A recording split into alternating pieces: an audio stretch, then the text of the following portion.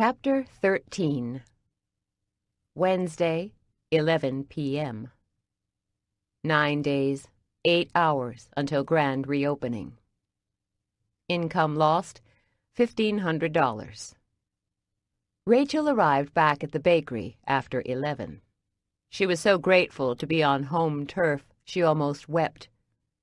Too nervous to eat all night, her stomach now growled as she moved into the kitchen to snag frozen cookie dough or day-old bread. Unable to face the silence of her apartment, she tossed her purse and keys on the counter and pushed through the saloon doors. Switching on the light, she cringed at the chaos. A week ago, she could locate any pot, pan, or spoon in this room. The kitchen had been her friend and her companion demanding and difficult at times, it was always here, waiting for her. Now the place was as much a stranger to her as she was to herself. She stepped around boxes and a circular saw and opened the stainless steel fridge to see bottles of wine and exotic cheeses. Jean Paul, the invader, the one that didn't belong. Unable to find the cookie dough, she grabbed the wine and cheese, scrounged a Union Street bakery mug, and sat on a stool by the sawhorse work table. She filled the mug full of wine, and as she raised it to her lips, she heard footsteps. Turning, she saw Jean Paul, unlit cigarette dangling from his mouth, staring at her. He wore a worn brown leather jacket, jeans, and a black t-shirt and in his hand he held a mesh sack filled with fruits and vegetables. What are you doing here? She drank from the mug, enjoying the wine all the more because she'd taken it from him. In her mind, he'd taken her kitchen, so turnabout was fair play. Jean-Paul came and went as he pleased, much like a stray cat. Whether it was eleven o'clock at night or two in the morning on his day off, if he needed something, he appeared. You are up late. He glanced at his bottle, which she'd left on the counter, and set his bags beside it before grabbing a second mug. He filled his to the halfway point. You like my wine? She smiled. It's very nice. Grunting, he took a sip and nodded his approval. Life is too short to drink bad wine. She stared into the depths of her cup. Life is too short. But yet there are times when it drags on endlessly. He arched a brow. It slows when you allow it to dictate. If you are in charge, it does not dawdle. She lifted the mug to her lips and paused. Is it that way for you? Are you always in charge? I do not worry about fast or slow, in charge or not. I enjoy. He sipped his wine, and then from the sack pulled out a square of cheese wrapped in wax paper. He unwrapped it, and then broke off a piece, which he offered to her. Rachel took the cheese and bit into it creamy and buttery. It all but melted in her mouth. Life is also too short for bad cheese. He held up his glass to her. Of course. A smile teased her lips. So what are you doing here? I came to work. I'm used to working at this time of night. Each night I arrive before my shift and enjoy a cafe, or a wine and a bit of cheese. I think about the dough. And then when it's time to cook, I am ready. Jean-Paul had been working at the Union Street Bakery for over a month. His uncle, Henri, had been a family friend and bakery employee for over twenty years, and when Henri recently retired, he'd sent Jean-Paul. That had been enough for Daisy, who'd been in desperate need of a baker. No resume necessary. Rachel had been grateful for his hire, and resentful. He was yet another change in a life with too many changes. The wine eased the tension in her muscles and wiped away some of the awkwardness. Her curiosity about him grew. Have you heard from Henri recently? Jean-Paul shrugged. From what my mother says, he is well. Visits the local bakeries in Nice and complains about the quality of the baking. Says bakers today don't understand tradition. Rachel missed the old Frenchman.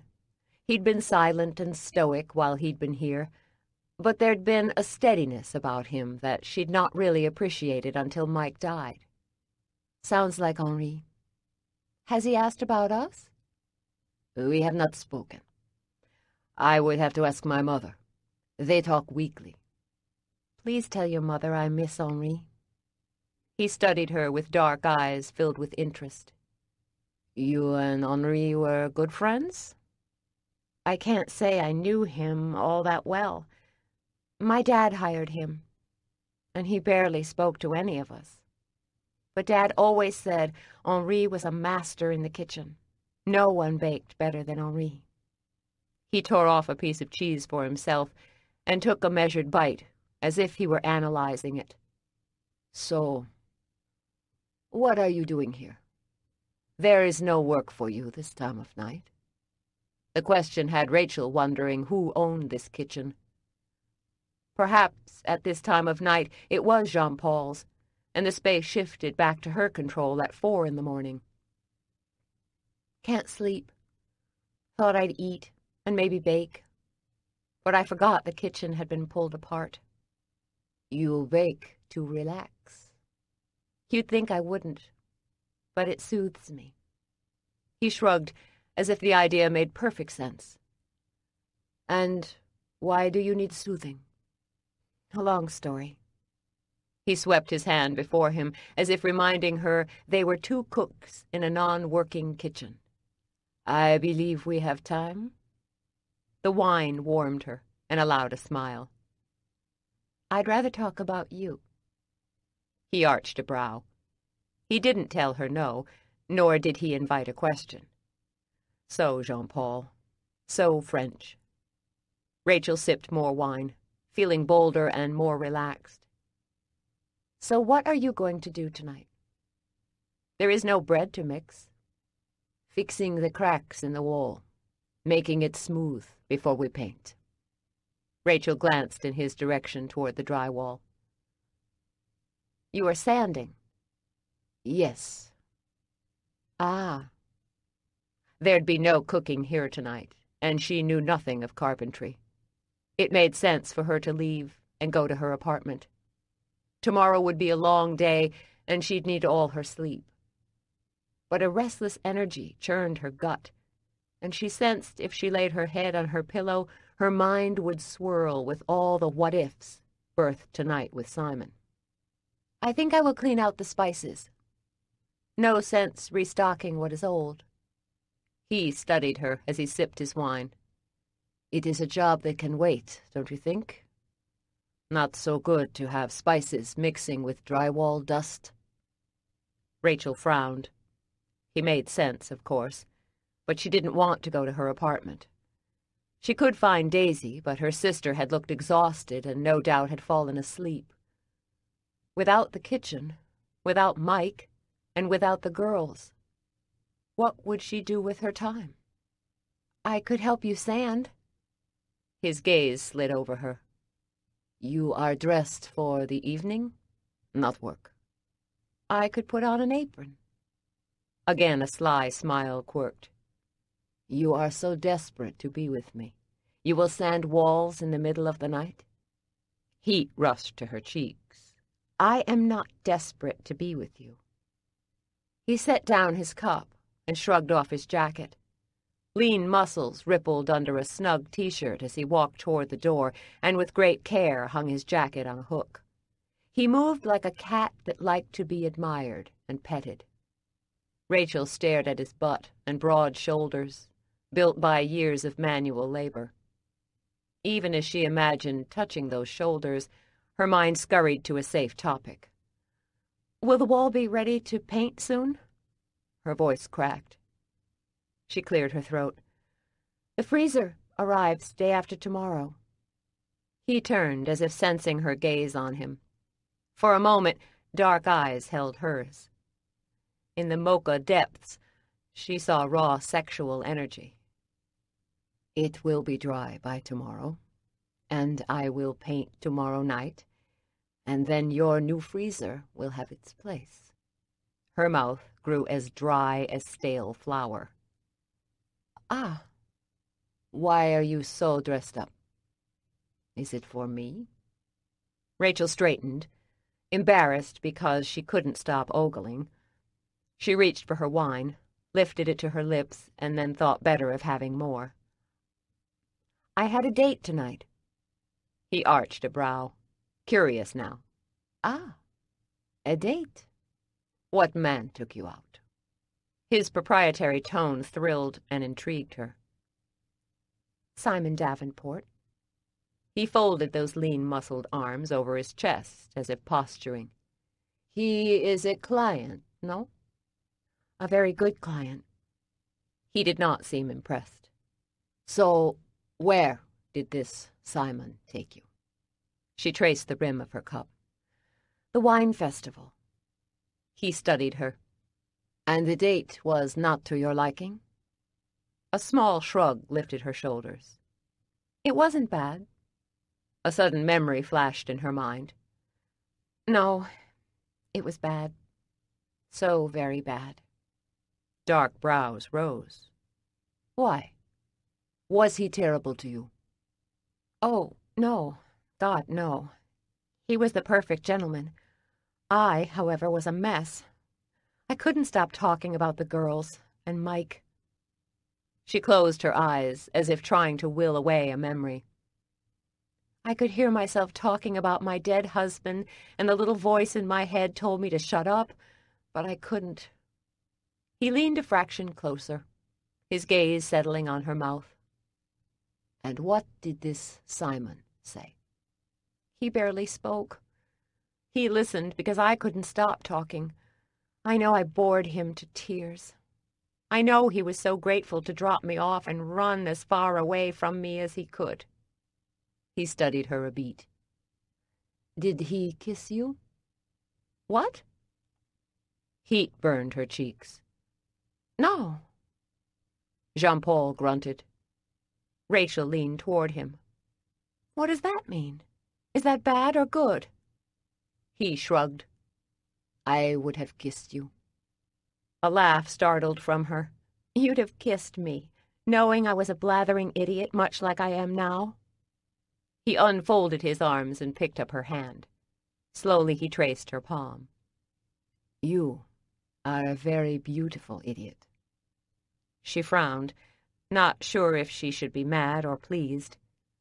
But as he continued to trace her palm with his calloused fingertip, her thoughts scattered and ran like frightened rabbits, leaving her alone with a forgotten sensation in the pit of her belly. It had been so long since Rachel had been kissed or been held by a man. So long since she'd lost herself in an embrace and given in to pure sensation. Simon had been utterly polite when all she'd wanted him to do was take charge of the conversation as Mike would have. But he hadn't. He'd simply listened as she dithered. Jean-Paul raised her hand to his lips, and he kissed her palm. As much as logic told her to pull away, she didn't. She liked being touched, liked the sexual need growing, and the fact that in that moment she could melt into the floor from wanting. Jean-Paul kissed her palm again, and then he kissed her wrist and the crease at her elbow. She kept her gaze on him, not sure if she fully trusted herself or him. Of herself, she feared she'd lose her nerve and hide. Of him, she feared he'd stop. He shifted, tugged her arm until she stepped toward him, and they were less than an inch apart. Their lips did not touch, but barely a whisper separated them. Kiss me, he said. She wasn't expecting words and had to shift her brain back to conscious thought so she could speak. What? Kiss me. If he'd ordered her to alter a recipe, or change her menu, she'd have argued with great passion. But he wasn't asking about ingredients or baked goods. He wanted her to kiss him. Her heart thundered so hard in her chest she feared it would burst free. She was so scared, so unsure, and so wanting this moment. And he was Jean Paul, confident, patient, and waiting. Finally, she moistened her lips, leaned in, and touched her lips to his. It was a feather-soft touch. Maybe not an official kiss but skin did touch skin. He put his hand at the base of her neck and pressed her close until her lips flattened against his. As they did so, he opened his mouth and teased the underside of her top lip with his tongue. She opened her mouth, awkward and unsure, as if she'd been transported back to high school, the last time she'd known such unexplained and terrifying wonder. Rachel leaned into the kiss, moved to deepen. She wrapped her arms around his neck. She didn't know where this was going, and she did not care. And that's when she heard the kitchen door open and Daisy say, Really? Really? What are you doing? Rachel froze, stiffened. She was mortified. Jean Paul, relaxed as if he did not have a care in the world, looked at Daisy. Isn't it clear? I am kissing your sister. From Rachel's apartment refrigerator, I grabbed eggs and butter and set them on the counter. They really need to be room temperature, Rachel said as she sipped her mug of wine. I've never been good at waiting. I can cheat the butter a bit in the microwave, and the eggs will have to find a way to blend cold. Patience is a must. Mise en place everything in its place. It's a lesson Dad grilled into me since I could stand on a stool beside him in the kitchen. No matter how reckless or rushed, I took the time to line up the sugar, vanilla, salt, baking powder, and nuts. When I came down the stairs to ask Rachel about Simon, I'd have bet a paycheck I'd never have found her in an embrace with Jean Paul. Their kiss was so not mise en place. You didn't look so patient when you were kissing the baker. What was that about? She stared into the depths of her mug. I'm not really sure. I unwrapped a pound of butter, dropped it in a ceramic dish, and popped it in the microwave. I pressed the 30-second button. This cheat required I pay attention. Too many times I'd walked away thinking the butter would simply soften, and when I returned it was a pure liquid. Still delicious, but unusable for cookies. And so I stood close, watching the butter turn in circles and soften. At 23 seconds, I pulled it out. Seven seconds separated usable butter from liquid. Seven seconds standing between success and failure. But then, bakers lived their lives on the margin. Profits were slim, hard won, the difference found in scraps of dough or slivers of bread. Want to tell me about it? Her cheeks still glowed a light pink. Not much to tell. It just happened. I measured brown sugar and dumped it into the butter. How did the date with Simon go? Terrible. I paused as I reached for a wooden spoon. Was he rude? No, he was sweet. I kept rambling about Mike, and the kids. I could hear the words coming out of my mouth, but I couldn't stop them. With the spoon, I mixed my cookie dough as Jenna might have. It didn't take long, mixing the dough by hand, before my arms started to ache. I'd grown strong since I'd returned to the bakery, but like everyone, I relied on the machines to do the heavy mixing and blending. So are you going to see him again? I said. Simon? I arched a brow. One man at a time. That coaxed a grin. I doubt Simon's interested. I creamed the batter faster. How can you be sure? I called him Mike. Twice. I winced. Okay. Well, you did break the ice.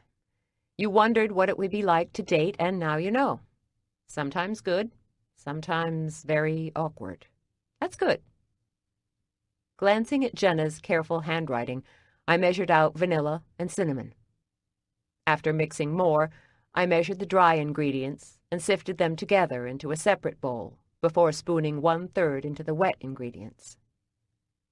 So, about Jean-Paul? I have no idea where that came from.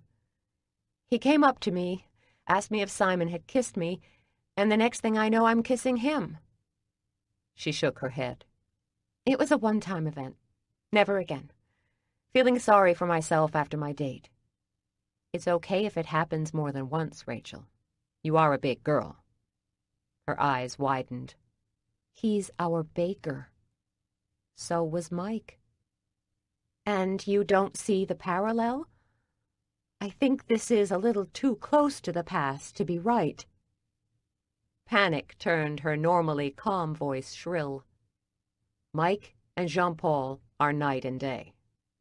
I don't know Jean-Paul well enough to know. But he is a baker, and he works here. Rachel buried her face in her hands. Dating is so damn much work.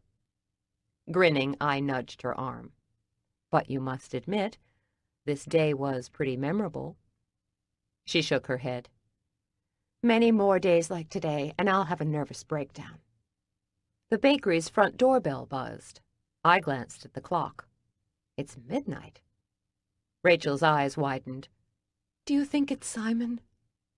Could be. Groaning, she held up her hands. I am not here. I have moved to Africa. Chuckling, I wiped my hands. I'll check it out. Should I say you are in Kenya or the Sudan? Funny. She peered toward the window in her living room that overlooked Union Street. Who comes to the bakery at this hour? Jean-Paul is working in the kitchen. Someone must have seen the light. Still, she said as she rose, people do not visit the bakery at midnight. I tossed my rag on the counter.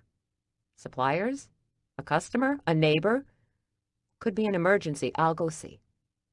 Not alone. I'll come with. What if it's Simon? Then I'll run. As we moved toward the first floor, I heard Jean-Paul speaking to another man. The voice was too clipped and deep to be Simon. As I rounded the corner and saw our visitor, my mouth dropped and my belly tightened. Gordon. When I didn't move, Rachel laid her hand on my shoulder. He is not here for me. Now it was my turn to worry and entertain thoughts of running. He might be. No, this drama is all yours. I'm happy to sit this one out. She pushed gently. Go talk to him. I descended the remaining stairs into the kitchen and pushed through the saloon doors. Jean-Paul had flipped on the lights, softening the buttery yellow on the walls. The soothing glow did little for my uneasy nerves. Jean-Paul glanced at Rachel, his gaze lingering just a split second, and then he turned and disappeared back into his kitchen. Rachel scurried back up the stairs, leaving me alone with Gordon. Coward. The exterior light above the entrance shined on Gordon as he stood by the front door. His hands shoved in his jeans pockets, he wore a gray short-sleeved t-shirt and sneakers. Despite a downcast gaze, I could see he looked exhausted. Why hadn't it ever been easy for us? I moistened my lips and pushed my hands through my hair. Hey. He looked up, and I got a good look at the dark circles hanging under his eyes. Once again, I'd upended his life. I saw your light on and took a chance you were in the kitchen. Jean-Paul is working late. He frowned. Did I wake you? No. Rachel and I were trying out a recipe upstairs. We found a recipe box in one of the walls. Weird. It's turning out to be a very interesting story. I was blathering just as Rachel had done with Simon. His gaze sharpened. I didn't come here to talk about recipes, Daisy. Smoothing hands over my pants, I shrugged. No, I suppose not. Can I come in? Sure. I stepped aside and let him into the shop, and then locked the door behind him. He glanced around the shop. I like the color. A quip came to mind. So you came to talk about paint colors? But I forced myself to stay silent. Thanks. The place needed a little brightening. The construction in the back is nearly done, too. Soon as our electrical inspection gets done, we'll be installing the freezer, and the wine arrives early next week. No doubt we'll be stocking shelves and baking all week to be ready for the opening next Saturday. Is all that work good for... He stopped, flattening his lips into a grim line. The baby. Is it good for the baby? So far, so good with the kid. The doc says she's fine, and I'm on target for a Christmas due date. Might as well get the difficult details out of the way. The frown lines in his forehead deepened. For a moment he didn't speak. So you know it's a girl? Girl? No, I don't know for sure one way or the other, but I've been saying her for the last few days. Makes sense, I guess. Christmas isn't the best time for a baker to have a baby. No, it is not. But first, I have to get the renovation finished before I freak out about that. I did hire a couple of kids to help in the afternoons. Good. More heavy silence settled between us. Each of us had so much emotion needing a voice, but neither of us could find the words. I don't know what you want me to say, Gordon. I'm sorry doesn't come close. This kid is so unexpected, but she's here to stay. I know that sucks for you. I do. If you'd knocked up another woman during our breakup, I'm not sure how charitable I'd be. He swallowed. I get you didn't intend this. I understand you didn't cheat. But it still hurts. Yeah, it hurts. His gaze lowered to my belly, hidden under the oversized t-shirt, and then back up to my face. I'm sorry. You deserve a much less complicated woman than me. You really do. He pulled his shoulders back. I expect complications from you. I might not like them, but I know they are part of the package. This complication is a whopper. It is. I care a lot about you, Gordon. I've even used the L word. A sigh shuddered through me. I understand we won't survive this as a couple, but I'd like us to at least be friends. He swept back his bangs with his hand. Have you told the baby's father about your pregnancy? No. One can of worms at a time. He rattled change in his pocket. Are you going to tell him? I nodded. I have to, Gordon. It wouldn't be fair to the kid not to. Roger isn't father material, Daisy. I know. But the kid has his DNA. And DNA is kind of important, especially when you don't have access to it. DNA doesn't make a parent. I know. But DNA is an important piece of the puzzle. I should know. How could I make him understand? He could trace his family back to the Revolutionary War. Terry has yet to return my emails or phone messages about my birth father. Whoever the guy is who got Terry pregnant, he is not your dad. I know. I have a great dad, the best, and a great mom. But this guy is a piece of my puzzle.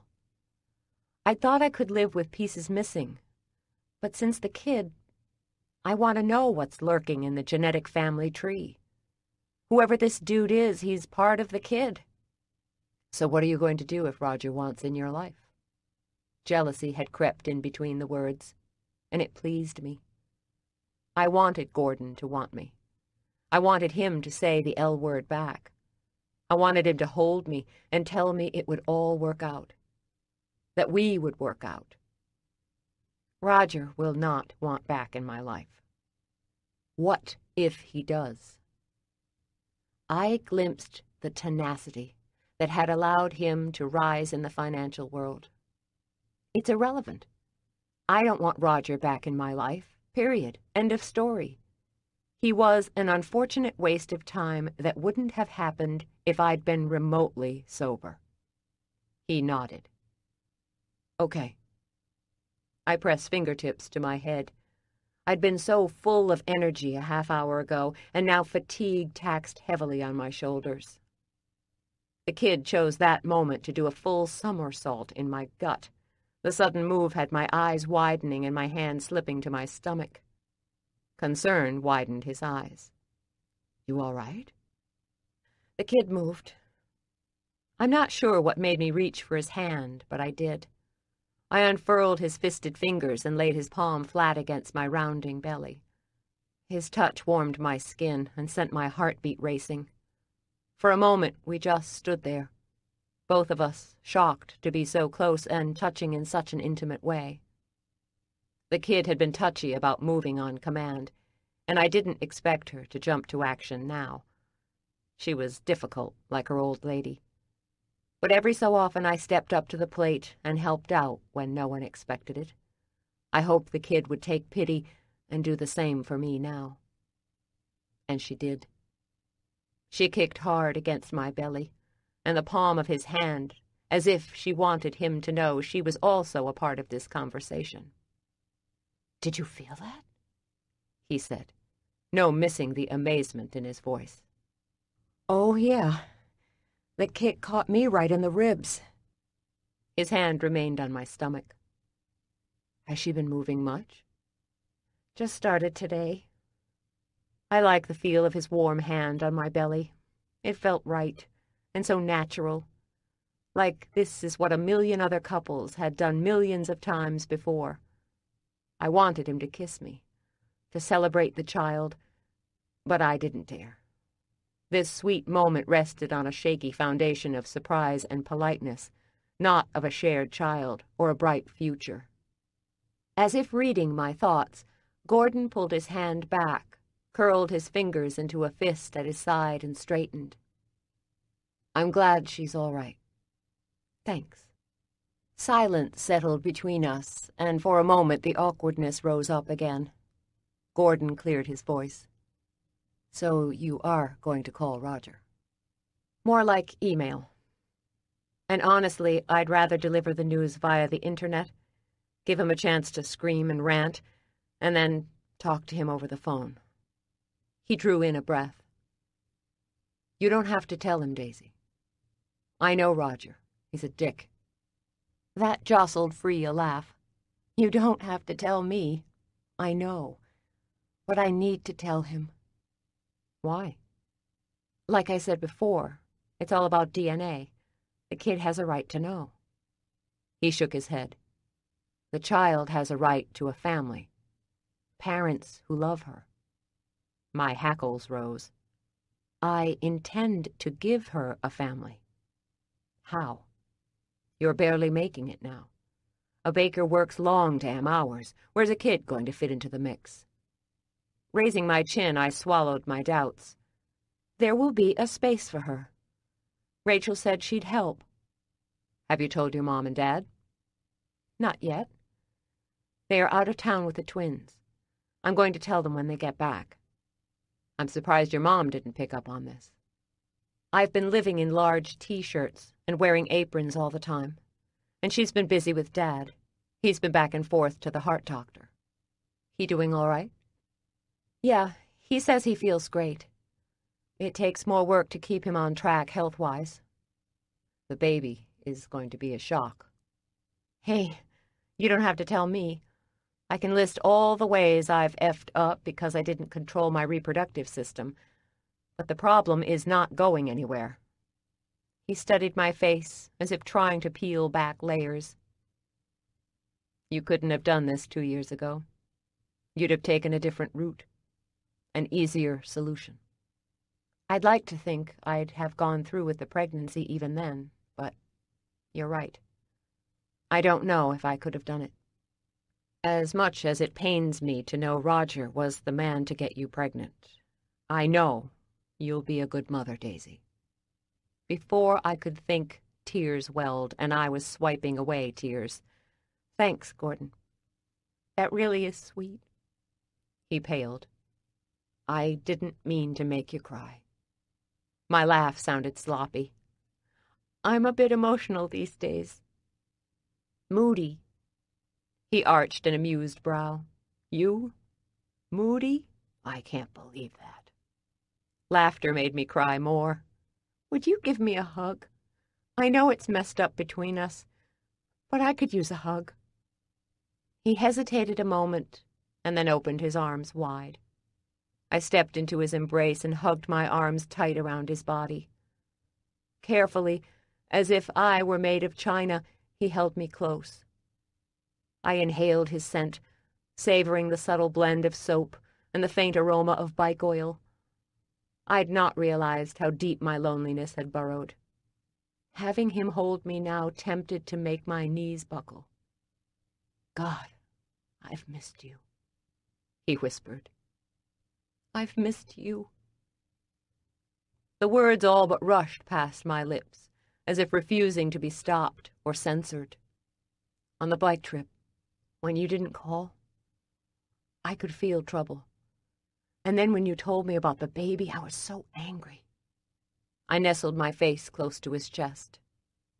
I'm sorry. I'm not angry at you. I'm angry the baby's not mine. When we were together, you weren't ready for us to have a baby, but I was. I sniffed back tears. Our timing has been one disaster after another. He pulled back, cupped my face in his hands, and kissed me on the lips. He tasted sweet and salty and better than he'd tasted before. I wrapped my arms around his neck and kissed him hard on the lips. I can be ham-fisted with words and have a talent for messing up the right line. But I could pour all my unspoken feelings into a kiss. I hoped I could show him how I wanted him and not Roger. I pressed my body against his, knowing if he gave me the slightest hint he wanted me now, we'd end up in bed. Instead of pulling me deeper into his arms, he broke the embrace and looked me directly in the eye. Don't tell him, Daisy. For a moment I blinked. My lips left swollen and parted. A moment passed before my brain clicked back online. Don't tell Roger? His hand slid to my shoulders, and his fingers tightened, as if he held on for courage.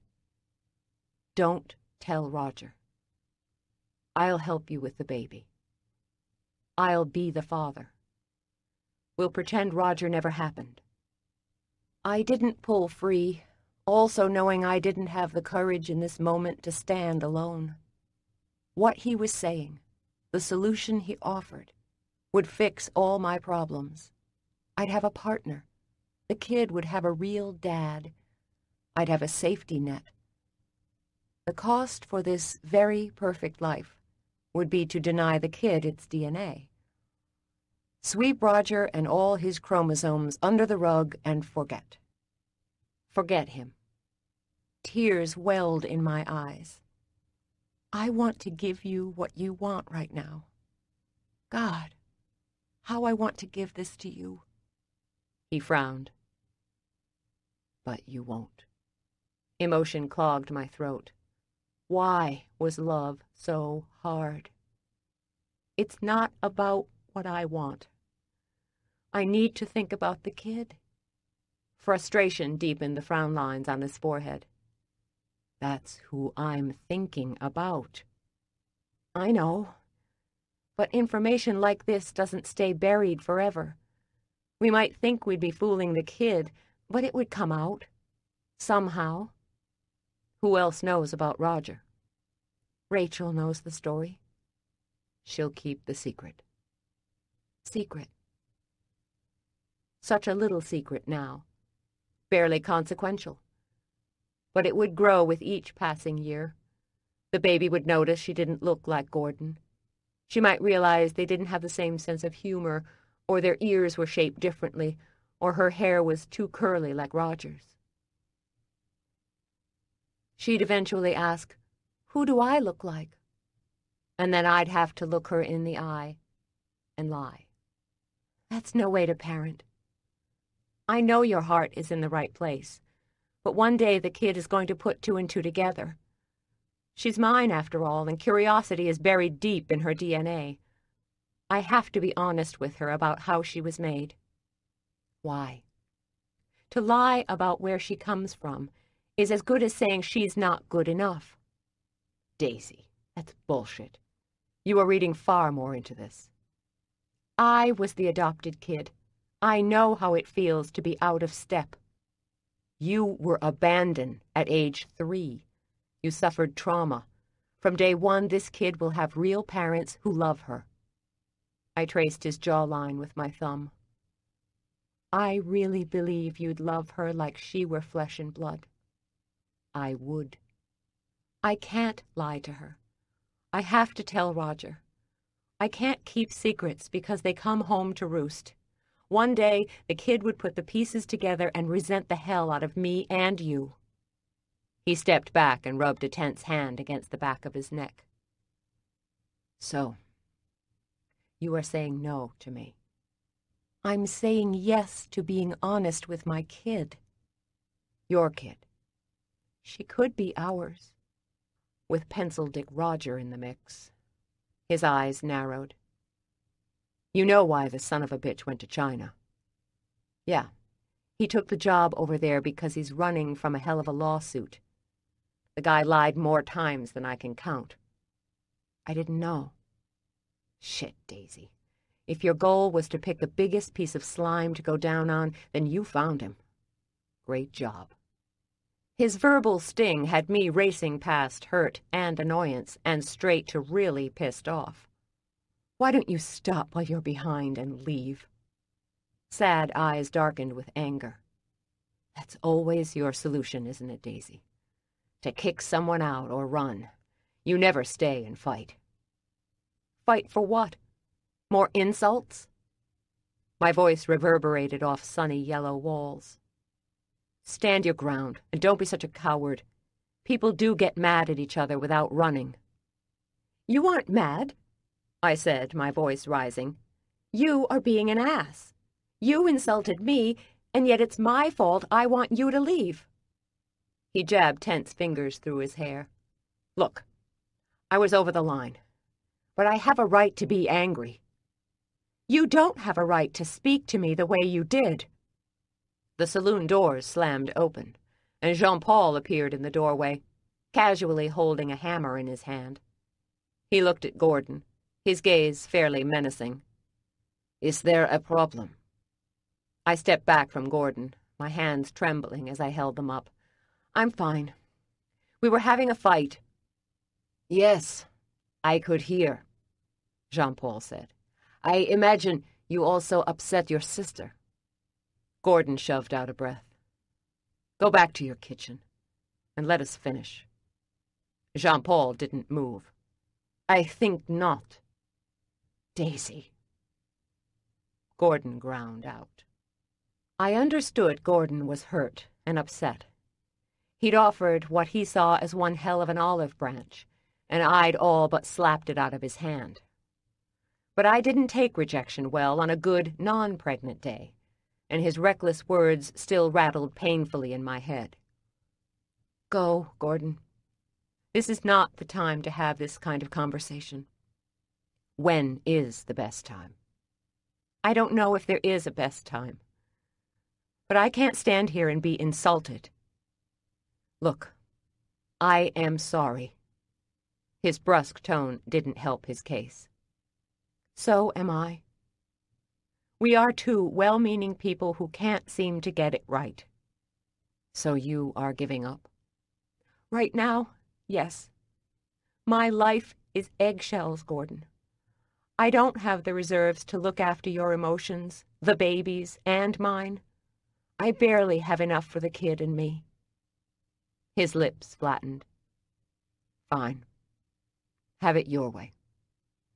and he turned, fists clenched, and stalked out of the shop. Chapter 14 Friday, 8 a.m. Eight days until grand reopening. Income lost, $1,700. Rachel and I had retreated to the basement, putting together the shelves that would stock our new wine collection. Jean Paul had finished prepping the walls and was painting upstairs. The inspector, Mr. Fraser, had come early and inspected Jean Paul's electrical work and given it the official thumbs up. The movers had yet to come and haul the baking equipment to the main floor, but Jean Paul had assured me we'd have the basement cleared before the wine arrived. We were inching forward. I'm a linear thinker, and I like to tackle one task at a time. Multitasking had never been my strong suit. But I was learning if I didn't multitask, the bakery would close. It required someone who could keep juggling lots of balls. The shelves were black and sleek and had been on sale, but deciphering the instructions threatened to drive me to drink, swear, or scream. These don't make sense to me. I can see why these shelves were such a deal, Rachel muttered. She looked panicked as she stared at the collection of screws laid out on the white sheet. I'd insisted on the sheet knowing I'd crack if we lost a screw or a bolt. I choose to believe if we follow the steps correctly, we'll have shelves. Too bad life doesn't work that way. Smiling, I reread the third section. So, I think I have it. You hold boards A and B, and I will connect with bolt 1. Which ones are board A and B? The farthest board on the right is A. We read from left to right, so I arrange from left to right. Rachel nodded and picked up the boards. If you ever really want to punish me, put me in a room with one of these to assemble. I'll remember that. She held the boards together so they formed a long L. Board B is backward, I said. Frowning, she studied the setup. How can you tell? Because the sign facing me says back, not front. She studied the instructions shook her head, and flipped the board around. Right. This went on for another hour. For the most part, it went smoothly. Once I attached a board backward and Rachel caught it. Muttering words, I unscrewed the fastener and reattached it. When we finished the first set of shelves, both of us stood back to admire the work. The shelf was seven feet tall, black, and had vertical slots that held the wine. Against the basement's brick wall, it looked kind of cool. And for the first time in a couple of days, I thought maybe all of this might really come together. Three to go, I said. Rachel groaned. Kill me. It should get easier. She brushed back a stray curl. From your lips to God's ears. And so we tackled the second set of shelves, which took half the time to assemble more progress. At least this one small part of my life was under control. We've got this. Rachel offered a tentative smile. You have jinxed us. We'll be fine. I needed to master these shelves. I needed something to go really right. A little control, please? The third set of shelves was missing three screws, which I had to steal from the fourth set. When the third set was complete, I studied the fourth incomplete box. We know we're missing screws from the top section, so we know we can at least build two-thirds of the shelf. And then what? If Jean-Paul can't rig a fix, I'll have to make a run for the hardware store. Great. Rachel held boards A and B in an L shape, so how was your meeting with Gordon last night?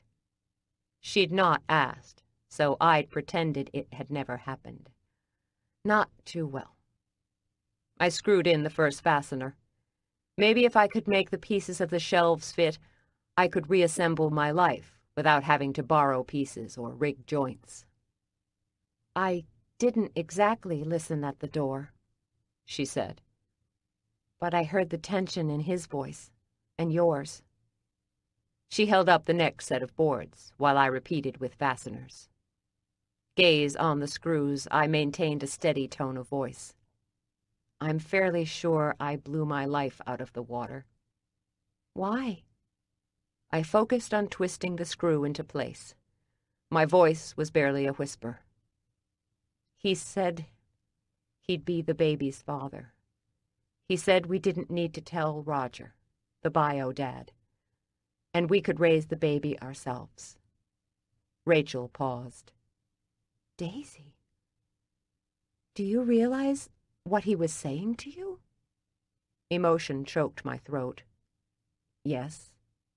She studied my face. So why did he sound mad? A sigh shuddered from my chest. I said I had to tell Roger about the baby. I couldn't keep a secret like that. She nodded slowly. We'd been together since we were three, and though we didn't always agree, we knew each other very well. He was pretty mad. He doesn't understand why I need to tell Roger. A bemused bark of a laugh escaped. I can't say I understand. Maybe if I knew who my biological father was, I could let this go. But I can't deny the kid what has been denied me. You've not heard from Terry? I arched a brow. She's playing games again. I shook my head. I don't think she means to be cruel. I think dealing with me and her past is hard. The admission stung deeper than I thought and for a moment I stared at the screwdriver in my hand. Rachel put her arm around my shoulders and hugged me close. I shrugged off her embrace, pretty sure I'd cry if she hugged me. And this she understood, too. It wasn't the first time I'd run from comfort. We finished assembling the first section, bringing the last set of shelves up to my hips. Do we still have that order with Simon? She arched a brow. He hasn't cancelled it. And cancelling would not be his style. He is a gentleman. So, you're going to have to see him when we make the delivery. No, you're making the delivery. I will bake, but I will not go see him. Not yet. Rachel, you cannot be a baby about this. You are going to have to go do the delivery. I can't do it alone. She pouted a little. I don't want to.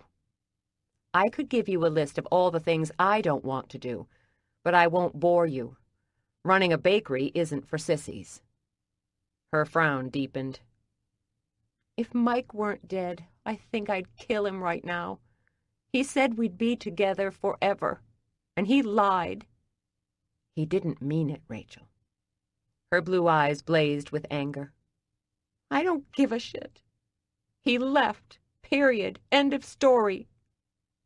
In the last eighteen months, Rachel had kept a stiff upper lip.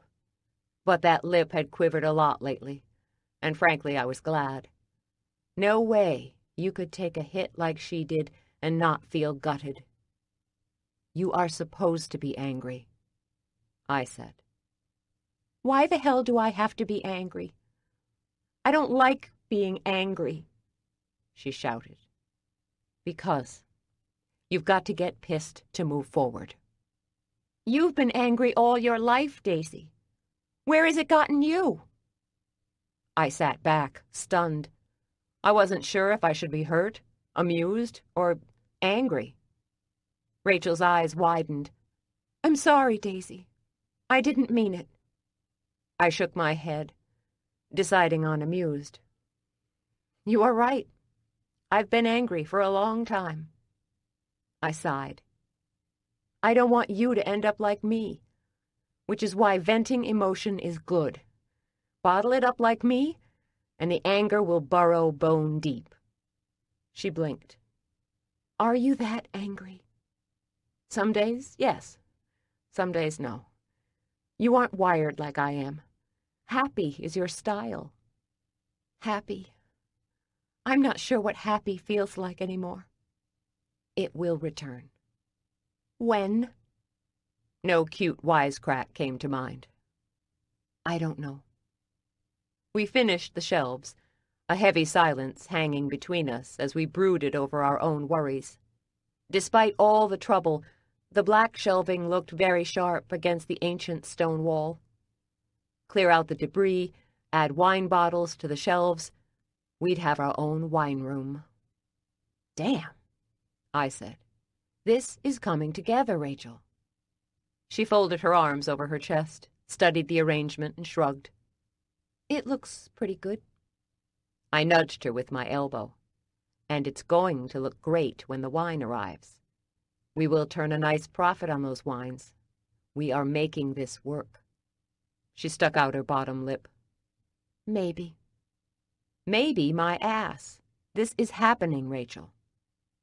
The squeal of little voices and the thunder of excited feet had us both looking toward the stairs. Sounds like the girls, Rachel said. Yeah. I'd bet Mom and Dad would last three days. Rachel had bet two. They surprised us both by making it five.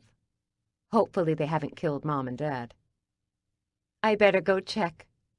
She bounded up the stairs, the spring returning to her step. She'd missed her girls. I rose and followed. We found Jean Paul showing Mom, Dad, and the girls our progress. Mom and Dad both looked a little pale. Mom didn't wear any makeup, and her blue t-shirt was stained with something purple. Dad hadn't shaved in a couple of days, and his shirt was inside out. They both looked like a truck had hit them. But the girls were dressed in rumpled blue shorts and matching yellow t-shirts that read, Outer Banks Rocks which were no doubt a souvenir from their gemstone rock adventure. Their ponytails were askew, but they were giggling and jumping with energy. Hey, Rachel said. Mom! The girls squealed as they ran to Rachel. She hugged them close, kissing one as they talked excitedly about their trip. Dad nodded in my direction as he scanned the new buttery yellow. Looking good, Daisy. Coming together. I like the yellow. His approval made me smile. We're getting there, Dad. Rachel removed Ellie's crooked ponytail, smoothed her hair with her fingers, and then refastened it with the hair tie. Wait until you see the kitchen. Jean Paul's gaze flickered briefly to Rachel, but he gave no hint of what had happened last night. Rachel blushed ever so slightly. However, I sensed awareness between the two that made the air crackle.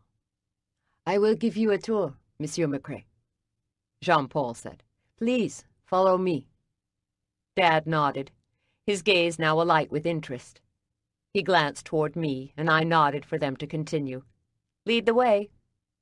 As Dad and Jean-Paul left for the kitchen, Mom crossed and gave me a tight hug. She pulled me close, and then for a split second her body stiffened. She pulled back, and her gaze dropped to my belly. Daisy Sheila McCrae. I smiled, sheepish. She frowned. Her hand slid to my stomach, as if she needed to confirm her thought. Surprise? She closed her eyes for a moment. Why don't we have a chat in your room? No avoiding this conversation. I'd not really worried about telling Mom about the baby, but now that crunch time had arrived, I wasn't so sure of myself. Sure. Frank, Daisy and I are going to catch up. Rachel has the girls. No missing the relief in Dad's gaze as he nodded and headed into the kitchen. See you in a bit. Rachel glanced over the head of the girls at me. She raised a brow as if to offer help, but I waved her away as I followed Mom up to the third floor. When I closed my door, her gaze narrowed. You are pregnant. I shoved out a breath. Yeah. She rubbed her temple with the tips of her fingers. How did you manage this? Would you like a play-by-play? -play? Don't be smart, Daisy Sheila. I know how you managed it. Start with when, and then maybe who. The night before I returned to the bakery. Call it a memento of my going away party. Daisy, you are 34 years old, and I taught all you girls about the birds and the bees. Having this kind of lecture from my mom rankled, but I deserved it. Stuff happens. I didn't plan it, and believe me, I've been in a state of shock. She glanced at my belly. How long have you known? About a week. I didn't catch on right away, and chalked the difference up to stress. She sighed, clearly frustrated she'd missed it as well. Mom prided herself on keeping her finger on the pulse of the family. So, that flu you had the last couple of weeks? Delayed morning sickness. Seems morning sickness can come at any time in the pregnancy, and I'm here to say it doesn't occur only in the morning, but can linger all day long. Mom shook her head, a hint of sympathy softening her features. It was that way when I carried Margaret. She made me sick as a dog. Well, my kid is doing the same to me.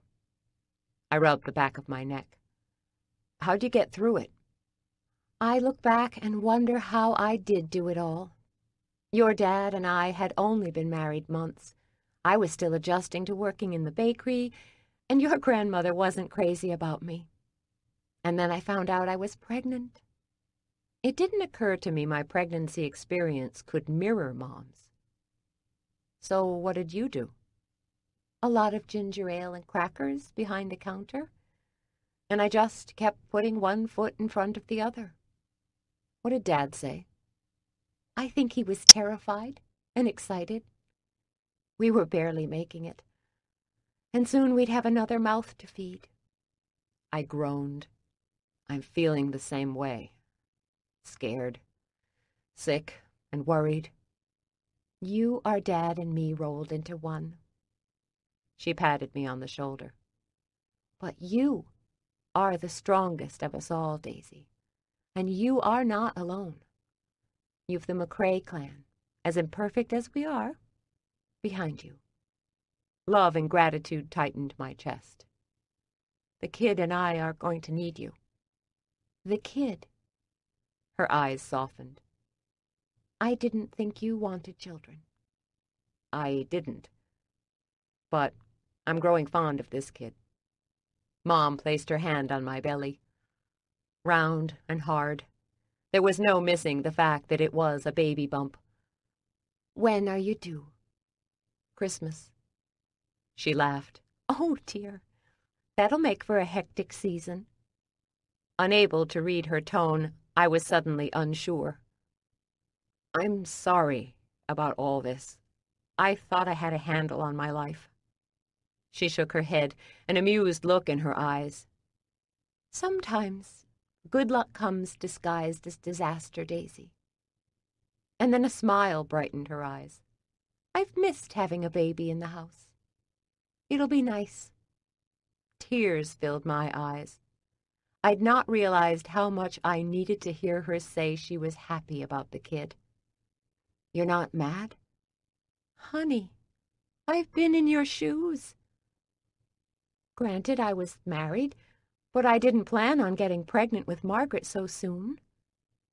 But after Dad and I got over the shock, we felt more and more protective of her. After a week of knowing I was pregnant, I'd have been devastated if I lost her. That's how I feel. Mom grinned. Oh, you wait. She's going to take over your heart. You won't know what hit you when this child arrives. I swiped away a tear. Thanks. Mom frowned as she stared at my belly. Gordon is not the father. When my gaze turned from weepy to surprised, she arched a brow.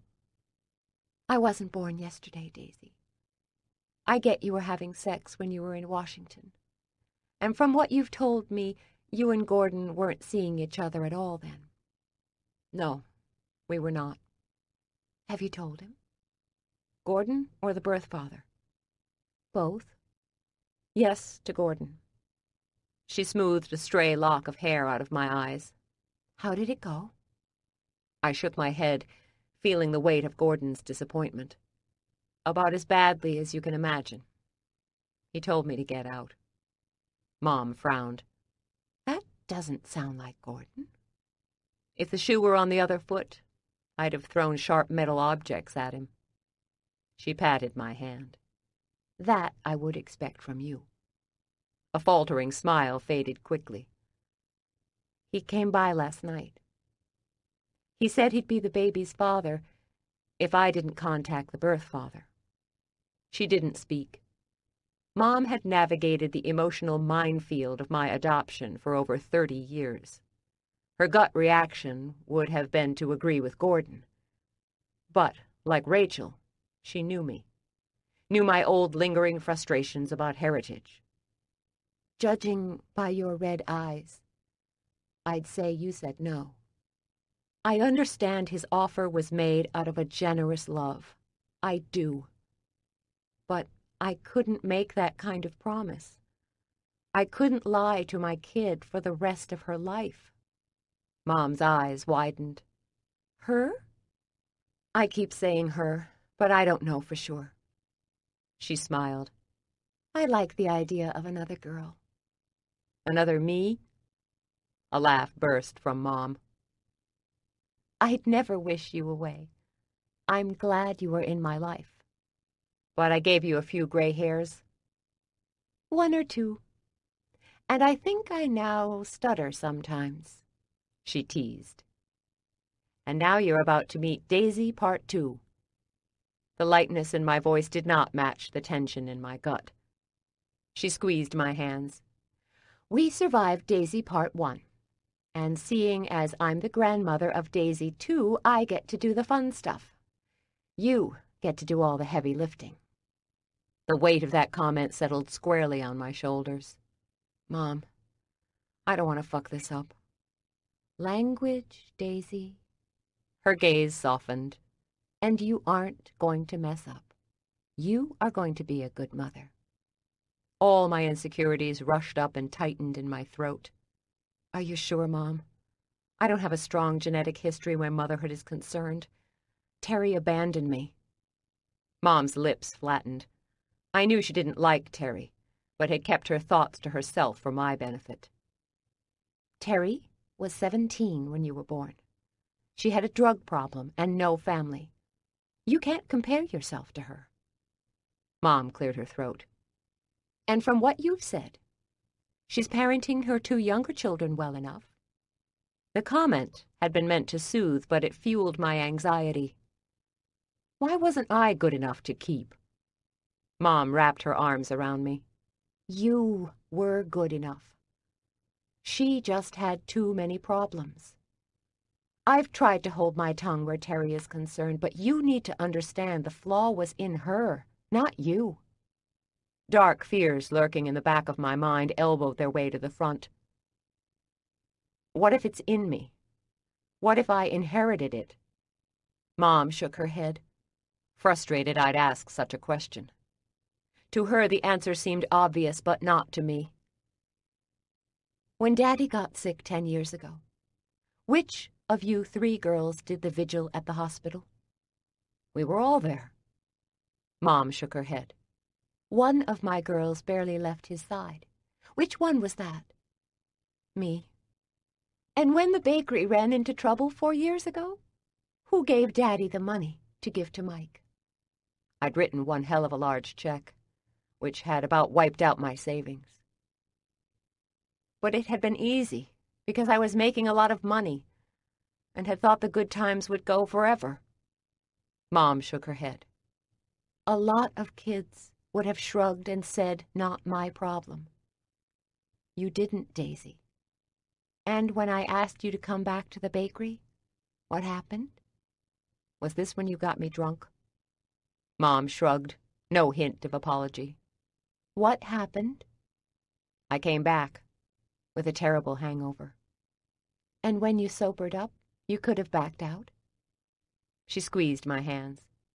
My point is, Daisy, you are not a runner or a quitter. You stay and fight. You have for this family, and you will for this baby. How can you be sure? She shoved out an exasperated breath. Daisy, your biggest weakness is your lack of confidence. I've done all I can to instill it in you, but there is a deep fear in you that I can't reach. You need to get to the root of it so you can find some peace. Yeah, I guess. Damn it, kid. You're going to drive me to drink. Have you called Terry? What has she said about you being pregnant? She hasn't said. I've sent her emails, but no response. I was mad the last time I sent mine and got a little bitchy. Good. She owes you answers, Daisy.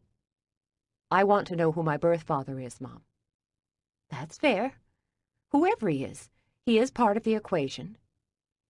She sat back. And speaking of fathers, we need to tell your father. Butterflies gnawed at my gut. I worried about Mom's reaction, but Dad's really troubled me. He and I were wired alike. We thought alike. Got along well when we weren't clashing heads. And the thought of seeing the disappointment on his face upset me. I didn't want Dad to be disappointed in me. Why don't you tell him? You were really good at smoothing over the rough spots with Dad. Mom shook her head. Oh, no.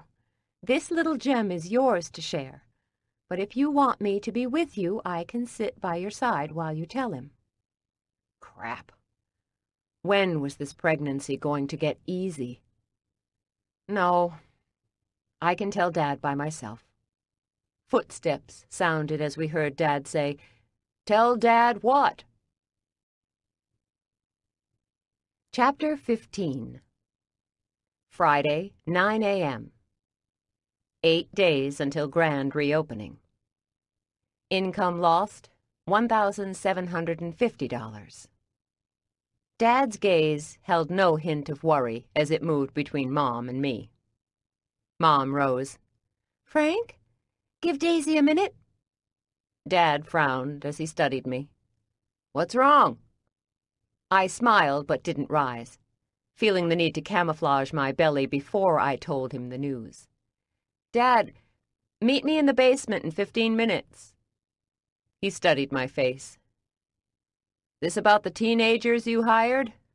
Rachel told me they start in a couple of days. I've got an item or two I want to run past you. He shook his head. Is this about the wine? Jean-Paul told me. Is there a problem with the renovation? I balanced my tone between perky and serious. Knowing too much in either direction would arouse more suspicion. Actually, it's going pretty well. He arched a brow. What's wrong? City inspector problems? No, we got our electrical inspections and I've applied for a liquor license. We are good. I can show you the numbers. He studied me a beat longer and then looked at my mother. She nodded her head toward the door. See you in fifteen minutes. I tossed him a thumbs up. Great. Mom and Dad left me alone and I rose, tugging the t-shirt over my belly. I washed my face, brushed my hair, and headed down the stairs. As I passed Rachel's apartment, I heard the girls giggling and Rachel talking to them with her calm, patient voice. I envied how soft and kind she sounded with them. All her words were wrapped in fur and cotton, no hard edges. Ellie was like her mother. She was the gentle one. Anna was more like me, always questioning, pushing, Anna's clear voice rose above her mother's and sister's. But I don't like blue icing. I like pink icing. Nobody eats blue icing. I eat blue icing, Ellie said. You are dumb, Anna shot back. Rachel's rebuff was quick, but so gently spoken I couldn't make it out. My sister had said more than once she wasn't perfect, but when it came to mothering, she was pretty darn flawless. I hoped I did as well.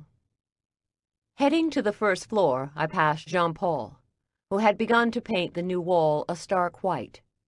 After my quick wave went unacknowledged by him, I moved down the stairs.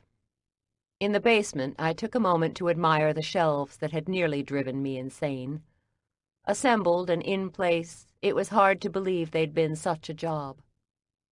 I smoothed my hand over a sleek black shelf, and in that moment the kid kicked me in the ribs. Smiling, I lowered my hand to my belly. An odd energy whooshed around me. My head swirled and my heart beat a little faster. Uneasy excitement hummed over my skin, and the world upstairs faded away. Can you go home? No, not like this. They wouldn't understand. And the baby's father? Can he help? I've written him.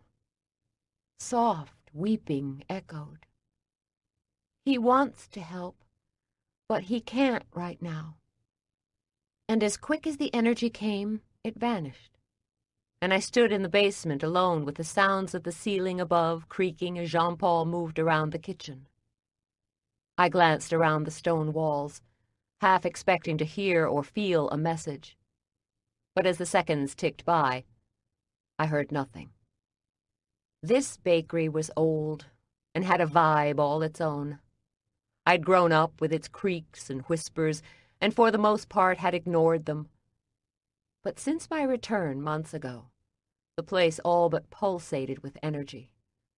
I wondered if the bakery had changed, or if pregnancy had changed my frequency and made me more susceptible. Find him. Was this some kind of haunting? I'd always thought a haunting came with a bit more fanfare. I figured chains rattled or curtains rustled, but all I was getting were whispers, just as easily imagined as heard. Find him. Find who? And then, without skipping a beat, Jenna's name came to mind. Again, was it my imagination or a real answer? I couldn't say. And yet I knew. Find him. Jenna wanted my attention. She wanted me to find him. But who was him?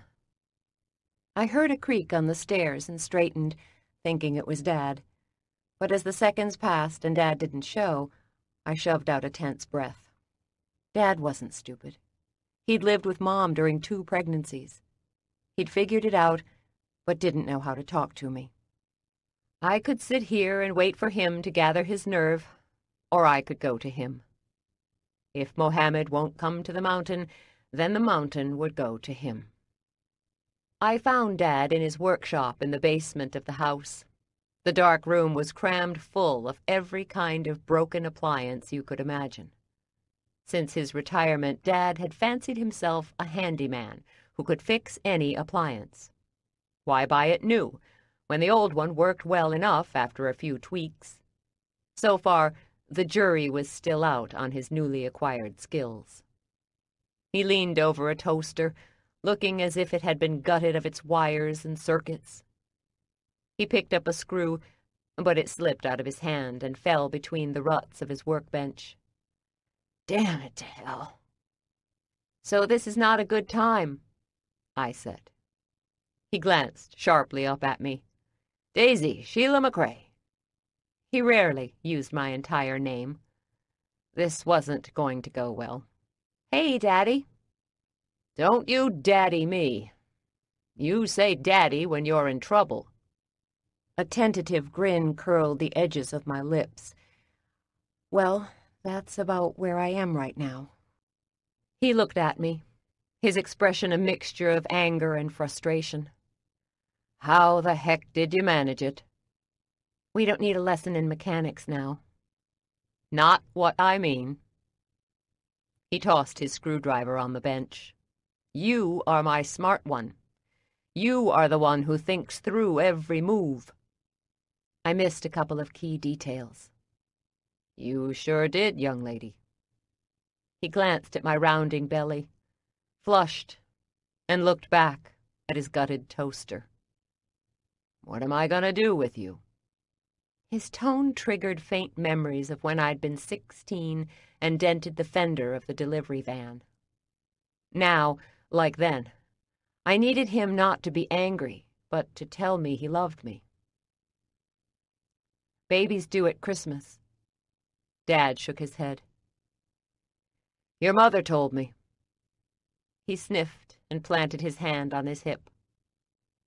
She says you think it's a girl. I do.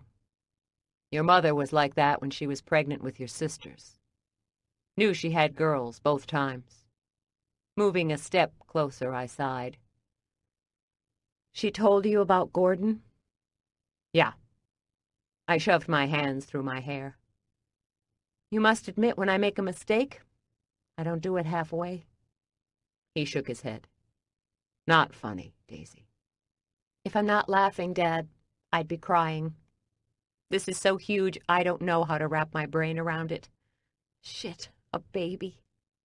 His scowl softened, and for a moment he stared at his toaster. Finally, he laid down his screwdriver, faced me, and held out his arms. I went quickly into his embrace and cried.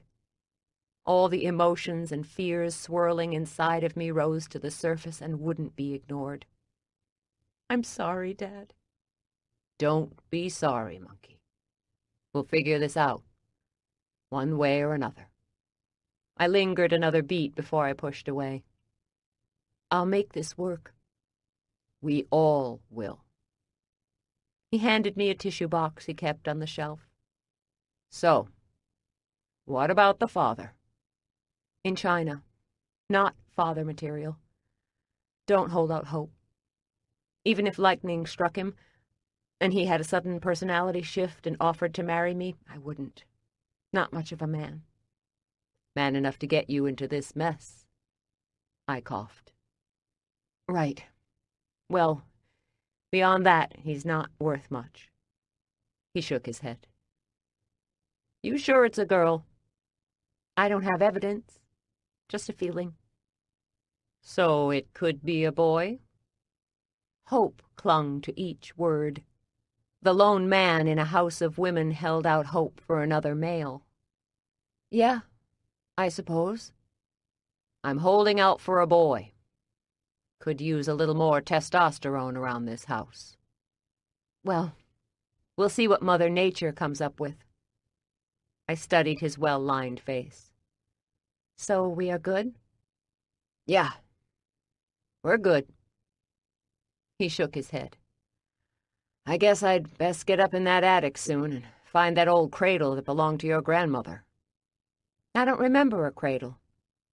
Margaret and Rachel slept in it, you were too big by the time you came along, and I didn't pull it out when the twins were born. Now, I'll dust it off and fix it up for my grandson. Dad, I really think it's a girl. He waved me away. Let an old man dream. Leaving his house, my step was lighter.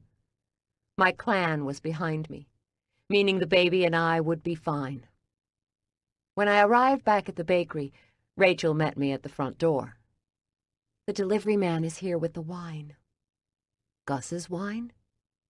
She wiped her hands on her apron. One and the same. By the looks, there is a lot of it. Yeah, I bought them out. Is he parked in the alley? In the process of parking, and wants to know where you want the boxes. I glanced at the shelves, slid in the last piece still in my hands. Have him bring them. We'll put them on the shelves. Then we can clear out the boxes. Her eyes brightened, and I knew having the girls back had calmed her. Daisy, it's more progress. I smiled. I think you are right. By the way, I thought you were spending time with the girls. She held up a baby monitor. They fell asleep on the couch watching their Barbie princess video. Barbie is watching the girls. Rachel shrugged. She's done it before. She winked. Actually, I highly recommend her if you're ever in a pinch. She's reasonable, and the girls love her.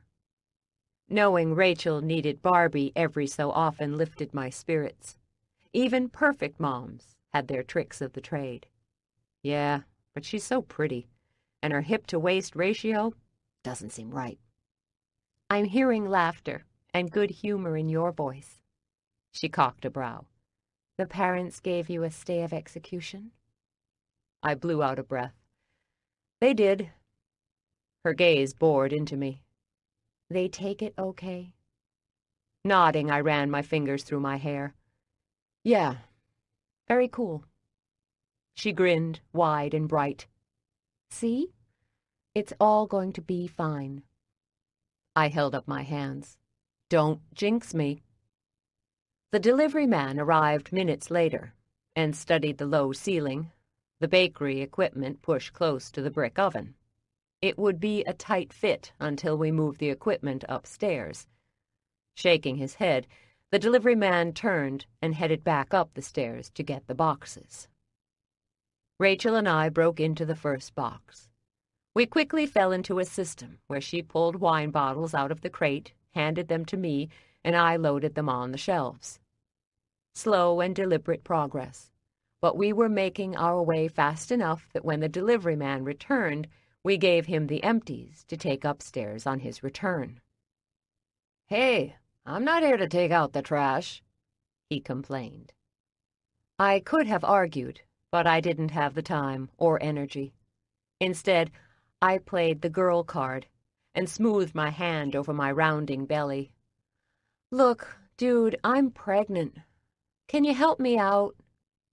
His frown softened. Yeah, sure. As he headed back up the stairs, I glanced at Rachel and whispered, Do pregnant bellies have a magic power? She giggled. Wait until you are really showing. People will be nice to you even when you act like, well, you. I laughed, not able to deny I could be one hell of a hard case when I was on a roll. Upstairs, Anna's giggles drifted through the floorboards. Rachel paused, held up a finger, and then a second later Ellie screamed, Stop it! Barbie is falling down on the job, I said. Rachel headed toward the stairs. She promised me 47 minutes of quiet. Better get your money back. No! Jean Paul's voice was quick and sharp. In my kitchen. We act like grown ups, or you will go to the basement with the women. Rachel glanced over her shoulder at me. I'm not sure I like the way he linked basement and women. Yeah, like our fate is not one to be envied. A second later, there was silence. Rachel went upstairs to check on the three and came back within seconds. Jean-Paul has the girls polishing dishes with rags. And they are doing it? With smiles on their faces. Looks like Barbie has competition. We continued with the wine bottles. I nestled several bottles in an alcove. I thought I'd dig up info about Jenna. Rachel ripped open a new box, paused, and handed more boxes to the delivery man. She smiled at him. He smiled back, his gaze openly appreciative. When he was gone, I said, Really? Don't you have enough going on with Jean-Paul and Simon? Rachel laughed as she pulled out two wine bottles and handed them to me. I hope this tastes good. Jean-Paul says it does. And you trust him? I trust him not to drink bad wine. Nodding, she handed me the bottles. So, any luck with Jenna? Not so many answers as questions. I've been thinking about the newspaper article I read, survived by her infant son. What do you want to know about Jenna? For starters, where is she buried? And what happened to her infant son? And who was the baby's father? Text Margaret. You'd think I could do this on my own without running to her each time. Rachel shrugged. Yeah, you could do it on your own, or you could beat your head against a wall. Might be more fun. I stuck my tongue out at her. Hilarious. Besides, if Margaret's on the job, we can bake those cookies for Simon's party, which is Monday. Do you think we'll have the oven to the first floor by tomorrow? The electrical is done. She nodded toward the stove, now shoved in the basement corner. Jean-Paul says he's called his friends, but no answer if they'll be here or when. They can't give a time. Daisy, it's free help. Beggars can't be choosers. She glanced toward the ceiling. Besides, he's done right by us so far. I'm sorry? Did I hear you correctly? I know, I didn't like him when I first met him, but he's growing on me. He's good with the girls, and he's kind of made this place his own. He kind of kissed you like he was a man starved for a woman's touch. She offered a goofy grin. Yeah, he did. Let me remind you, you've shared one kiss with him.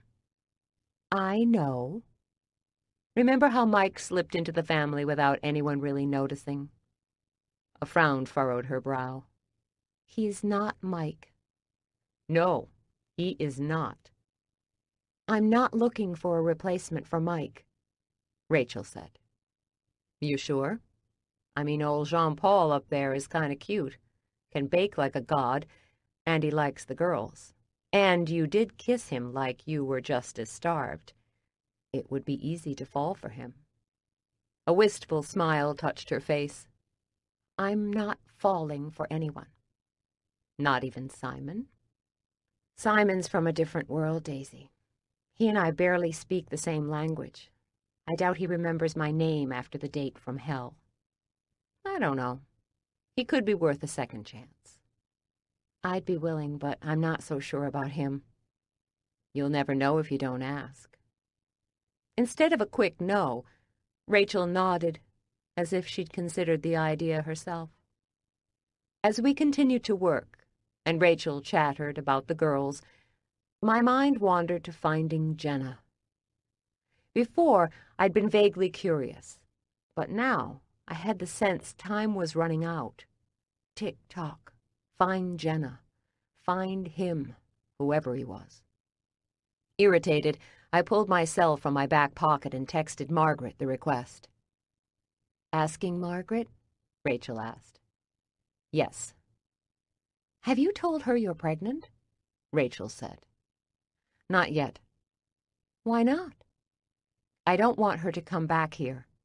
She needs to do her iron coffin adventure and find dead bodies. You mean she escaped the bakery, and you don't want to pull her back? This place has a way of pulling us all back. I never minded. It's different with Margaret. What about you? It sure was different with me at one time. Still could be again, I guess. But for now, this is where I belong. She smiled. Tell Margaret. You'll find a way to keep her away, and she hates being out of the loop, Daisy. I reached for my phone, and I texted. What did you say? I finished with, BTW. I'm four months pregnant, and you are still fired. Amusement danced in her gaze. That's it? I don't want her getting any warm, fuzzy feelings for me. She needs to stay where she is. Rachel giggled. Oh, Daisy, you do love Margaret. If you ever tell her I was looking out for her own good, I will bake you into a pie. I'd love to see her face when she reads the text. The rain started minutes after six. The wine bottles had been loaded and stocked, and the first level prepped and ready for the ovens and mixer, which would be moved upstairs tomorrow. Though it seemed we were at a stopping place, I knew I should be doing more. There was always more to be done at the bakery. But a weary fatigue had settled in my bones. My lower back hurt, my legs ached, and an exhaustion I'd never experienced had taken over. Six months ago, I could have done the work I'd accomplished today and be ready to go out partying. But the thought of going out and being around people made me shudder. The kid had drained me of all my reserves. As I moved toward the steps leading to my room, the front door of the bakery opened. My first thought was Rachel or someone had forgotten to lock the door and a customer had tried the door. Ready to give the, we will be open soon, speech, I turned to find Margaret standing there. rain glistening from her hair and tan jacket. She studied me from head to toe and shook her head. I thought, no effing way are you having a kid. But now that I look at you, damn, how come I didn't see it last week? I couldn't help but grin. It was good to see her. To know she'd come back from her dig to see me because of the baby. I thought I was getting fat, or had the flu, or both. I never figured baby. She closed the door behind her and locked it. Holy crap, Daisy. Yeah, that and more.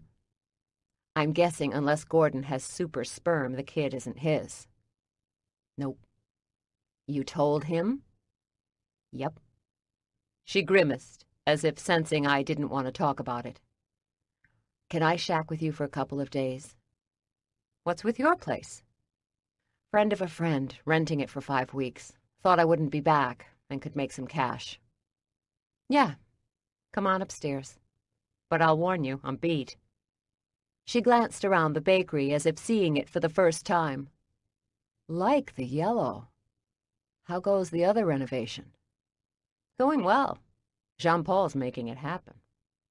Margaret chuckled. Good to know. He's a lot more laid back than Henri, and I was afraid it might not go as well. But you saw something in him, and you are a good judge of people.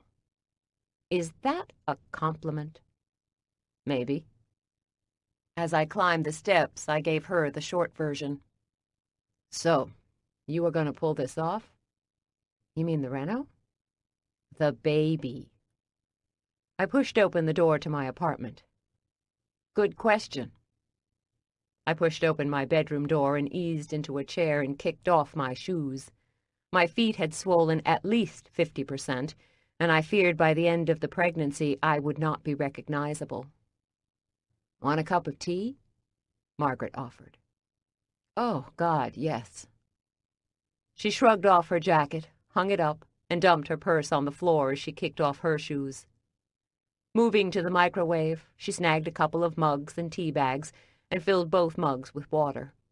She placed them in the microwave and hit four minutes. I wiggled my toes. So, you came all this way to see me? Partly.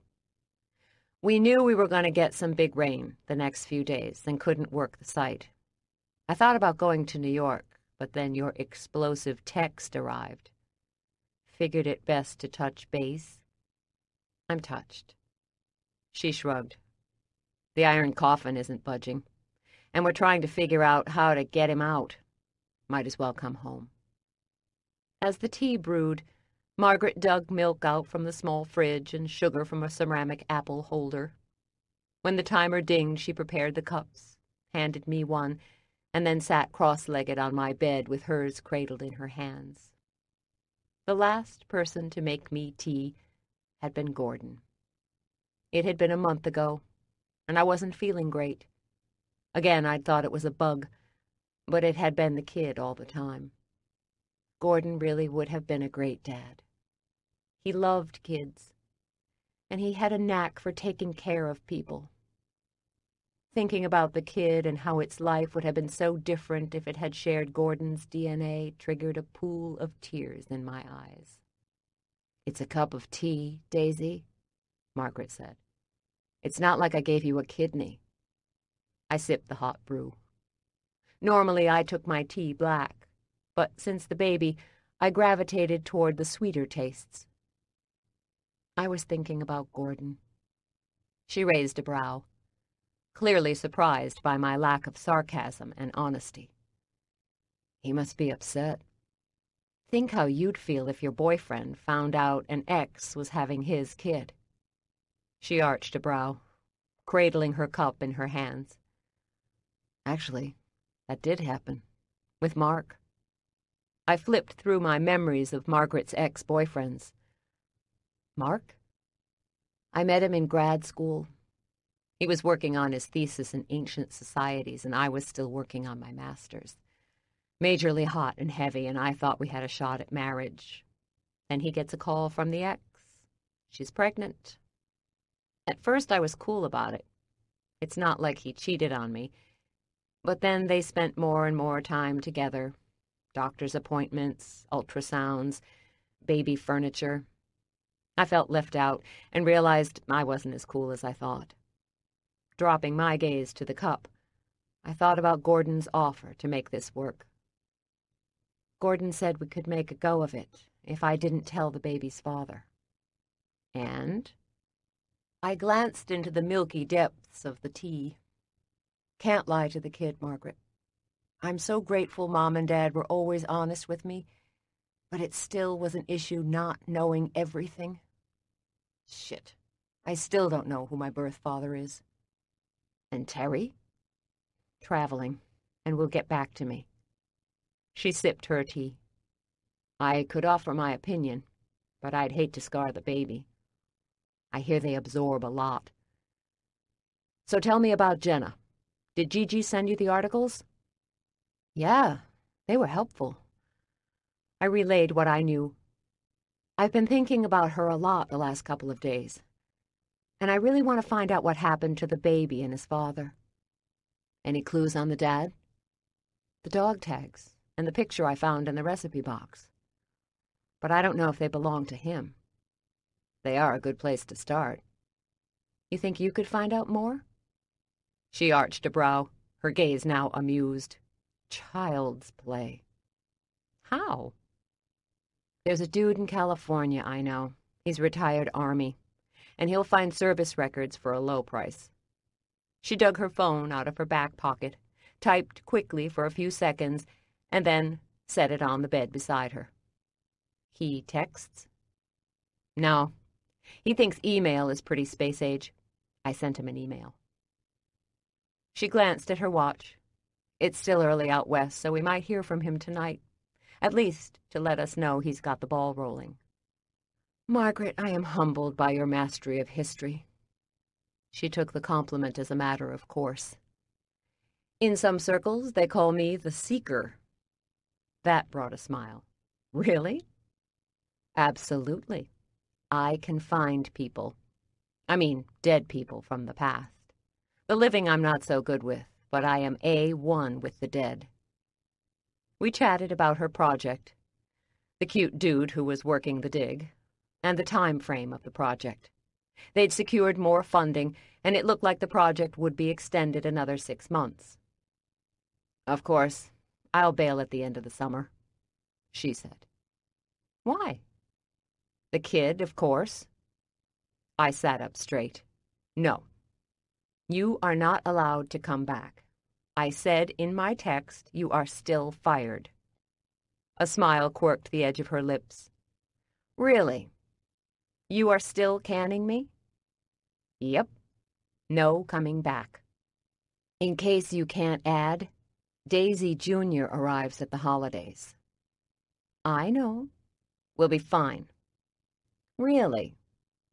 Shoving aside a jolt of panic, I struggled to look relaxed. I have hired a couple of teens. They seem capable and should be able to fill in the afternoon gaps. Margaret studied me, searching. My shoes are too big to fill. Literally or figuratively. Hilarious. Her gaze narrowed. You look dead on your feet. I am. Then get into bed. I'll take the spare and make myself at home. Too tired to argue, I set my tea carefully on the small end table and rose. Groaning, I pushed my hand into my lower back. It's like this kid came out of nowhere. She helped me to the bed. Yeah, Daisy. I still can't figure how you missed the pregnancy. She's a sneaky kid. She grinned. She. So, it's a girl? Don't know. Just a guess. Margaret nodded. I like the idea of another girl toddling around the joint. The girls were a hoot when they were babies. If it's a girl, you should name her Margaret. Of course, we can't call her Margaret. That would get confusing. Big Margaret and Little Margaret is awkward but we could call her Maggie. All the muscles in my back groaned as I lay back against the pillow, Margaret covered me up with a blue and white quilt Mom had bought at a yard sale years ago. I've always wanted to call you Big Margaret. I'm not going to let you offend me. Baby Maggie needs her mom calm and cool. I laughed. Baby Maggie does have a ring. Of course it does. Now close your little eyes and go to sleep. And dream weird dreams.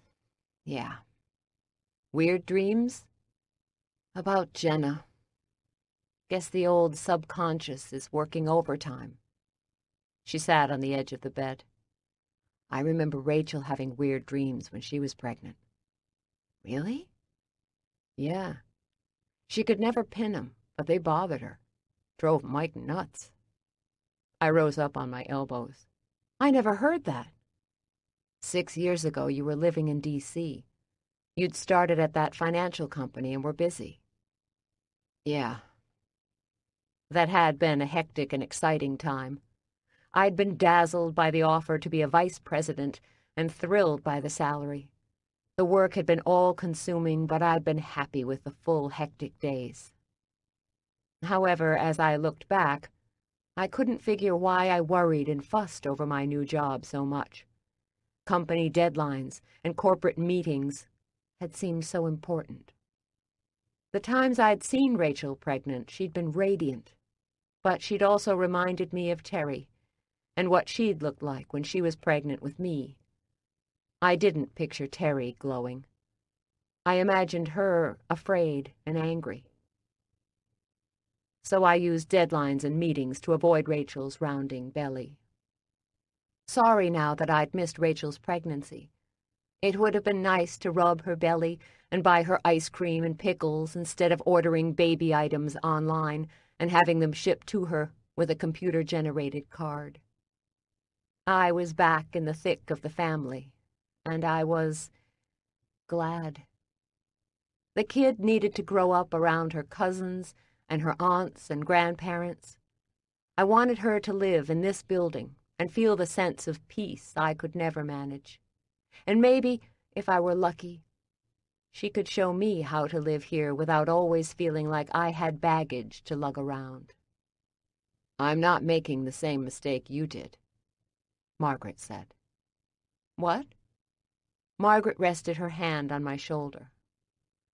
I'm going to be here when you are pregnant. Warmth spread through me, and tears, which were appearing with an annoying frequency, formed. Margaret, it would break my heart to see you give up the job. Really. Feel free to come home on the weekends, but I don't want you to leave a job you love. She shook her head. It's going to be insane here this fall. I hope we are busy. We need to make money and grow, which I believe we will do. I'm good at growing business, Margaret. This is my wheelhouse. If I need more people, I'll hire them. So dig up your bones and let me run with the bakery. Margaret shook her head. When the archaeology site closes in December, I'll be back to the bakery to get us through the holiday rush. Us. Sounded good. Won't you be cataloging artifacts during the winter? My grant doesn't pay me that far, and my sublease will be finished by then. I will accept you back on one condition. Margaret folded her arms. What are your terms, boss? That if they extend your contract, you go back. Don't give up your dream. I know this job is everything. It's not everything to me. Please. I bet you are at the job site an hour before everyone else each morning. A half hour. You love it. I do. Then promise me. You will talk to me before you toss it away to sell cookies. She crossed her finger over her heart. I promise. I lay back. I'm going to hold you to that. Go to sleep before you pass out. She shut off the light. Where are you going? To Rachel's, to see if I can score wine. I can't be nice for long stretches unless I'm buzzed. I chuckled. Right. The door closed behind her, and instantly my eyes closed. Seconds or maybe hours might have passed. I didn't know, but the dream did come. Again, it was Jenna, and she was looking at me as if I'd disappointed her. She cradled her full belly with her hands and shook her head. You need to find them. Them. I thought it was him. Find my son and his father. Time is running out, and they need each other. Chapter 16 Saturday, 8 a.m. Seven days until grand reopening. Income lost, $2,000. When I woke the next morning, I braced as I sat up, waiting to feel the wave of nausea. Holding my breath, I pressed my hand to my stomach, trying to gauge whether I should run to the bathroom or not. My stomach was calm. I drew in a deep breath and waited. Nothing. Still calm. You'd think I'd be thrilled at the passing of the sickness, but immediately I worried. What if the baby was in trouble? My hand slid to my belly, still round and hard, and I waited for the kid to kick. I needed feedback from her, and again she was being coy. Come on, I whispered. A kick or a tap would be greatly appreciated. Nothing. Damn. Why are you cussing? Margaret's groggy voice rolled out from under the blue sheet on her bed. I'm not sick, I whispered. Why are you whispering? Because what if not being sick is a bad sign? Margaret peeked her head out from under the sheet. A riot of red curls framed a face lined from a pillow's crease. Are you cramping or bleeding? I glanced under the sheet. No, all clear. She sat up and yawned. Is the baby moving? No, but she goes dark for long stretches. She's a mind of her own. She reached for her thick, dark glasses on the nightstand and looked at me with now magnified green eyes. Imagine that. This could be serious. Drink a soda or eat a cookie. The sugar will juice her little ass into action. Really? I've known my share of pregnant women. She rose, her bare feet curling as they hit the bare wood floor. Are there any cookies in this place right now? I've cookie dough in the freezer. Better be cooked. Salmonella. Right. There's a ginger ale in the back of my refrigerator. There was. I cut it with bourbon last night. You took my baby's ginger ale and mixed it with booze? Hey, I remember you taking a bottle of Rachel's breast milk and putting it in your coffee. I shrugged. It had been a late night. Exactly. Fine. I rose. I need to hook up with some sugar so I can make the kid move. Margaret sat up. When did you become such a girl, Daisy? I'm not sure when I crossed that dark line, but I'm there. I grabbed shorts from the edge of the bed and pulled them on.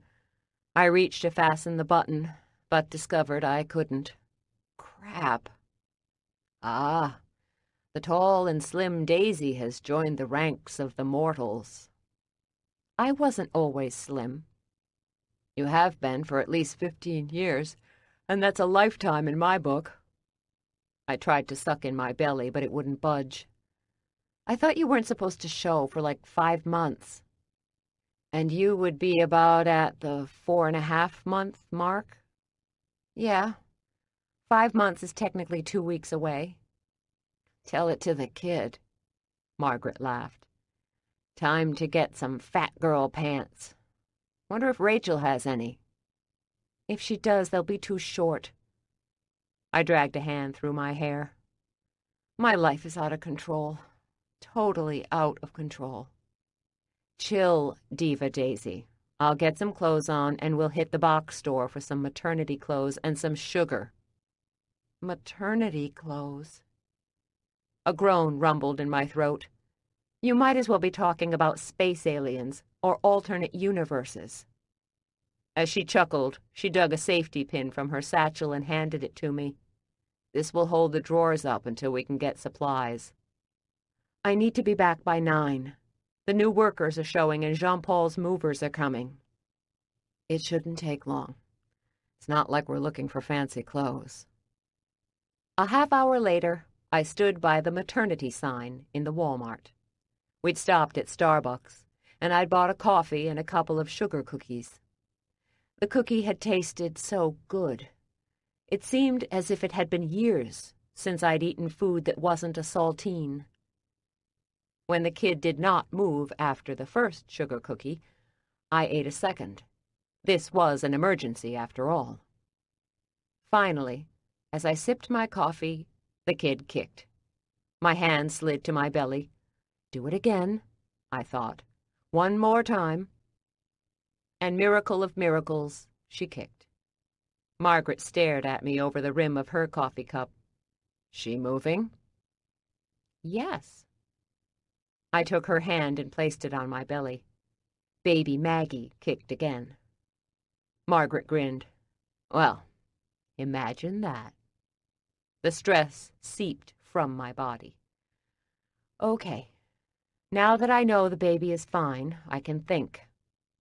Then let's hit the maternity section. Minutes later, staring at the shapeless clothes, a full-blown panic attack threatened. In my regular clothes, I could fool myself into believing the kid was abstract. Yeah, she'd moved, but I was still me. But in these clothes, I wasn't myself. Margaret handed me several pairs of black shorts with elastic waistbands and a pair of jeans with a full elastic front panel. The shorts will get you to mid-October, maybe early November, but the jeans will take you through the duration. I accepted the hangers. Right. Margaret pointed toward the changing rooms. Now, you have to go into the nice dressing room and try them on. Does it matter? It's all elastic. Margaret sipped her coffee. Try the damn clothes on, Daisy. Fine. Come back with me. Are you two years old? My maturity level has diminished in the last weeks. So, yeah, two about sums it up. We chose the handicap changing room for extra space. Margaret sat, and I handed her the garments before I unfastened my safety pin. The pants dropped to the floor, and I couldn't resist scratching my belly. That's sexy. I gave up on sexy when the nausea hit. It's all about what feels good now. Margaret rifled through my choices. They're all black. I accepted the first from her. Black is my favorite color. Yeah, but don't you think you should go for the lighter shades of tops or pants now that you are dressing for two? I'll do whatever I have to do to keep this kid safe, but I will not walk around in light-colored pants that make my ass look bigger. That's asking too much. I slid on the pants, which comfortably hugged my belly, my pants had been tightening for weeks, and I ignored it. Nice to have pants that don't squeeze the life out of me. I turned sideways in the mirror, inspected the pants and my growing belly, and then glanced at Margaret. She shrugged. Not a fashion statement, but it gets the job done. I've seen women who breeze through pregnancy and look so trendy. Rachel always looked cute and pulled together. Margaret said. I never thought much about it, but now I wonder how she did it. She is a goddess in my book. Margaret studied my Union Street Bakery t-shirt draping over the pants. Make peace with the fact you won't see fashionable for a while. How can you say that? You work in a bakery, which is manual labor in anybody's book. Not many knocked-up sexy bakers in the world. Rachel was the exception.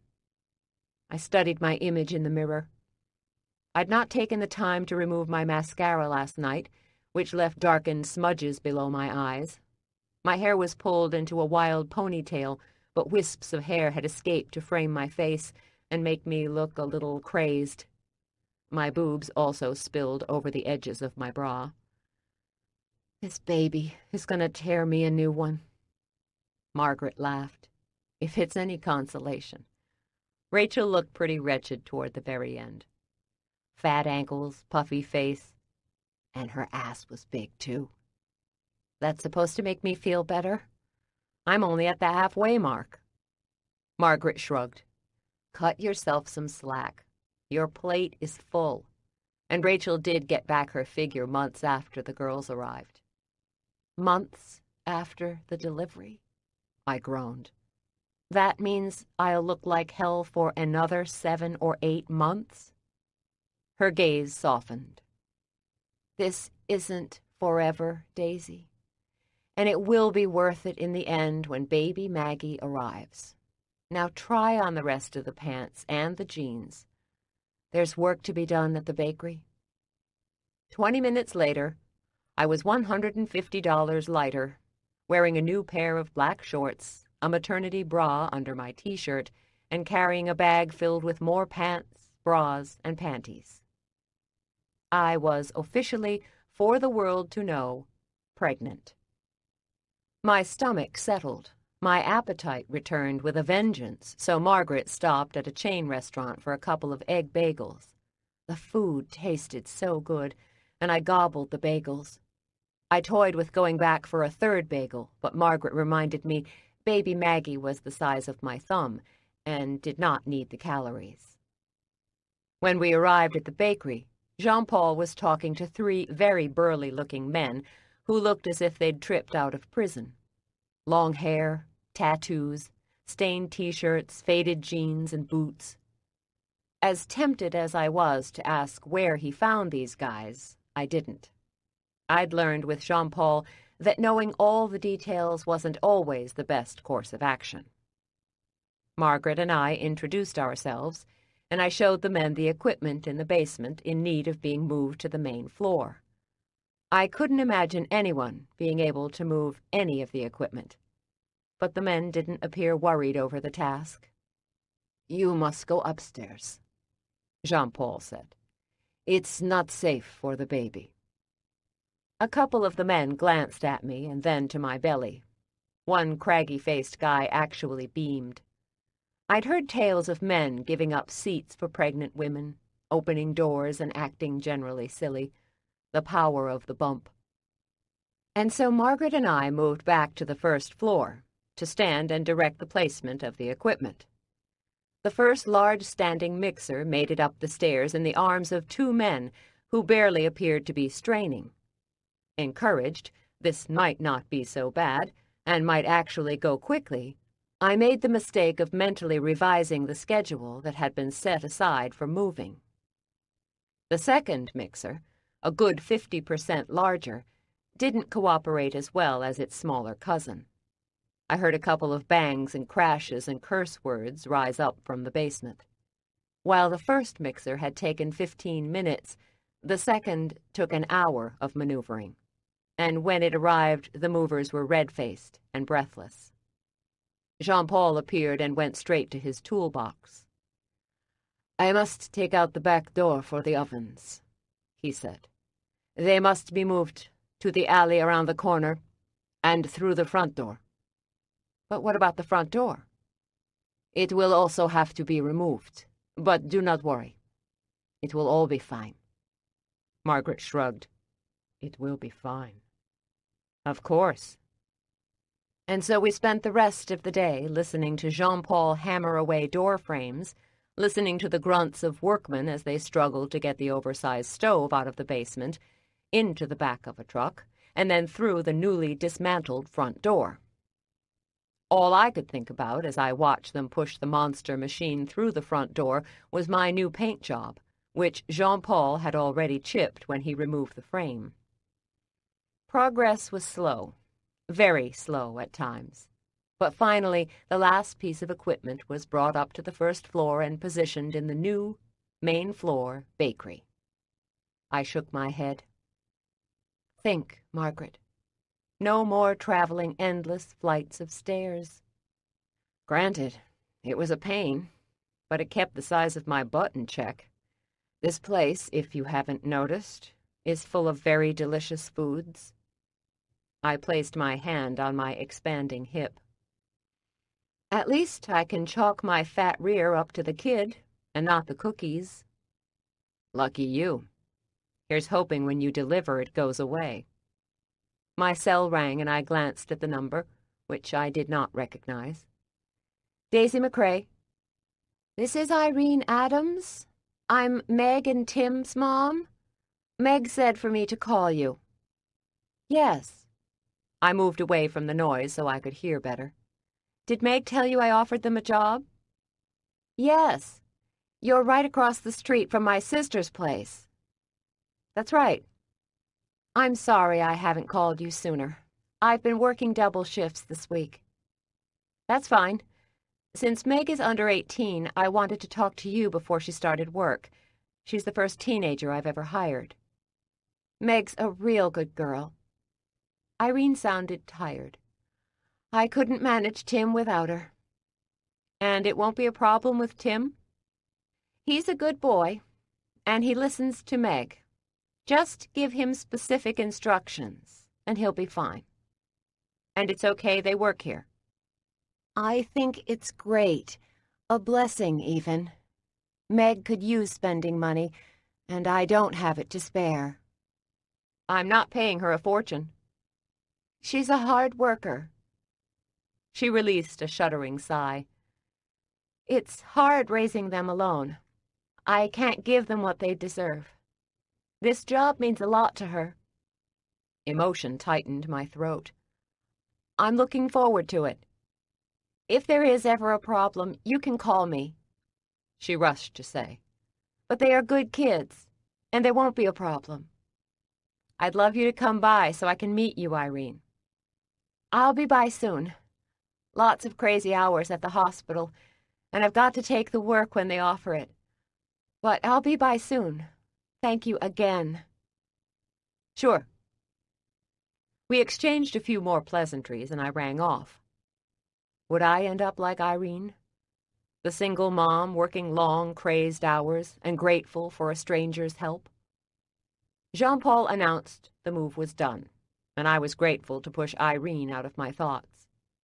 I doled out cash payments to the movers, along with batches of cookies Rachel had baked in her apartment last night for Simon's party, and bottles of wine, and said goodbye to all of them before one. Rachel, Margaret, and I stared at the newly configured kitchen. Rachel scrunched her face. I'm not sure if I like it. Laughter bubbled in me. Really? Well, then let's put it all back. Margaret rolled her eyes. Sarcasm does not become pregnant women, Daisy. Rachel shook her head as she moved to a stainless steel table and trailed her finger along its smooth surface. It's not like I don't think it won't work. It's, well, I don't know this kitchen. You've used every piece of equipment in the joint, Rachel, Margaret said. Yeah, but not in this configuration. What if the flow is off? We'll find a way to love the flow. I pictured the strained red faces of the movers, because this ain't changing. Rachel opened the oven and peered inside as if making sure all the pieces and parts were intact. I'll make it work. Great. My cell phone buzzed, and I glanced at the number. Speak of the devil. It's the delivery guy with the new freezer. I picked up and instructed the guy to come through the front door. Won't be long before we are up and running. Rachel grinned. Thank God. Not baking has been like going through detox. I'm surprised I don't have the shakes. Laughing, Margaret shook her head. Really, Rachel, you need to get laid. Rachel's eyes widened as a ruby blush rose up her cheeks. Talk of sex always sent Rachel skittering, but instead of retreating, she nodded. send up a message to those pagan gods you talk about so much and tell them Rachel could use a little love? I laughed. Rachel, you naughty girl. She shook her head. Her cheeks remained red as cherries. It's been over a year and a half. She glanced at my stomach. You two have at least gotten some love in the last year. The new freezer arrived an hour later and slid right into the place Jean Paul had created. It was massive, and I caught Rachel opening and closing it several times as she marveled at the empty white interior. My office was officially gone. The kitchen had been moved, and the wine cellar was at least partly in place. Now, just a couple of days of finishing work, and we'd be back in business. Rachel had to clean her kitchen. The doors had to be rehung, the wine cellar needed a clean and final reorganization, and then there was the minor detail of baking enough goods to fill the front case. Any one of those items could have filled a couple of days each, and we had seven to tackle all of them, along with refilling our inventory. Rachel, your sex life is going to have to wait, I said. She laughed as she shook her head. It's been on hold for 18 months, so a few more days won't make a difference. Margaret shook her head. Eighteen months. No sex. Damn. Rachel nodded. It has had its challenges. Sex with Roger had been very uneventful. The last time I'd had great sex had been with Gordon. Up until my stomach had started acting up recently, I'd been dreaming about more sex with Gordon. I missed how good he could make me feel. Margaret rested her hands on her hips. The definition of hell is no sex and working in the bakery. I shrugged. I could certainly do with more sex, but as far as the bakery is concerned, the place is growing on me. It's official, Rachel said. I have heard it all. Chapter 17 Saturday, 1 p.m. Six days, 12 hours until grand reopening. Income lost, $3,700. I was working in the kitchen, cleaning equipment with Rachel, when the overnight packet of papers arrived. I signed for the thick envelope made out to me. The sender was a Billy J. Hoyt from Fresno, California. His handwriting in blue ballpoint pen was precise and indented, as if the man put weight behind each letter. Margaret! What? she shouted from the basement. I hefted the envelope, and judging by the weight, it was a heavy stack of papers. Know a Mr. Hoyt? Next came the thumping of her feet up the basement stairs. Is that from Billy? I held out the package to her. That would be correct. He one of your pals? He's the one we wrote to about the dog tags. But you emailed him last night. He must have really hustled the request through. He's got so many connections. She took the package from me and ripped open the back flap. Billy is retired Army. He spends his golden years locating information on the men and women who served. It's amazing what he can find. I glanced over her shoulder as she scanned a typed note from Billy. The concise letter detailed what he'd found and ended with a, don't worry about the cost, tell Maggie hi, and I'll keep digging. Again, the signature was bold, clear, and direct. I pictured a man with a gray, high and tight haircut, white-collared shirt, and khakis. So, Maggie, does Billy have a crush on you? She waggled her eyebrows. I think he does. If I were 30 years older, I'd definitely date him. He's such a sweetie. He served three tours in Vietnam and has more medals than I can count. A real stud in my book. I laughed. Margaret. What? I can admire his service.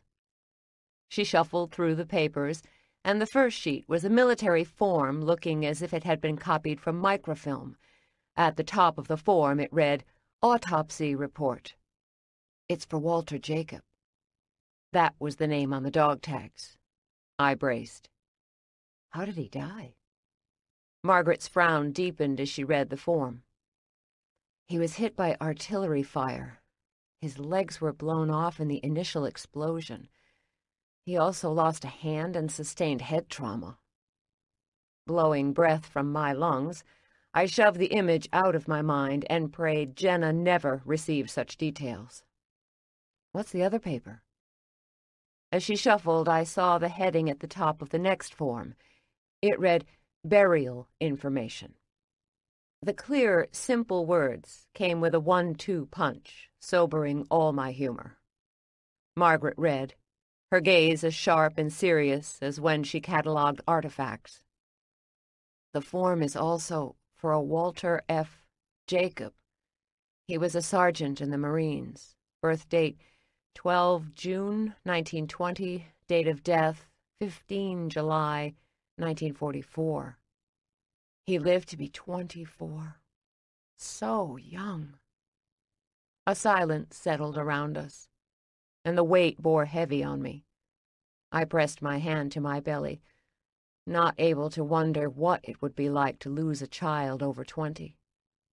It says the remains of USMC Walter Jacob were first buried on the island of Saipan, Plot T, grave 1040. Saipan? The invasion of the island was called the D-Day of the Pacific, very strategic bloody battle that lasted several weeks. We won, but the price was very high. So is Walter still on Saipan? So far from home. Margaret flipped through more papers, her frown deepening. There is a Joey Luddenberg listed as next of kin, and... She paused for effect. There is a letter here to Mrs. Jenna Davis Jacob, Union Street, Alexandria, Virginia. Our Jenna. What does it say? She tossed me a look as if to say, slow. She read, As requested, the United States Marine Corps is forwarding to you the following personal property belonging to Sergeant Walter F. Jacob, Jr. One carton and contents. One bureau check for $89.12 enclosed. One medal by registered mail. When delivery has been made, I shall appreciate your acknowledging receipt by signing one copy of this letter in the spaces provided below and returning it to this bureau. For your convenience, there is enclosed an addressed envelope which needs no postage. I regret the circumstances prompting this letter, and I extend my deepest sympathies on the loss of your husband. The form letter had all the pertinent information and had been typed correctly. But it was the misalignment of the last word, husband, robbing all the heartfelt emotion from the letter. Walter Jacob had become a number, as had Jenna. Inserting husband had been simply another detail to be handled by a clerk in a nameless office. Sadness burrowed deep. The letter sounds so cold and uncaring. But think of how many thousands of remains that office handled, Daisy. So many men died, and keeping track of their remains, their belongings, and their loved ones was no easy task. The effects were sent to Jenna Jacob, but according to the article in the paper, her last name was Davis. I glanced at the dates and did a quick calculation. He died about five months before the baby was born, and this letter would have been received about a week before she gave birth. Maybe he listed her as his wife. Maybe he knew about the baby and had every intention of coming back and marrying her. It does say here that his body was interred in the Alexandria Cemetery, plot A222. That was the first bit of good news. Really? so we could go see it. Sure. I glanced at unfinished work at the bakery yet to be done, and didn't feel like I could leave. An hour won't make a huge difference, Margaret said, reading my expression. This will always be here. You're right. The heat of mid-afternoon had passed, and the air had cooled to a nice temperature. I wanted to get out of the bakery and breathe a little fresh air and walk on the cemetery's green grass. We left Rachel scrubbing and grumbling about bad flow and how every pot and pan was in the wrong place. When she said, Not to worry, I'll figure it out, we knew she was headed to Martyrville, and it probably was best we did leave. The walk to the cemetery was a little over a mile, but given I'd been on my feet all day, it made sense to drive. It was after six when we arrived, and most of the offices had cleared out for the day so we could find street parking. The grassy lands of the Alexandria Cemetery rolled like a park, shading the granite and limestone grave markers. How do we begin to search? I said. There must be thousands of markers. Margaret and I went to the main office, arriving shortly before closing. The woman looked up at me, clearly annoyed by my late arrival. She had dark hair tied back in a bun and wore wire-rimmed glasses. She wore a white shirt and a United States flag pin on her lapel. Can I help you? Margaret sauntered up as if she were expecting to be recognized. My sister and I are looking for a grave. She glanced at the clock. A grave? That's right. Walter F. Jacob, Jr. He was interred here in 1945. The plot is listed as A222. Some of the strain vanished from her face.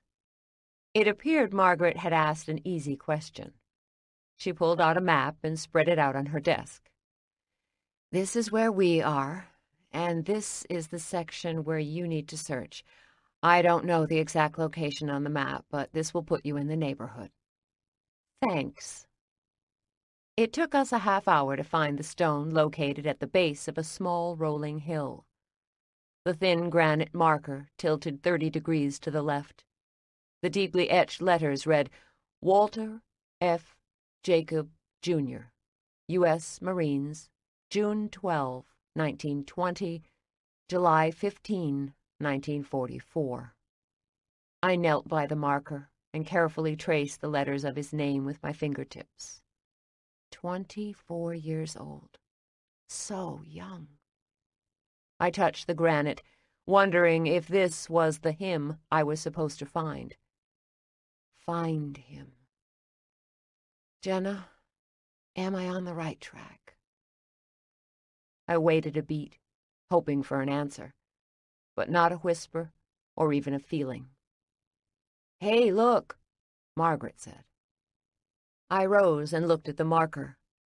It read, Jenna Davis Jacob, June 3, 1926, December 31st, 1944. She'd been 18 years old. They died within months of each other. They were babies, Margaret said. Is there another marker around here? According to the paper, she was survived by an infant son, but it also said he was ailing. Margaret and I spent the next minutes moving around the spot looking for a child that might have died close to his birth. But we didn't find a marker. If he died, he wasn't buried here. So where is he? Find him. I don't know. Rachel offered the next link in the growing chain to find him. She suggested we talk to Sarah. At 95, she was one of the oldest customers of the bakery. She'd come once a week for the last 70 years, but had broken her hip two years ago and now lived in a nursing home. Rachel didn't know if she'd remember Jenna, but suggested if anyone did, it would be her. Armed with maple cookies, which Rachel had made, I drove to the nursing home located 10 miles away in Arlington. It took a U-turn and two missed tries before I spotted the low-lying building off Glebe Road. Shady Acres Retirement Home was nondescript, outfitted with tinted windows that didn't open, an entrance covered with a wide awning, and scattered flower planters next to benches. Inside, the place looked clean and well run, but the antiseptic smell turned my still delicate stomach. I found reception and introduced myself.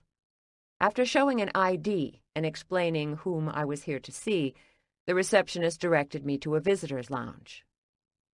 The tiled floor sparkled with polish, and on the walls hung pictures of what appeared to be smiling older residents. In the corner stood a card table with cards and poker chips still scattered on it, as if the players would soon return. A large flat screen televised the news. I studied the pictures on the wall and did my best to look relaxed. However, the more I stood there, the sillier my quest seemed. I was going to ask Sarah Morgan if she remembered a woman who worked a bakery counter in 1943 and 1944. What were the chances? Finally, an older woman, leaning heavily on a cane, came to sit in the room. Judging by her appearance, I guessed her age to be mid to late seventies. Squinting, the older woman openly assessed me. Who are you here for? Getting a little late for visitors. I'm here for Sarah, I said. The woman's gaze brightened, as if all conversation was welcome. Sarah doesn't get many visitors. Really? It's hard to hold on to family when you've reached your nineties. I think her last son passed last year. Heart attack. I'm sorry. He was sixty-nine. She smiled. My name is Edith. Sarah and I are friends. Oh. I shifted in my seat, knowing I had a narrow window of opportunity before I had to return to the shop and finish the day's work. The kids would be arriving on Monday, and we were going to begin our first day of employee training.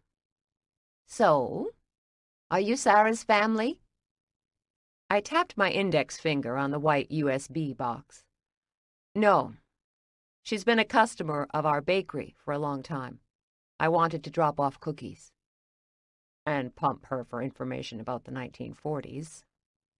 That's so sweet. What did you bring her? Cookies. Maple. My dad tells me that's her favorite. I love sugar cookies. Glancing at the Union Street bakery box, I hesitated before asking, Would you like a cookie? She beamed. I'd love one. I broke the seal on the box and held it out to her. These are lovely. When I was expecting, I craved sugar all the time.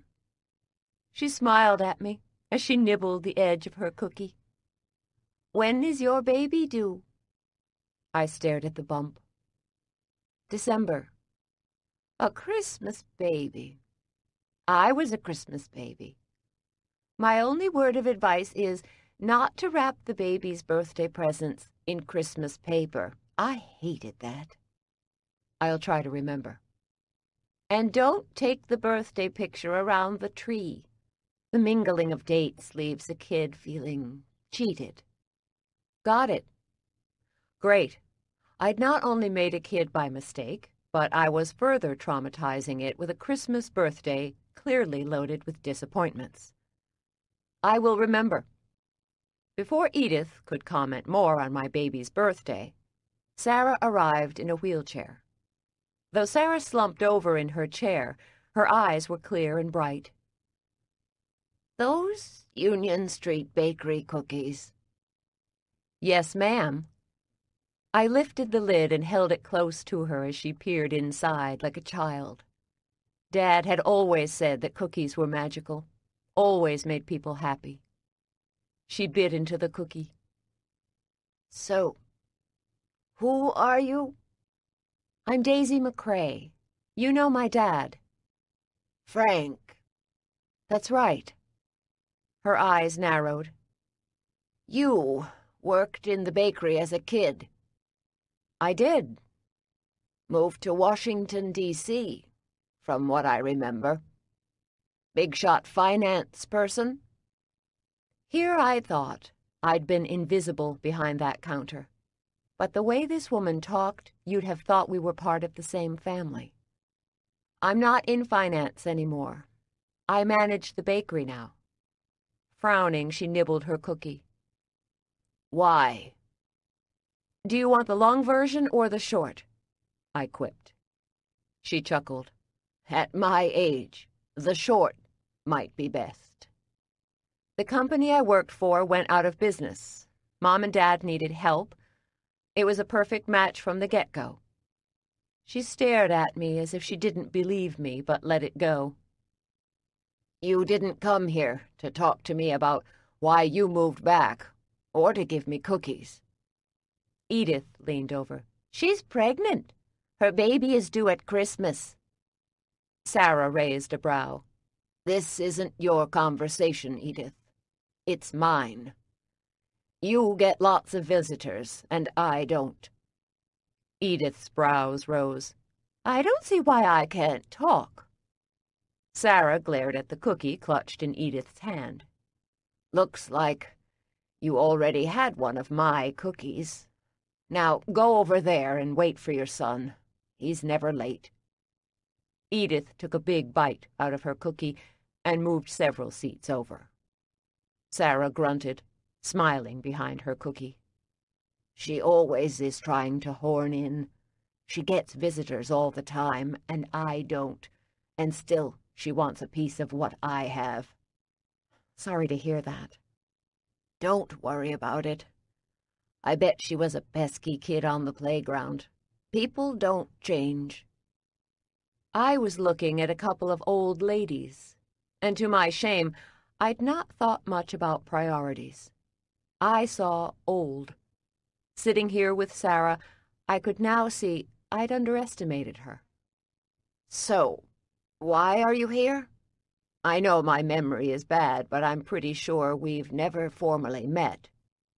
No, ma'am, we've not met. I scooted to the edge of my seat. My sister sent me here to see you. Rachel or Margaret? Rachel. I always liked Rachel. Good woman. Her gaze narrowed as she stared at me. You're the adopted sister the adopted sister. There was no malice behind the description, but it always needled, made me feel a little less. That's right. So, Daisy, the adopted one, what can I do for you? We're renovating the bakery, knocking out walls. We found a recipe box dating back to the 1940s. Good years. I was in my late twenties, and I was between my first and second husbands. I was full of piss and vinegar during the war. I don't doubt it. She met my gaze, searching for any trace of sarcasm. That's right. Don't you doubt it for one minute. I was a catch back in the day. I could have plowed on with my questions, but sensed she wanted to talk. She'd already said she didn't get many visitors. The clock ticking to return to the bakery, I relaxed back in my chair. So, what were you doing between husbands one and two? Her gaze twinkled. Other than getting into a bit of trouble, I was working at the torpedo factory, making bombs. There were a lot of dames like me working in the factory then. The boys were all off to war. The town was different then. Not the hustle and bustle it is now, but we thought it was mighty fine. The music and the dancing. I was a USO dancer, and I was good. Cut a swing better than anyone. You lived in Old Town. Rented a room near your bakery on Union Street. Old lady had a boarding house. She paused. Old lady. I think Miss Carroll wasn't more than fifty or fifty-five. Here I am forty years past that age. My sister Rachel said you were a regular at the bakery. Every morning I bought a croissant. She scrunched her face in a smile. So good. The sharpness of her memory gave me hope. I was actually trying to find a gal who worked in the bakery about Ben. Her name was Jenna. I reached in my pocket and pulled out the picture I'd found and handed it to Sarah. She studied the picture through her thick glasses. Brings back memories, this picture does. What do you remember about the bakery? Well, your daddy wasn't more than one. He was a scrappy little kid who liked cookies. Dad's round belly came to mind. He still eats cookies. And Lord, what a crier he was. If someone wasn't carrying him around, he was fussing. Her eyes glinted. I didn't like him then. He made me swear off kids.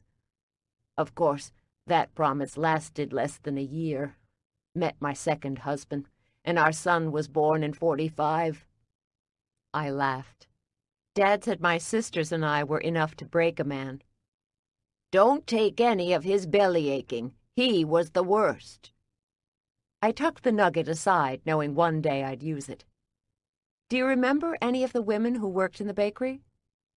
She glanced at the picture, the wrinkles in her face deepening. For a moment she didn't speak, and then she tapped her gnarled finger on Jenna's face. I do remember her. She was a firecracker. I studied Jenna's smiling face and thought about the obituary in the paper. What had happened? She met a serviceman, I think. Slowly, Sarah nodded. She did. A fine-looking boy. Not much more than twenty-one or two. He was Marine infantry. Was all full of himself. You remember him? I remember the three of them at a USO dance. That's how they met. Three of them? He always traveled with his buddy. They came up on the train from Quantico whenever they could get leave. Memory serves they were training officers. Joey and Walter. Joey. Joey Luddenberg had signed for Walter's belongings after he'd died. I pulled out the picture of Jenna and the two men. Which one was Walter? She studied the picture, but after a moment shook her head. I couldn't tell you. So many GIs then. They ran together. But you remember Jenna at the dance with Joey and Walter? Sure. One of them took her out for a dance and had a devil of a time letting her go to dance with the next soldier. He stared at her all night. Made me realize why I divorced my first husband. He never stared at me with so much lust.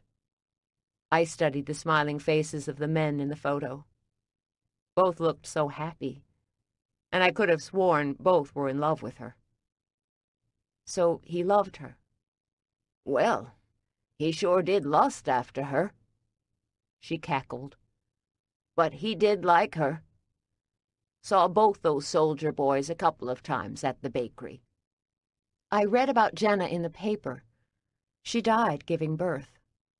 For a long moment, Sarah was silent, as if some details escaped her.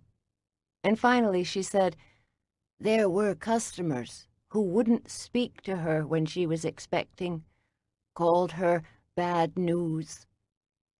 Overwhelming sadness washed over me, as if it weren't Jenna who had been hurt, but me. I thought about my kid being diminished because I wasn't married to her father. Homicide came to mind when I thought about anyone hurting my kid. Must have been hard on her. I think it was. Did she have family in the area? She came from the western part of the state. I don't remember where, exactly but I know Alexandria wasn't her home. Why did she come to Alexandria? Said she wanted to see a real city. Wanted more than the country. She broke off a piece of cookie and ate it. And then her man died in the war, and she didn't want no more parts of the city. She hated it all. But she didn't go home. Sarah folded gnarled, thickly veined hands in her lap. Not unmarried, with a baby in her belly. She told me they'd not take her. She and Walter didn't get married? She talked about it. I know she loved him. But if they got married, I never knew it. Single motherhood scared me. I didn't have Gordon, but I had family. I wasn't alone, and I would make it. Jenna had no one. Sarah nodded.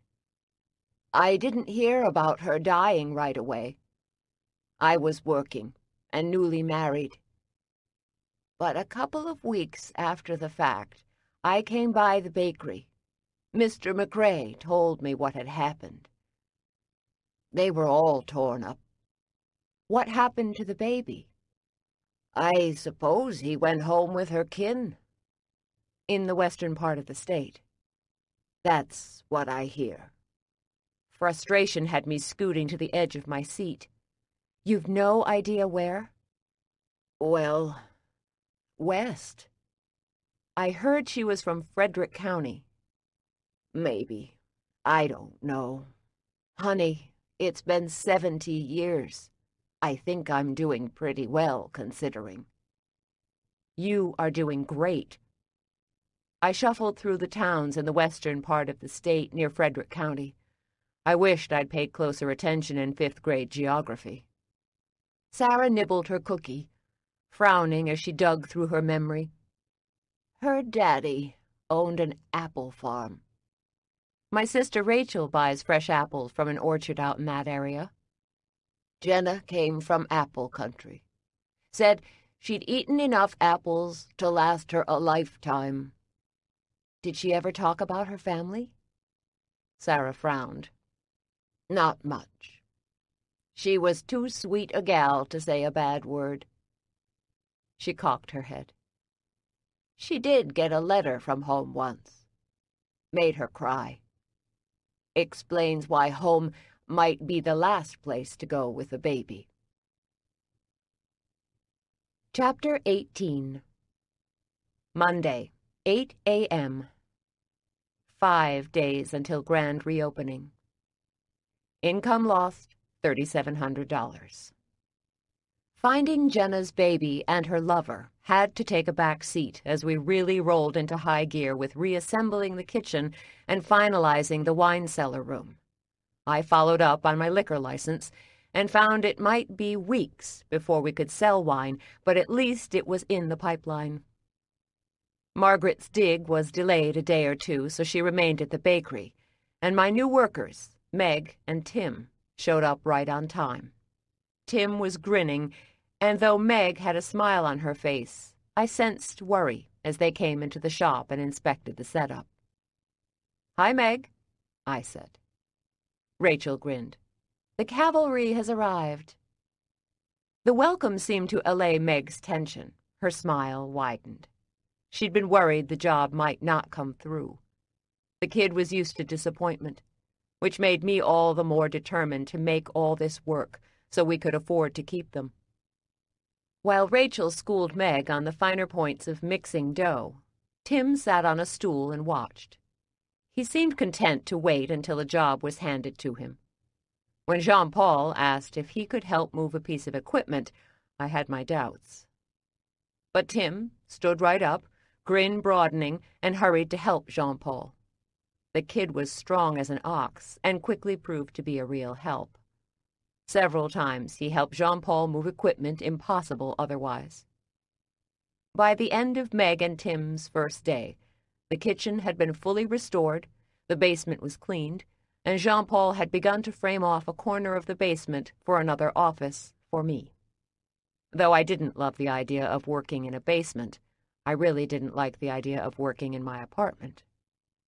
That night, when I crawled upstairs to my room, exhausted, Jenna was not far behind me, dogging me up the stairs, tapping me on my shoulder and reminding me that I'd said I'd find her baby and lover. Find him. Find him. I flopped on my bed, and lay back against the pillow. I know what I said, Jenna. And I'll find your men. But right now I can barely see straight. The energy in the room shifted and some of the tension melted away. I wasn't sure if Jenna was chilling or I was too tired to care. My eyes closed as soon as my head hit the pillow and I was swept up into darkness. Sleep came so hard and fast I didn't dream. Blissful blackness washed over me like a wave, which I gladly rode. A year ago, I'd have fought the wave, but now understood the kid needed it as much as I did. Somewhere along the way, I'd stopped being number one in my life. The kid had nudged to the front of the line. How many times had I seen Rachel put herself second to the girls? I'd thought she was nuts. Now, not so much. When I woke, the room was dark, save for the slash of moonlight cutting the room in half. Drool trickled from my mouth, which I swiped away as embarrassment had me glancing around the darkness.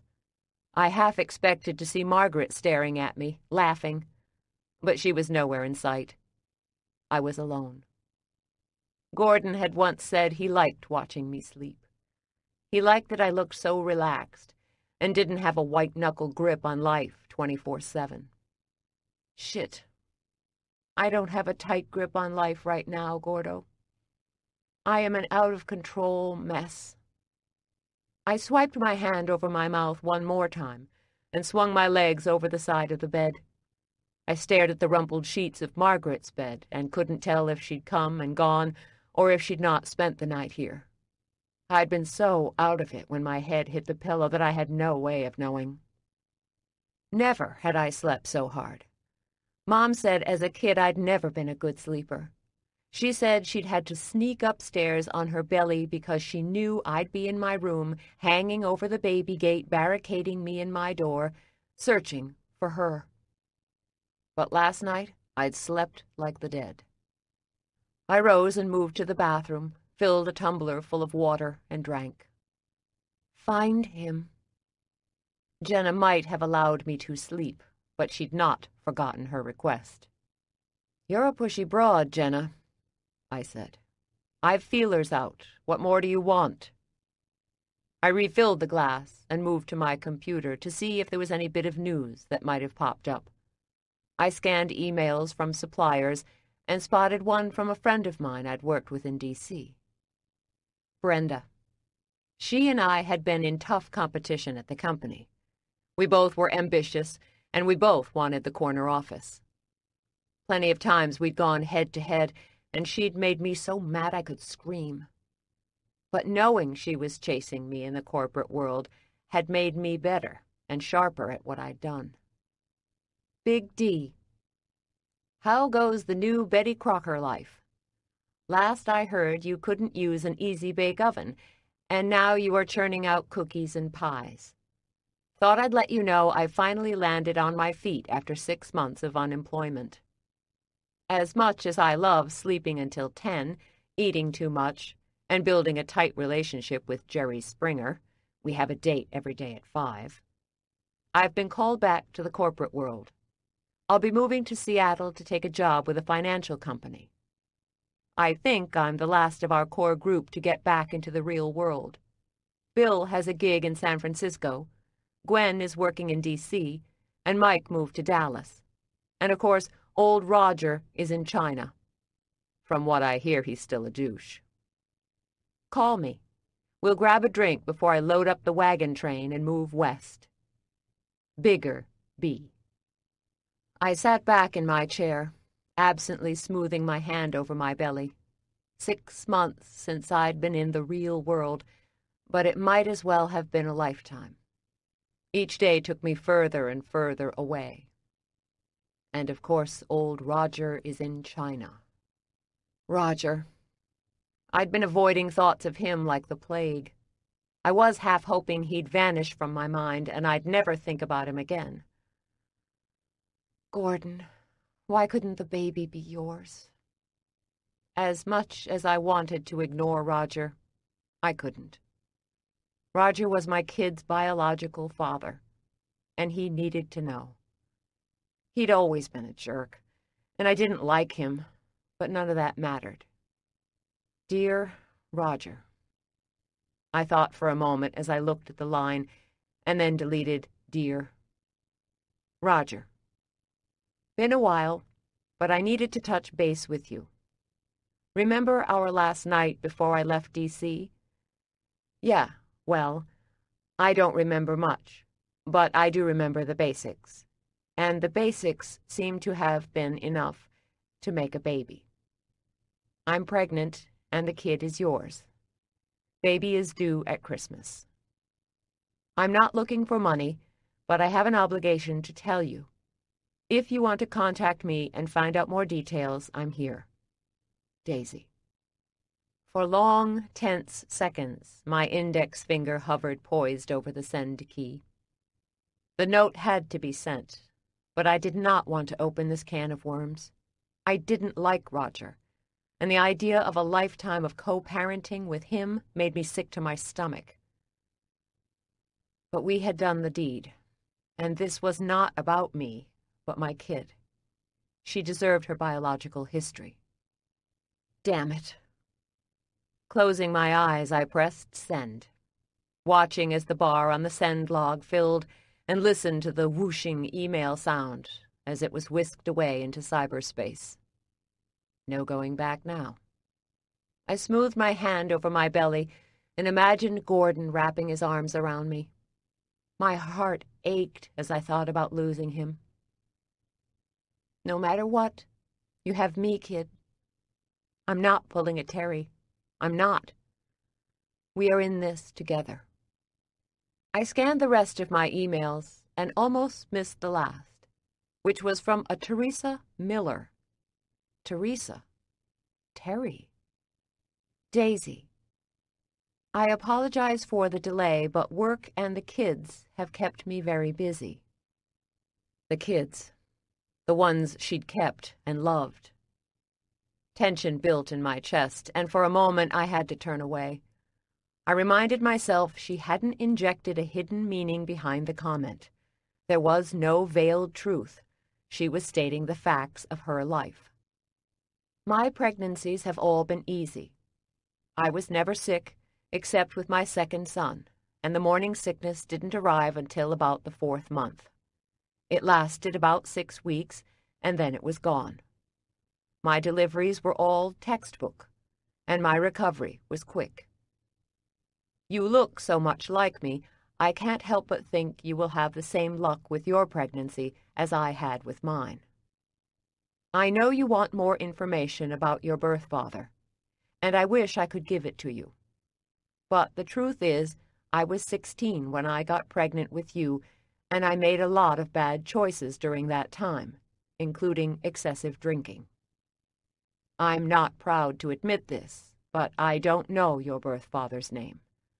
I wish I could give you answers, but I can't. You've a tough road ahead of you, Daisy, but you are a tough gal. You've been a fighter since day one.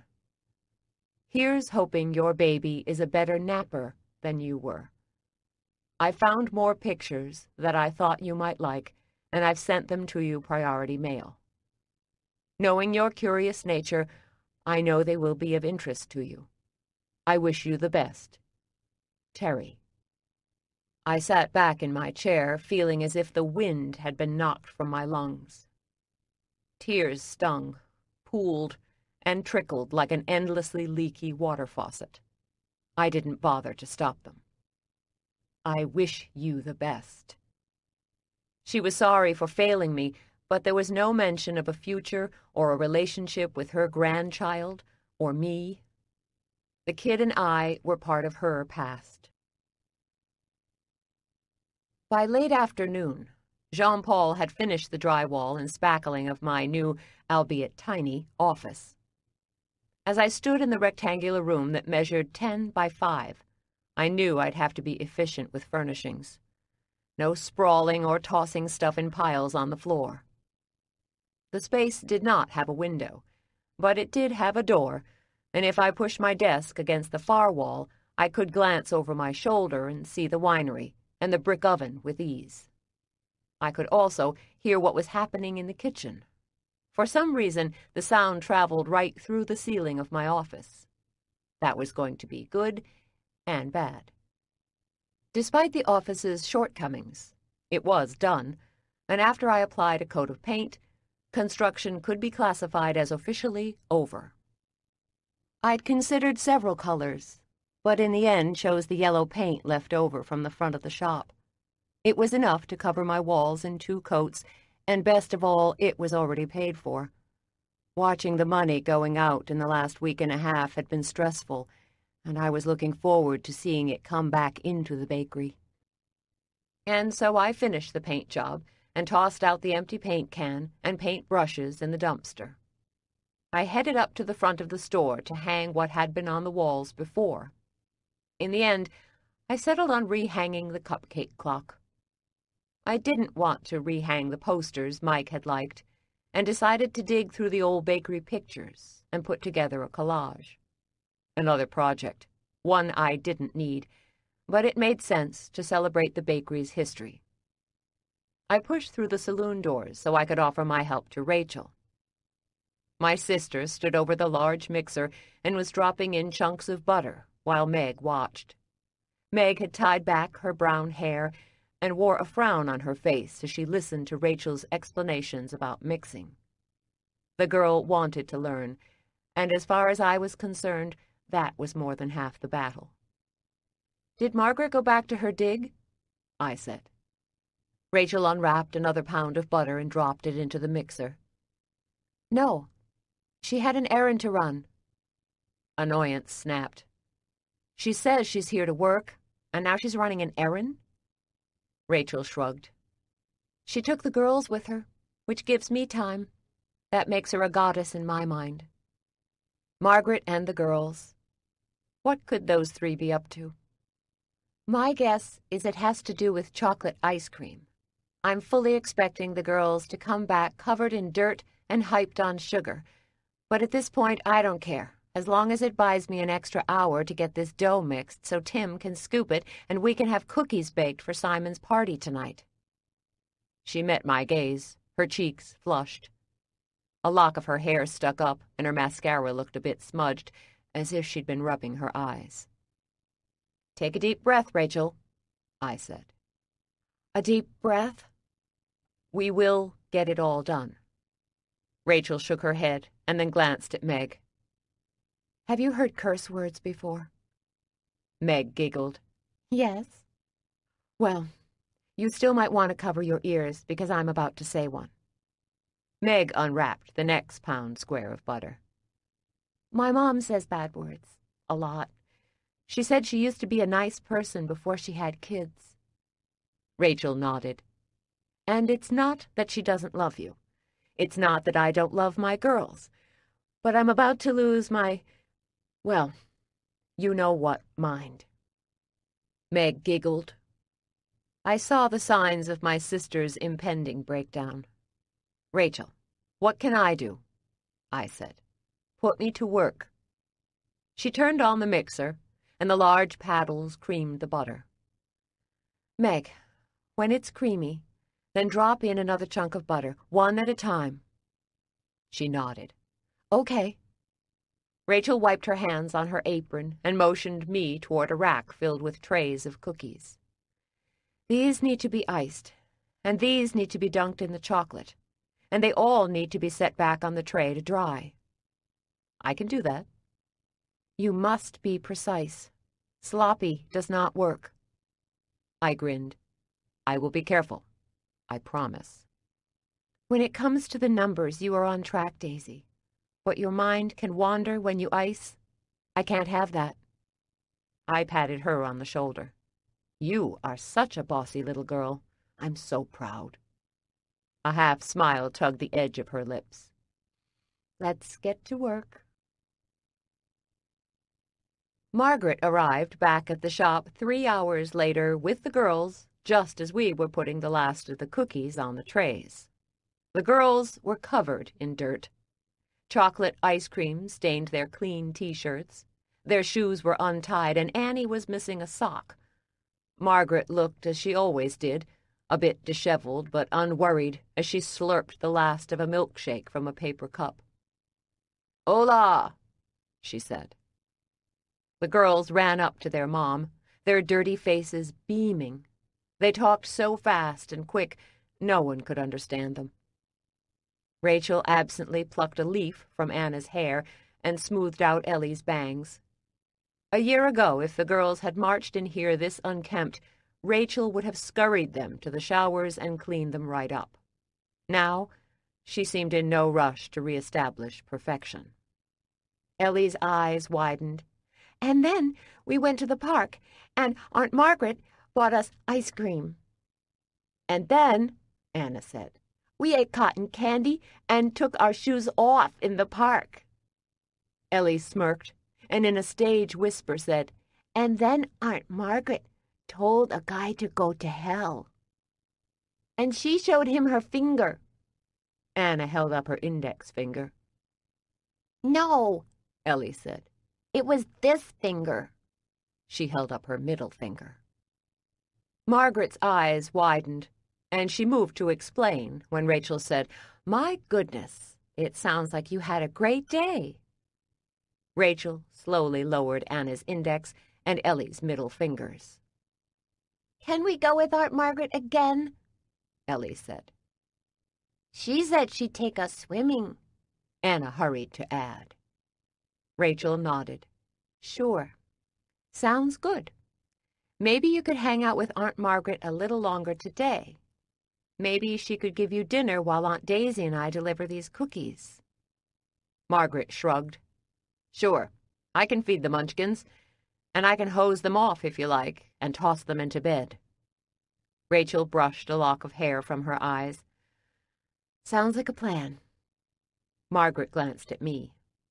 She's not freaking out about the girls being such a mess. I shrugged. I think we broke her.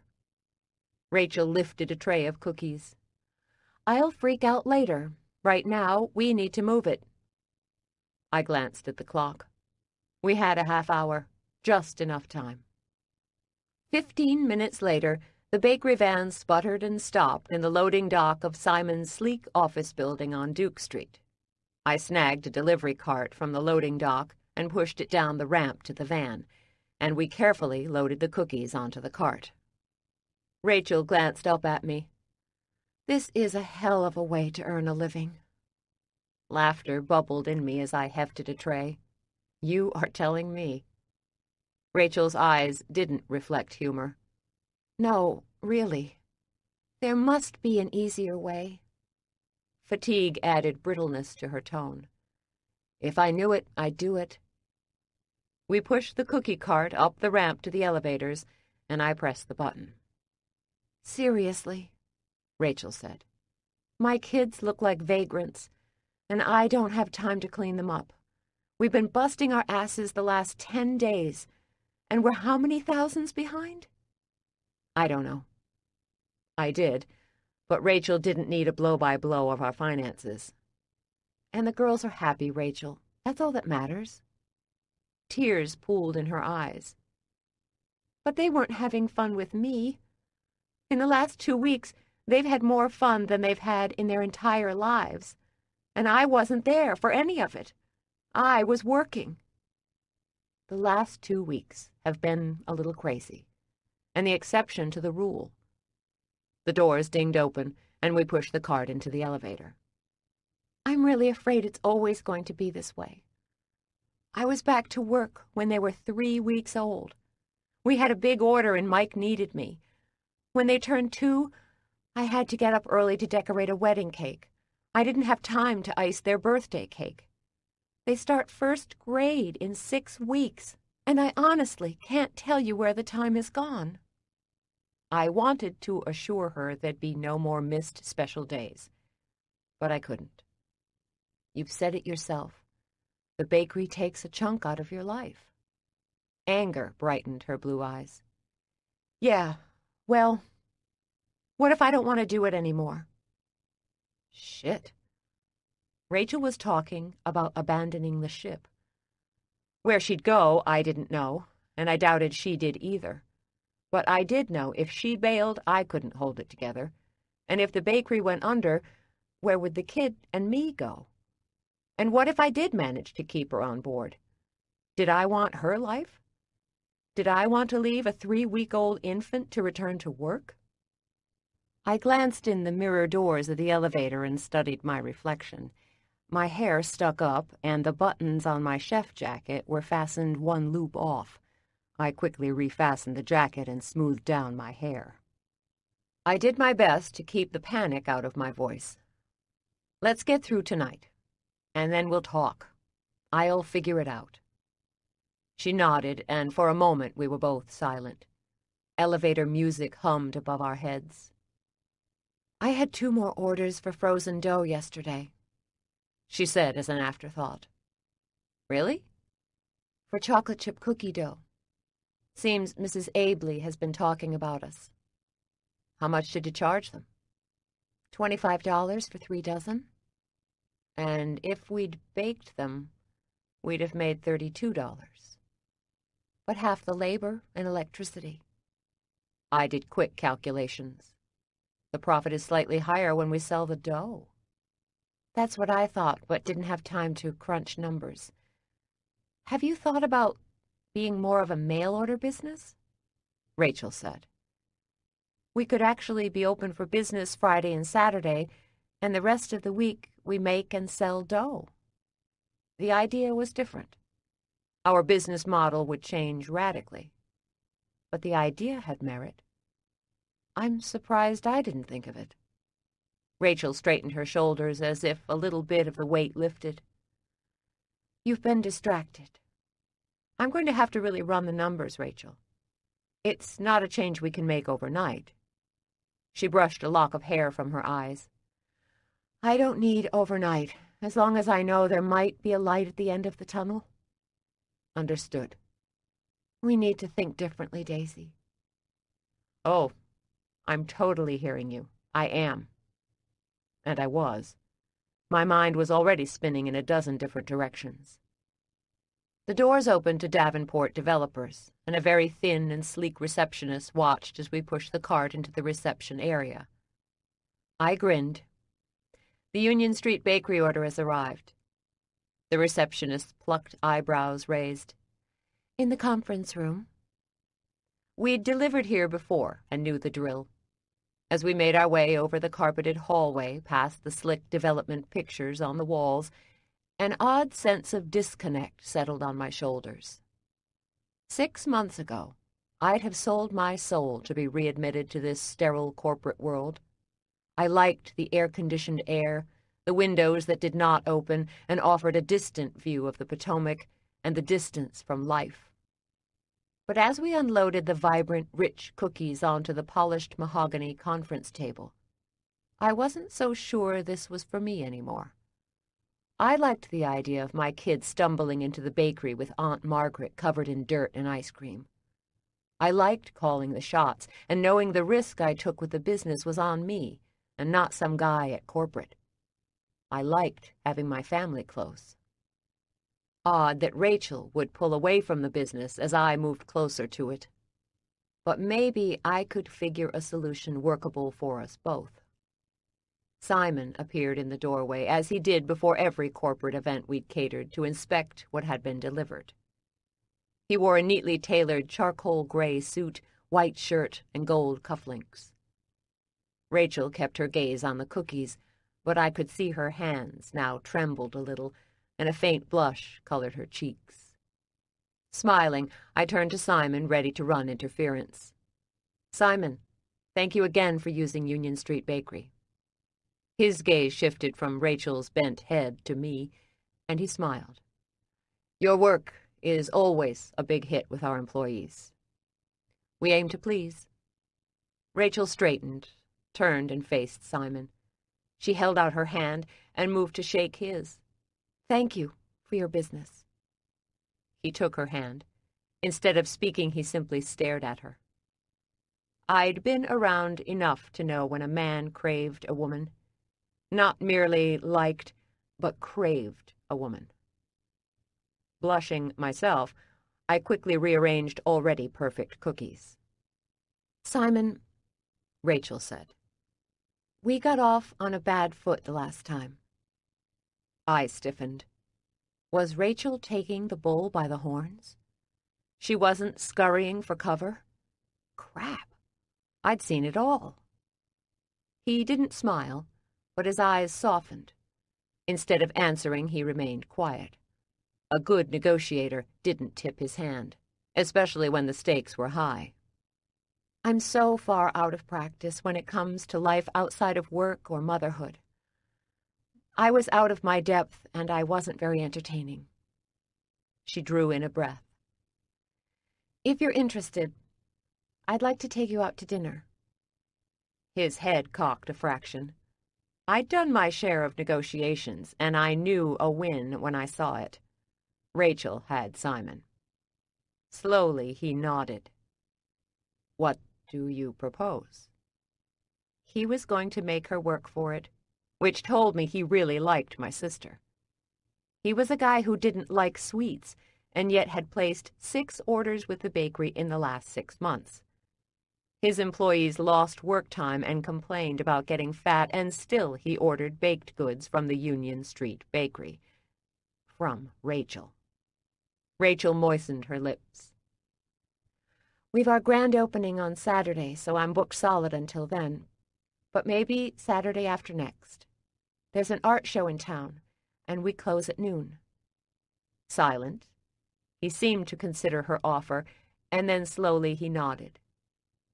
Sounds intriguing. I'll pick you up, she offered. I pictured Rachel pulling up in front of Simon's sleek building in the Union Street bakery van, or worse, in her old Toyota. That was a scene I'd pay money to see. I'll pick you up, he countered, as if the image skittered through his mind. I don't mind driving, really, Rachel said. A smile tugged at the edge of his lips, as if he seemed to like this assertive version of Rachel. I can manage the drive. She nodded, as if she finally remembered to breathe. Good. Would two o'clock work? It does. I felt like the fairy godmother in Cinderella. Forgetting she was plump and gray, I focused on her sparkly blue dress, which I'd always envied as a kid. When the awkward silence settled between the two, I said, Rachel, we've a bakery to fill? Right. She smiled at Simon. See you next week. I look forward to it. Neither one of us said a word as we left the offices and rode the elevators to the first floor. It wasn't until we were in the van and I fired up the engine that I grinned and said, Who's the brazen hussy now? Her eyes widened with shock. Was I? I laughed as we pulled onto Duke Street. No, you were not. I'm teasing. Really? Really. Shaking my head, I check the rearview mirror for traffic. I think old Simon is shyer than you are. She pressed her palms to her rosy cheeks. I don't think so. He is so in control. It doesn't take a lot to stay in control. It takes balls to put yourself in the game when there are a million reasons not to. She flopped back against the seat. I can't believe I asked him out. I mean, I've been thinking about it, but I never thought the words would come out of my mouth. And then I was asking him out. You did it. She rolled her head to me. What am I going to wear? We are not going to spend the week obsessing over this date, Rachel. We are not. Yeah, I know. She was silent for a moment. Should I wear the blue dress or the green one with the flippy skirt? Grinning, I shifted gears as we moved through a light and then turned the corner that took us to Union Street. So, you are also dating Jean-Paul? Her eyes widened. No. At least I don't think so. Shaking my head, I laughed. There is no law that says you can't date two men. Then maybe I will. You are a wanton woman, Rachel. She smiled, satisfied. When we arrived at the bakery, Margaret was waiting for us in the kitchen. Her duffel bag packed, and at her feet, she nibbled on a sugar cookie. Jean Paul was mixing a batch of dough. He glanced up at us, as if annoyed by the interruption, and then went back to his dough. Is something wrong with the girls? Rachel said, searching for the kids. What? The girls. Where are they? She articulated each word. Oh, with Mom. Zonked out. I ran them ragged. She sounded very pleased with herself. What's up? I nodded to the bag. Bracelets jangled as she swept her hand through her curly, wild hair. Just got a call from the site. I have dead guys waiting for me. The rain has cleared, and the dig resumes tomorrow. As sorry as I was to see her go, I recognized the excitement humming in her body. That is great. She lifted her bag, her bracelets jangling as she hefted the strap on her shoulder. By the way, I found him. Found who? I asked. Joey Luddenberg. At first the name did not register. And he is one of your dead guys? No. He's one of your guys. Joey was mentioned on the burial form as Walter's next of kin. He was in Walter's platoon. He served with him. Excitement buzzed. Is he dead? No. Joey is very much alive. I couldn't believe this bit of news. And he knew Walter? She nodded. He did. And I'll bet you a dollar he knew Jenna. Energy rushed through my body. Where does he live? Satisfaction warmed her gaze. Would you believe about twenty minutes from here? When can we see him? She dug a crumpled piece of paper from her pocket and handed it to me. It will have to be you. I'm back at St. Mary's. Here's the address. I called and told him he could expect you. Good luck. You called? Sure. This is a lead, and the sooner you see him, the better. He is in his nineties. I had the sense of invisible hands pushing me forward. Okay. You're going? Rachel said. It's not very practical, I said. The work's going to be insane this week. Rachel shrugged. We'll live. I searched her face. I won't be gone more than a couple of hours. I know. Just go. She glanced at Margaret. And happy digging to you. Margaret all but shivered with excitement. I'm hearing there are all kinds of goodies waiting for us. I glanced at the scrawled address and name. Do I call this guy? He's expecting you. I spoke to the nursing home and they said you could visit any time tomorrow afternoon. I barely had time to breathe, and now I had to slip away to chase the mist. Thanks, Margaret. You've worked a miracle. I know, and you're welcome. She hugged Rachel and then me. Good luck. Joey Luddenberg. Was this guy him? Do you think he'll remember?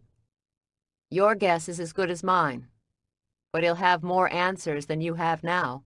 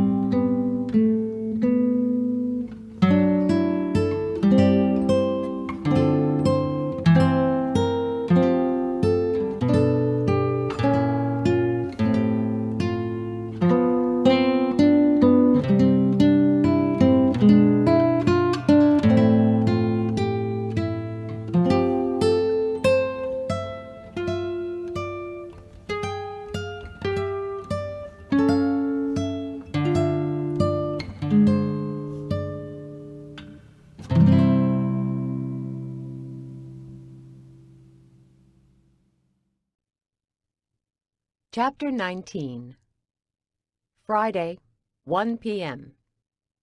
One day until grand reopening. Income lost, $6,000, including $1,500 for the wine. The bakery buzzed with activity by lunch. Rachel was icing cupcakes, the kids were mixing and scooping cookies, and Jean-Paul was baking his bread. We were all moving at a breakneck pace, and we were going to make our deadline of tomorrow morning. But I worried how long we could maintain this pace. Dad had kept it all going for forty years. His father had worked for thirty years. Owning this place was a way of life. And Rachel had said she wasn't sure if this was the life she wanted anymore. I'd promised I'd find another way for us to earn a living, and I would. I just didn't have the answers yet. I'd been trying all week to find time to see Joey, but no time had opened up. And each night when I lay my head on the pillow, exhausted, I felt Jenna standing close, prodding me. So today, when a small opening of time had presented itself, I'd grabbed it. Now as I cut through city traffic toward the Beltway, my mind was not on the bakery, but on the old man who'd served with Walter during World War II. He'd been one of the last people on the planet to see Walter alive, and he very well had heard first-hand information about Jenna. I hurried along the Beltway, the speedometer pushing well past the speed limit. I'd been in charge of cleaning the display cases. Though they were perfect and ready for Rachel's baked goods, the task had taken longer than I'd expected, and I'd been late pushing away from the bakery. Now I was trying to make up time. I took the exit for I-95 South and followed the interstate to the Woodbridge exit. Glancing at Margaret's handwritten notes, I struggled with her scrawl. Damn it, Margaret. Did you write these out with your toes? Hoping the last abbreviation really meant left, I took a left at the third stoplight off Route 1. Three miles later, several U-turns to correct overshooting, and a handful of curses aimed at Margaret's directions, I found the entrance to Sandy Hill Estates. It was a retirement community that honestly wasn't my idea of a dream destination. The sign was missing a brick on the top, and the S in Sandy had snapped at the bottom tip. However, the grass was cut very short in a military, utilitarian way, suggesting efficiency more than curb appeal. I found the main registration sign and parked by a blue awning in the visitor spot. As I grabbed Jenna's trinkets and headed toward the main double doors, I really had to question my sanity. My bakery staff was working like crazy. And I was here, chasing the destiny of a man who died over half a century ago.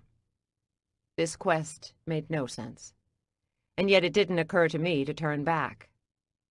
Inside, my nose wrinkled at the thick scent of antiseptic and metal. It smelled of old people. Not dirty or foul, but stale, as if life had been sucked out of the air.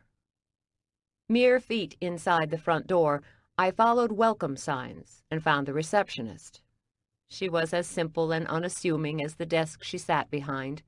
Dirty blonde hair tied at the nape of her neck accentuated a round face and wide-set eyes. No makeup and a pale yellow shirt robbed her of any features.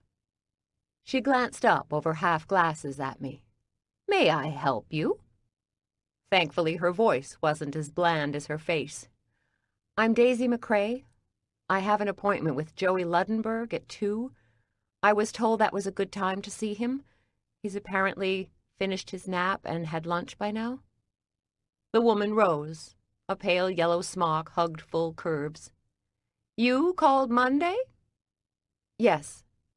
Well, Margaret called, but I didn't want to get into the whole story. And then this morning. Her gaze skimmed over my face, my Union Street Bakery t-shirt, and my rounded belly. Are you family? No, but I knew someone that knew him years ago, and I thought we could talk. To get into an explanation of why I needed to see Joey would surely have sunk my chances with this woman. He's in his room. He was a little surprised when someone called asking for him. My fingernails scraped at the bakery box in my hands. Two weeks ago, I'd never have pictured myself here either. She squared her shoulders and pursed her lips. No one ever pictures themselves here, dear. Not a dream location. The bite under her tone had me reassessing her. I sensed steel under the soft exterior. Vivid blue eyes glanced at the box in my hands. What's that? Cookies. I own the Union Street Bakery. I thought Mr. Luddenberg would like a cookie. She arched a brow. I'll have to ask our resident dietitian if he can have a cookie. Many of our guests are on strict diets. I lifted the lid to the Union Street bakery box, knowing Rachel's cookies could soften the hardest of souls. Would you like a cookie or two? As if pulled by an invisible string, her gaze dropped to the box. The harshness softened, and the hint of a smile tugged at the edge of her mouth. Maybe one or two. I wasn't above using cookies to get what I wanted. Our chocolate chip is made with real chocolate we hand chop, and our sugar cookies are made with the best butter. The maple is our newest cookie. We use real maple syrup. She moistened her lips. Hard to decide. Take one of each. The devil would have been proud of my ability to tempt. She plucked two cookies from the box and bit into the chocolate chip. My God! A conspirator's smile curled the edges of my lips. I know. Heaven. Have one more. She took a maple. Mr. Luddenberg is this way. As I followed her along the very industrial hallway, I wondered why anyone would want to be on a strict diet here. So, sugar and fat killed you a little early. There were worse ways to go than death by cupcake. The sunroom was located at the end of the hall, and thankfully really was sunny. It appeared to have been a recent addition, made of glass walls with a sliding glass door leading out onto a patio. The backyard of the home was small and rimmed by a privacy fence separating the property from a housing development butting up to the property line. However, a collection of lush green potted plants softened the hard edges of the fence. The room's soft wall colors created a cheery look and eased the hum of emptiness I'd sensed when I'd first arrived. If I lived in this facility, I think I'd spend as much time as I could in the sunniest spots of this room. Where is everyone? I said. Seems it would be full of folks enjoying the sunshine. It's a little hot for many this time of day. We have a lot out here in the morning and evening, but not so much about this time. Joey is our exception. He's not fond of crowds. I like Joey already. I'll go get him. She held up the cookies. And thanks for these. My pleasure. She left me standing alone in the sunroom, and I stared at the marigolds, begonias, and pansies contained in the pots. Beyond the fence, I could see the rooftops of several houses, and through an open window heard the laughter of young children. I can push myself. The old man's voice was hoarse and raspy, but he had fired each word like a bullet. I turned to see the receptionist wheel in a man who sat hunched in a chair. His white hair was all but gone, and what remained was cut in a signature Marines high and tight. Gnarled hands curled inward with arthritis, but he wore a white dress shirt, creased khaki pants, and tennis shoes secured with crisp bows. She leaned closer to his ear. Chief, this is your visitor. Her name is Daisy McCrae. He lifted a watery gaze to me. He studied me a beat before his eyes narrowed. I don't know a Daisy McCrae. She's not one of those damn social workers, is she? No, Chief. She's not a social worker. She's here to talk to you about someone you know. All the people I know are dead. My admiration for this crusty old guy grew with each salty glance he tossed my way. He wasn't taking old age lying down. I hoped I barreled into old age kicking and screaming until I skidded into the grave. Mr. Luddenberg, I said, I'm trying to find out about a man who served with you during World War II. You both fought in the Battle of Saipan in June of 1944. He died in July of the same year. Joey's eyes narrowed, and he seemed to turn inward as if recalling the faces of too many men he'd lost during the battle. That was seventy years ago. There were a lot of good boys that died. And I'm sorry to say I don't remember all the names. I'd been lucky with Sarah Morgan's sharp memory. The chances of me hitting pay dirt twice appeared slim. Yes, sir, I understand. But I hoped if I told you a name it might jog your memory. I moved closer to him and pulled out my paltry collection of pictures. You smell like cinnamon. He lifted his gaze and really met mine for the first time. I was struck by how clear and bright his eyes were. Smiling, I took a seat beside him. I own a bakery. He arched a brow. Did you bring me a cookie? He nodded to the receptionist. She had cookies in her hand. I brought cookies. But the receptionist said you were on a special diet? I'm 95 years old, and she cares about me eating sweets. Humor underscored the words. Sooner rather than later, I'm gonna die. Rather it be a cookie that kills me. Grinning, I opened the box. Chocolate chip, sugar, or maple. Pick your poison. He sniffed. Grab me a sugar cookie. I chose the most perfect one and handed it to him. He took a bite and then a second before nodding. What did you say your name was? Daisy McCrae. McCrae? The name teased a memory. I own the Union Street Bakery. He cocked his head. Union Street? In Alexandria? That's right. He waved a gnarled finger at my pictures. What you got there? Pictures of three people taken in front of the Union Street Bakery in 1944. I know the woman's name is Jenna, and one of the men is Walter. His brow furrowed, and his head cocked a little as if he didn't trust his hearing. You got a picture of Jenna? Yes, sir. We were knocking out a wall at the bakery, and I found Jenna's recipe box. I found her in the bakery records. This picture was in her file. I handed it over to him, and with a trembling hand he accepted it. For a long moment he didn't look. Finally he lowered his gaze, and through thick glasses he studied the picture. His hands trembled a little as he traced a bent finger over Jenna's face. He'd been transported back to another place long ago. Do you remember them? I said gently. Yeah. His voice, thick with emotion, sounded like rough gravel. He cleared his throat.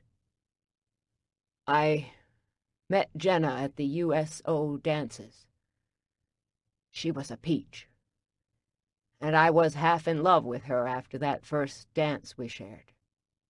When I headed out here today, I'd truly believed I was on a fool's errand.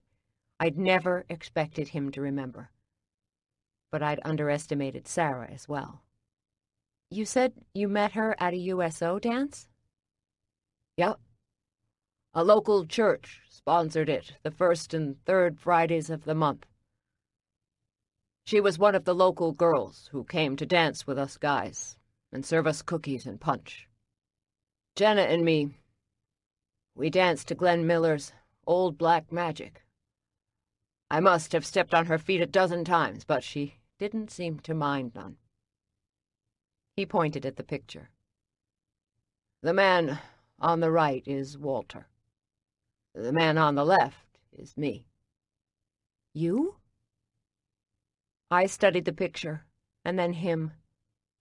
Seventy years had erased most of the resemblances. The only remaining likeness lingered in his eyes. Mr. Luddenberg's eyes were the same as the man's in the picture.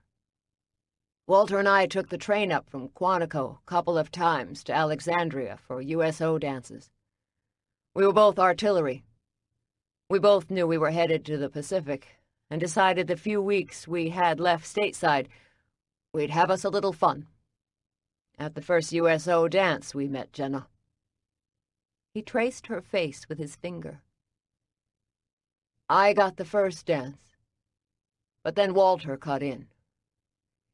He'd been watching us dance. I think he also loved her from the first time he laid eyes on her. Once he had her in his arms, I never had a chance with her. He closed his eyes, and again silence slipped around him, cocooning him from the present-day world. Did he hear the big band music playing from that long-ago USO party?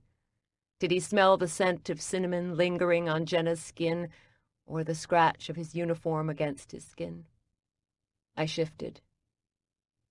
She worked for the Union Street Bakery, and I hear she was from Western Virginia. He cocked his head, and I knew he was rifling through old memories to find the answer. Such a small nugget of information. It would be so easy for it to get lost in time and a failing memory. Winchester. Winchester? She talked to me about her hometown when we danced, but I didn't pay much attention to what she said. She felt good in my arms, and I liked holding her. That's all I noticed. Later, I'd think back on the dance and scrounge whatever details I could. A smile twitched the edge of his lips, and I had a very brief glimpse into the man he'd been. Mr. Luddenberg, you were a player, a man about town, I said. His grin widened. I was one of the best. I treated the ladies right, and they treated me good. Was Walter a ladies' man? He chuckled. No. He was a regular Joe. Like I said, it took him all night to get the courage to dance with Jenna. But when he did, she had him hook, line, and sinker. He never stopped talking about her. That's how I remember so much about her. He spent the next couple of weeks talking about her. When did you meet? First dance was in January, 1944. Cold as hell, snowy. In fact, the weather was so bad a lot of the girls didn't come to the dance. Jenna dated Walter after the dance? I knew Jenna was dating someone about that time. She gave birth eleven months later in December. They was like two peas in a pod. Every second he wasn't drilling, he was with her. After a couple of weeks, he talked about marrying her. They never did marry, did they?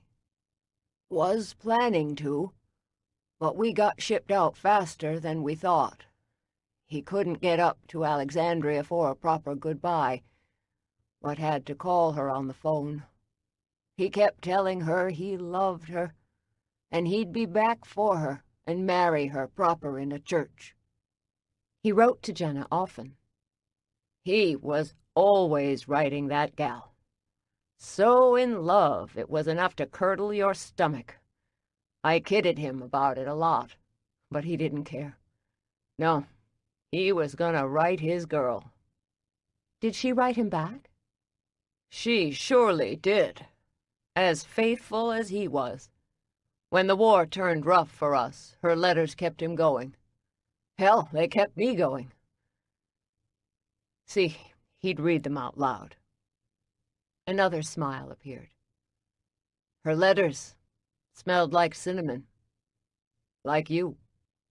Can't get away from it when you work in a bakery. It's nice. Wholesome. He dropped his gaze to the picture, and again I sensed I'd lost him. He closed his eyes, and I wasn't sure if he nodded off or was giving himself over to the memories. Finally, he sucked in a breath and opened his eyes. Stared at me as if I'd intruded into a world where I didn't belong. You were on the invasion team at Saipan? He cleared his throat. We were. We knew it was going to be a meat grinder. We weren't the first off the boats, but close to it. Fighting got bad. Real bad. But we made it that first day. And then, as we moved inland, the fighting got worse. I lost Walter in the chaos. When the fighting settled, I went looking for him. Found him. Shot up bad. A miracle he was alive. Joey didn't supply the details of Walter's injuries, but I'd remembered the autopsy report. Almost sorry he wasn't killed right off. Would have been kinder. Death took a while, but he never regained consciousness. I couldn't imagine what it must have been like to find him so badly mutilated. I'm sorry. Tears welled in the old man's eyes, and he didn't seem to notice or care that they streamed over his face. I suppose, at his age, seeing all he'd seen, tears didn't matter. What happened to you after he was injured? I kept on going, kept on fighting. I wanted to go visit him and sit at his bedside, but I couldn't. And when he died, I wanted to give up. Walter was like a brother to me. But there were other kids, Marines, who needed me. And I kept fighting, until mid-July when the Japs surrendered. His jaw stiffened as he raised it a fraction. The worst days of my life. There were so many other guys who died, like Walter. So many of them didn't deserve to be blown to bits or torn in two by mortars, Every time I lost one, it felt like Walter all over again. I'm so sorry, Chief. He shrugged. A job had to be done. Were you injured? Shot in the arm. Did they pull you out of the fighting? Hell no. They tried, but I wouldn't let them. My buddies had died on that ground, and I wasn't gonna pussy out and go home. Stayed until the final surrender. No missing the deep pride simmering below the words. Did you ever hear from Jenna? I wrote to her first chance I could. I wanted her to have Walter's dog tags. I sent those along. The Marines held his personal belongings for family. There'd have been lots of red tape getting his property sent to a woman not his kin or wife. But I knew a guy who knew a guy. We got it put on the forms she was his wife, so his body was shipped back to Alexandria. She wrote me back, thanked me for sending him home. She said she'd buried him proper in the Alexandria cemetery. When was that? I got her letter in late December. She'd have been ready to deliver by then. Silent, I let him talk. He shook his head. I went back to Alexandria after the war to find her. I wanted to return the letters she'd written to Walter. I went by the bakery, but they wouldn't tell me about her. Said she was gone. It took me a good two days to find Walter's spot at the cemetery. When I was leaving, I saw another new headstone. It was hers. I bawled like a baby. Sadness burned sharp in his gaze, as if this had happened to him yesterday and not seventy years ago. What happened to her? No one would tell me.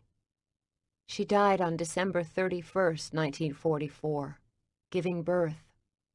He blinked and shook his head as if the news struck like a fresh blow. He stared at the cookie, looking at it as if he imagined Jenna had given it to him. There was a time when I feared dying. Figured it was the worst thing. But it's not the worst thing. He'd been a warrior, a man who loved women. And now here he sat, alone in an old folks' home, with a controlling receptionist telling him he couldn't eat cookies. I'd never feared death or worried about it. That might have been because I'm young. Might have been because deep in my soul I didn't think I had much to lose. Terry had left me, and I didn't think I mattered. But now, with the kid on the way, I had an anchor in this world. For my child, I'd move mountains. I feared losing her more than dying. So, what happened to Walter's kid? Joey asked. I don't know. The newspaper said he'd been sick when he was born, but I never found a grave near Jenna's. She was from Winchester. Her kin owned an apple farm. I remember she told Walter she'd moved to Alexandria because the apple crop had gone bad that year. Killed by a frost, and she needed to make money. She and her father also got into some kind of fight, but she never said over what. An apple farm in Winchester. Last name Davis. That'll narrow the search. Why are you looking into this? She ain't your kin. I struggled to put into words what I didn't really understand myself. Maybe I feel for a woman alone with a baby on the way. She had to have been scared. He straightened his shoulders. Wheel me back to my room. What? Wheel me back. I got something to give you.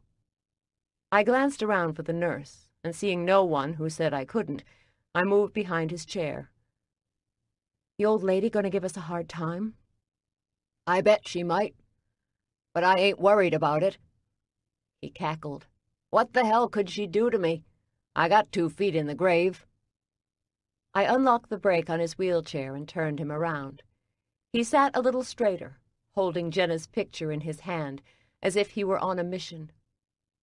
I pushed him out of the sun porch and along a long cream-colored hallway smelling of bleach and flowers to a room at the very end. As I tried to turn him into the room, I bumped the edge of the wheelchair on the wall. Women can't drive worth a damn, he grumbled. Hey, don't blame me. I've never driven one of these contraptions before. He waggled his finger over his shoulder. Back up and try again. A glance behind, and I pulled the wheelchair back. I'm doing it.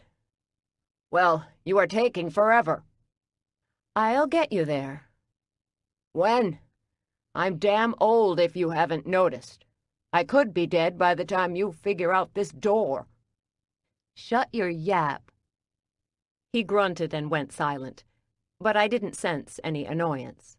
This was an adventure for him, and I treated him like a man and not a potted plant to be shuffled around. Finally, I got the angle right and pushed him into his room.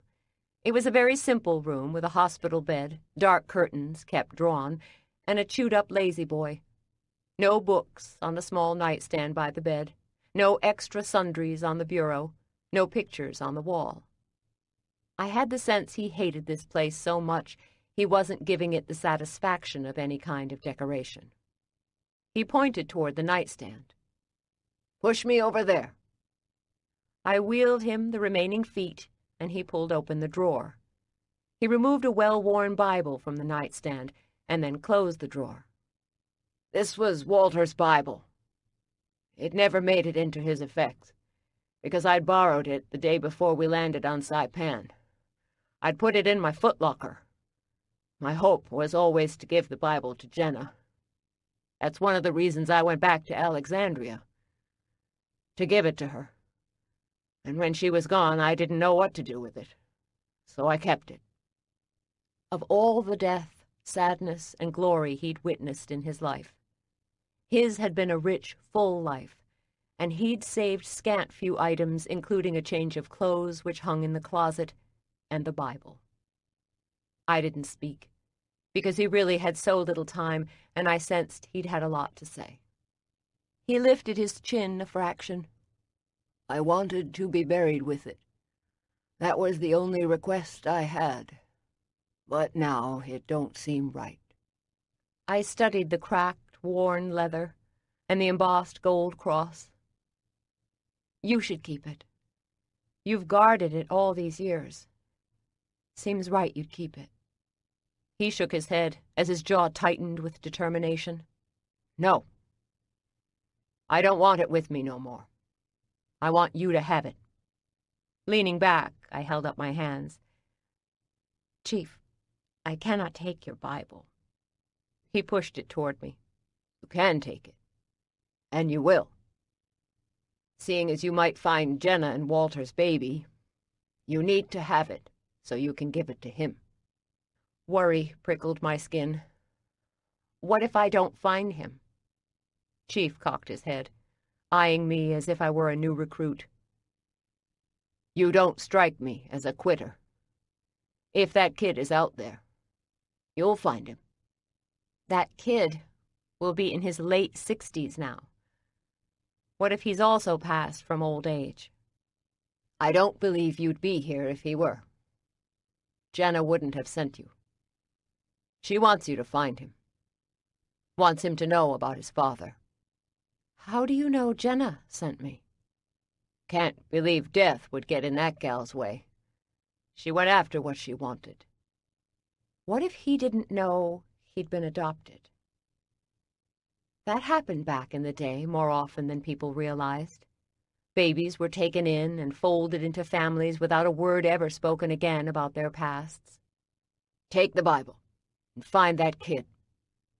Do my heart glad to know I kept Walter's Bible safe for his kid all these years. Do my heart glad. When I returned to the bakery, Rachel was standing behind the display case with Meg and Tim. I checked my watch and realized it was after six. So how did it go? Rachel nodded. I think we are going to make it. I think we will open tomorrow, though we won't have a full menu. We won't shame ourselves. It's not the end of the world. Less might be more in our case. Rachel rested her hands on her hips.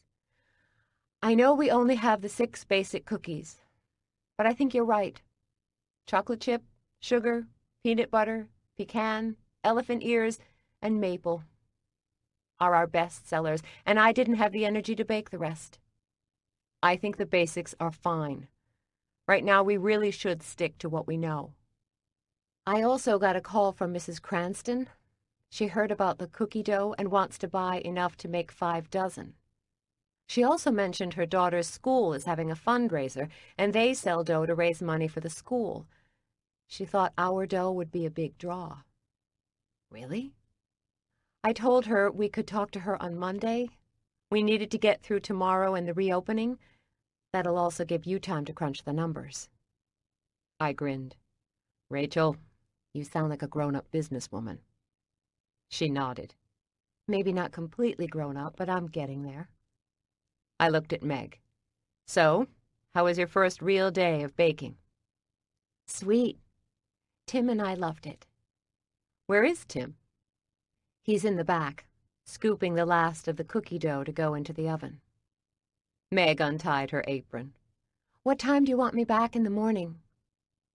Eight o'clock, Rachel said. She nodded. I'll grab Tim and we'll head out. If we hurry, we can catch the bus. Thanks, Meg, I said. No, thank you. This is totally cool. She vanished into the back, and I was left shaking my head.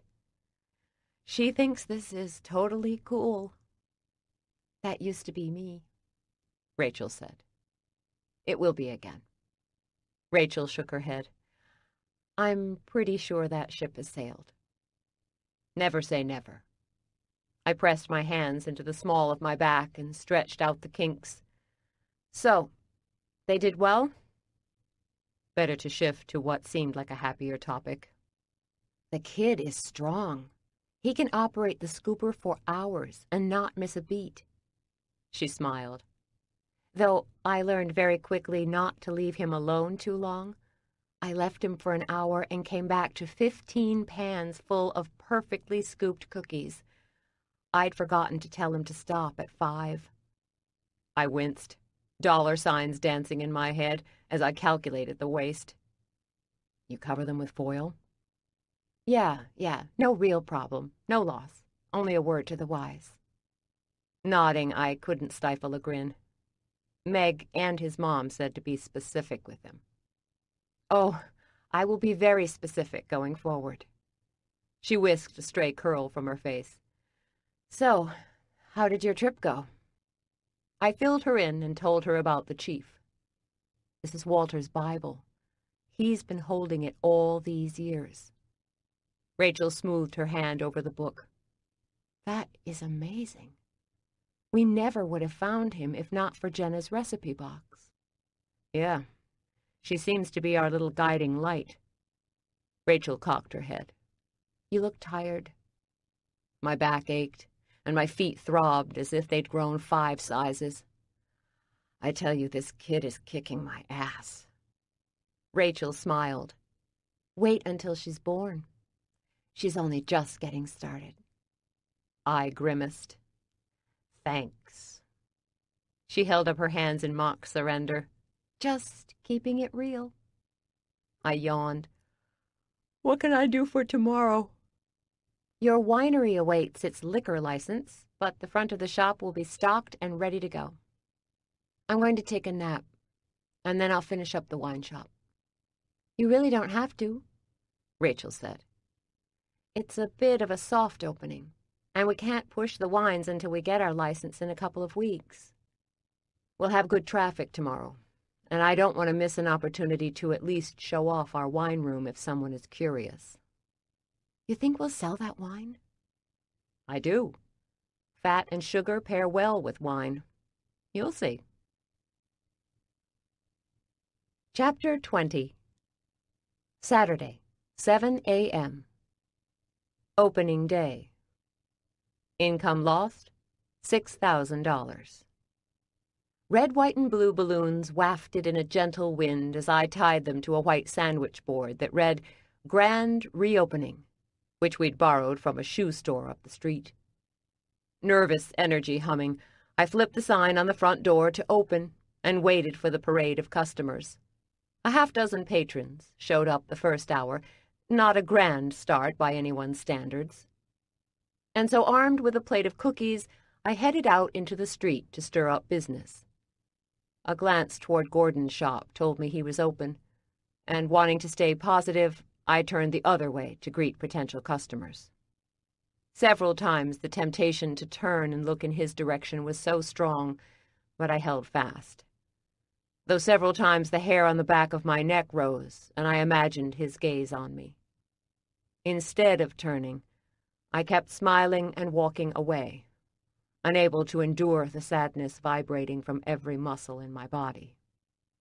By 10, the trickle of customers had grown stronger, and by 11, we actually had a line in front of the display case. Word had also spread about the frozen dough, and we'd sold four orders. As the cash register dinged with each new purchase, I imagined the debt on our books shrinking. Life was looking up. A little. Finally, at two, I locked the front door and flipped the open sign to closed. Our first day back open had been a hit. We might survive. Rachel grinned. We survived the renovation and the reopening. I told you we would. She laughed. Yeah, you did. I'm smarter than I look. Meg and Tim carried the remaining cookies back behind the swinging doors. They'd been great, Tim had stayed in the back, carefully restocking trays, and Meg had been on the register, smiling brightly at customers while Rachel and I took orders. We'd been a good team today. As Meg reached for an empty tray of sugar cookies, I thought about Joey. On and off all day and most of last night, I'd worried about him alone in his room. I suspected he'd been on his own for a long time, but that didn't make it right. The young man in the picture had been so full of promise. And he'd ended up alone in a corner room with no pictures and a crappy view of a privacy fence. After we cleaned the cases and swept the floor, Meg and Tim said their goodbyes, Rachel vanished upstairs, and I boxed up a healthy dose of sugar cookies and headed to see Joey. Saturday traffic on the Beltway was heavy, so it was past three when I parked in front of the retirement home. The receptionist was at her post, but I was ready for her this time. I handed her a box of assorted cookies for her. She beamed and sent me to Joey's room. I found Joey sitting in his room in his well-worn chair, a box resting in his lap. His eyes brightened when he saw me, and he sat a little straighter. I closed the door, reaching in my backpack as I crossed the room to him.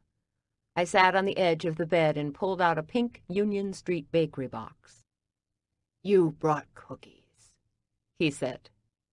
Not cookies, but Jenna's cookies. I told you we found her recipe box. He took the box and inspected it, as if it were a great treasure.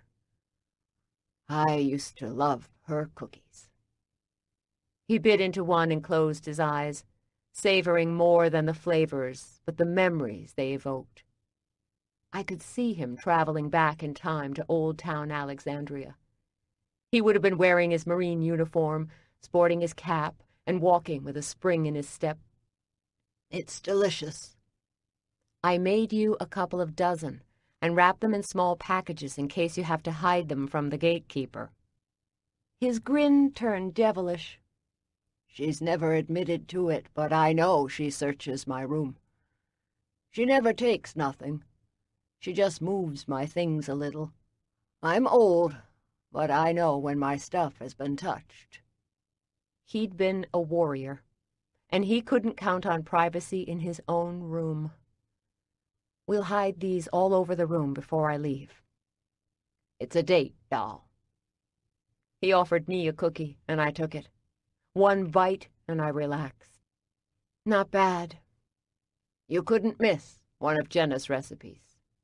She had an angel's touch when it came to baking. I glanced at the box in his lap, wanting to ask, but deciding this was his to share, and he would explain when ready. We reopened the bakery today. It was crazy but busy, and busy is good. You're a smart gal, I can see that.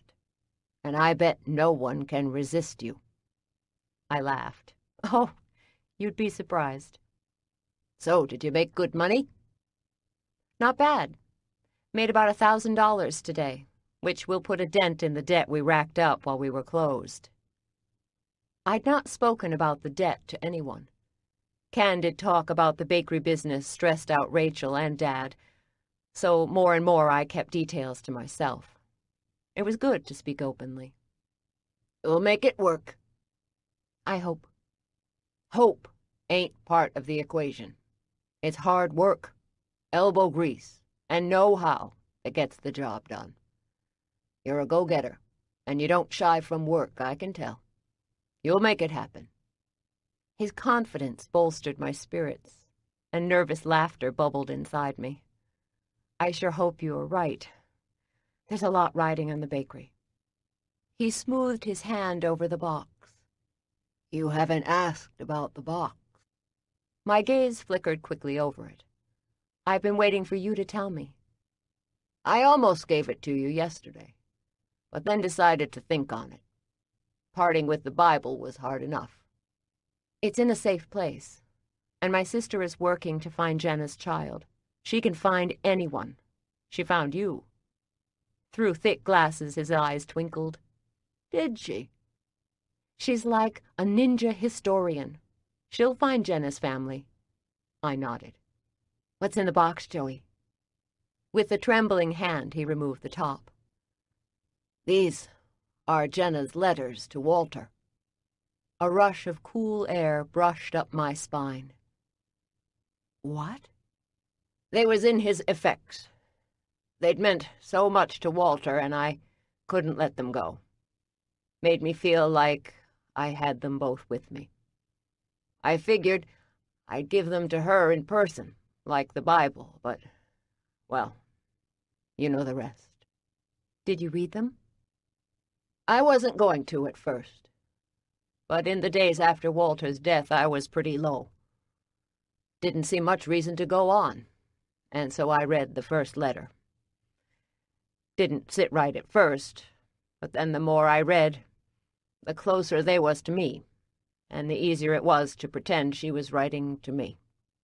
She had a way of speaking that made me feel at home. I read them all except the last. Came after Walter was killed, and it didn't seem right to read what he couldn't.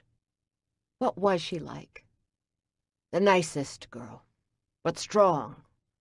She worked hard, and said one day she wanted to own her own business. His gaze seemed to go out of focus as he seemed to fall back in time. She had a wicked sense of humor and she loved to dance. He held a yellowed envelope in his hand. Jenna's handwriting, reminiscent of the recipe cards, was bold and clear, and her lines were straight, as if she'd put great care into addressing it.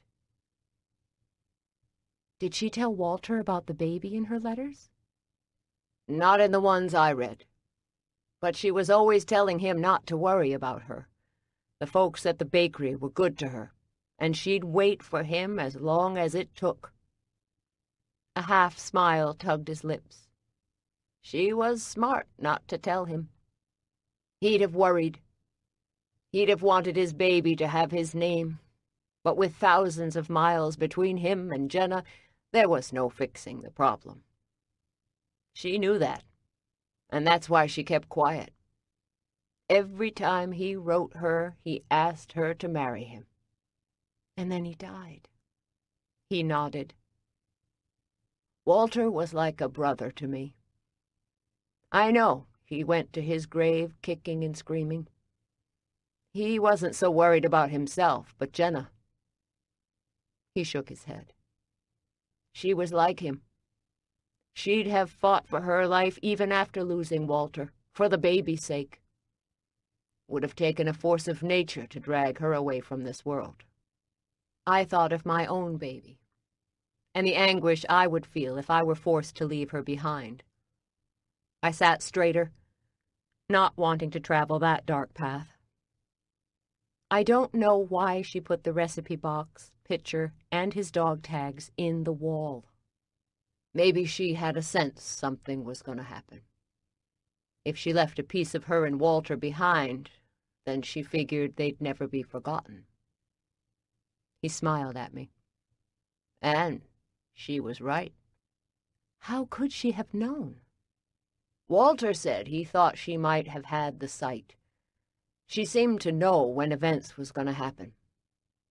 That could explain the odd energy in the bakery. Jenna hadn't really left. She'd stuck around, waiting. Joey glanced at the letters and then nodded. Seeing as she sent you to me, I think you should have these letters.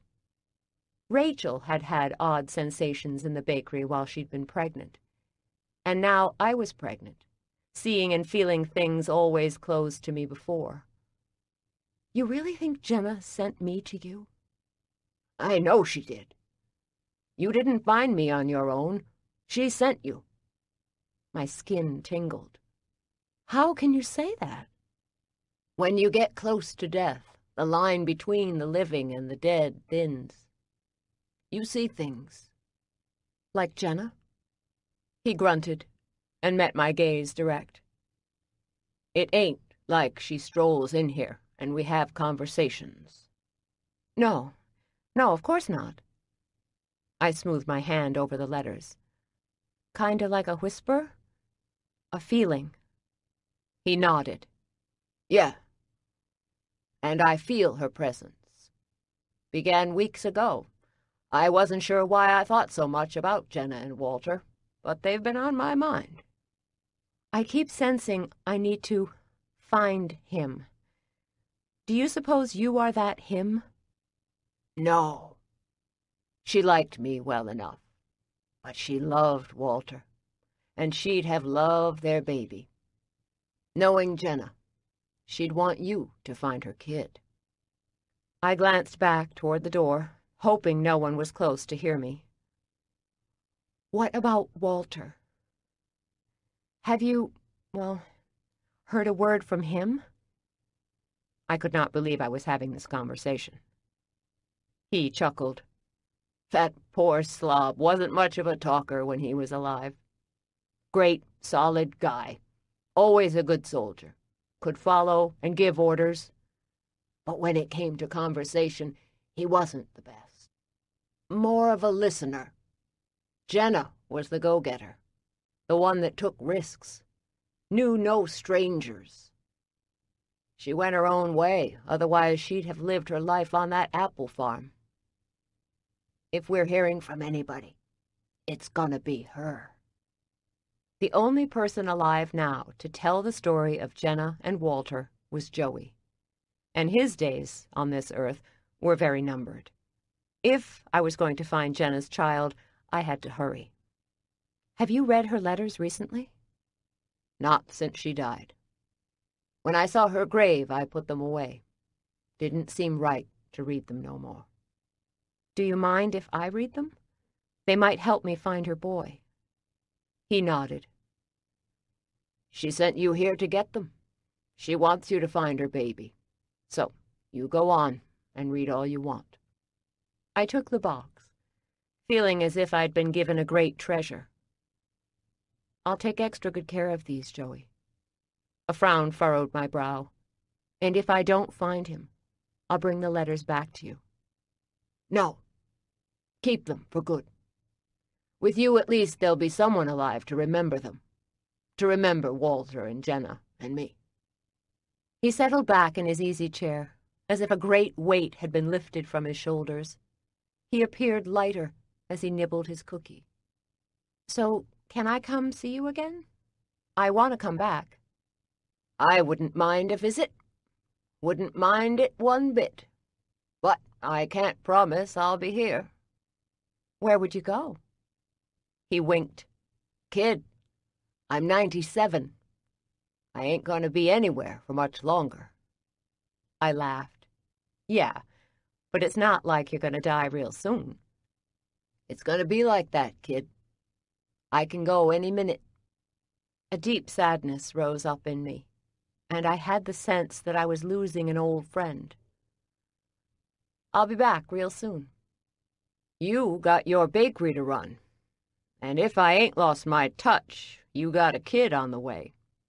You got a full life. And you are a part of it now. His chin trembled a little. That's nice. Real nice.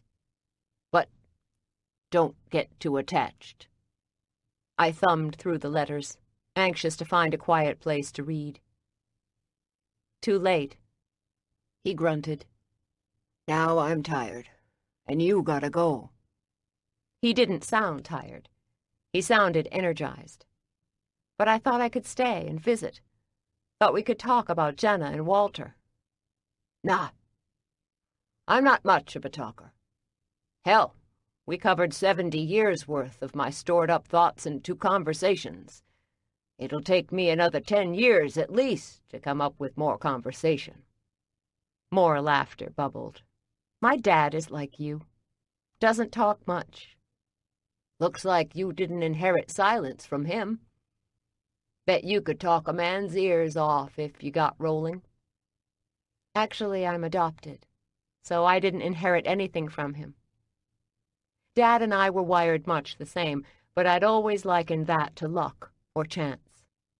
He cocked his head.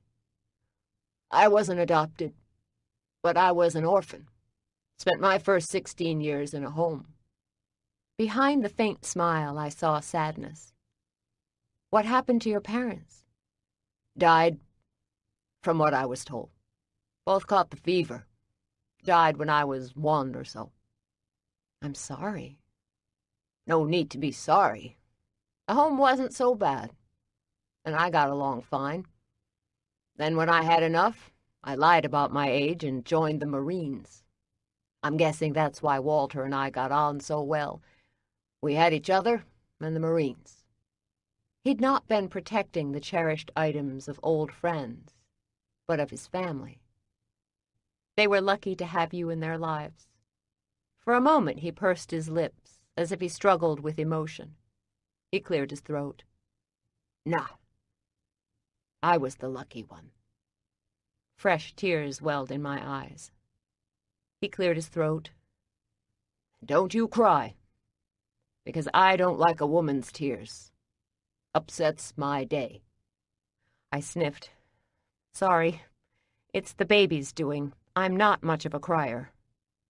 He looked at me with such tenderness I almost cried. Now, you really do have to beat it. I rose, leaned forward, and kissed him on the cheek. I'll see you soon. He patted my shoulder with his bent hand.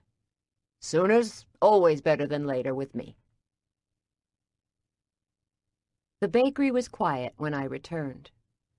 The front end of the shop was clean and ready to receive guests, and the front display case sparkled, waiting for Rachel and Jean-Paul to fill it again. I pushed through the saloon doors and dropped my purse on the counter. As I crossed to go upstairs, there was a fresh loaf of bread. The handwritten note on it read, Daisy, this is for the baby. Eat. J.P. I smiled as I tore a piece of bread and bit into it. The crust was crunchy and the interior soft. A touch of salt brought out the qualities of the wheat, creating a magical blend. The box of letters tucked under my arm, I headed to my new basement office and flipped on the lights. I wouldn't miss running up and down these stairs every day with baked goods.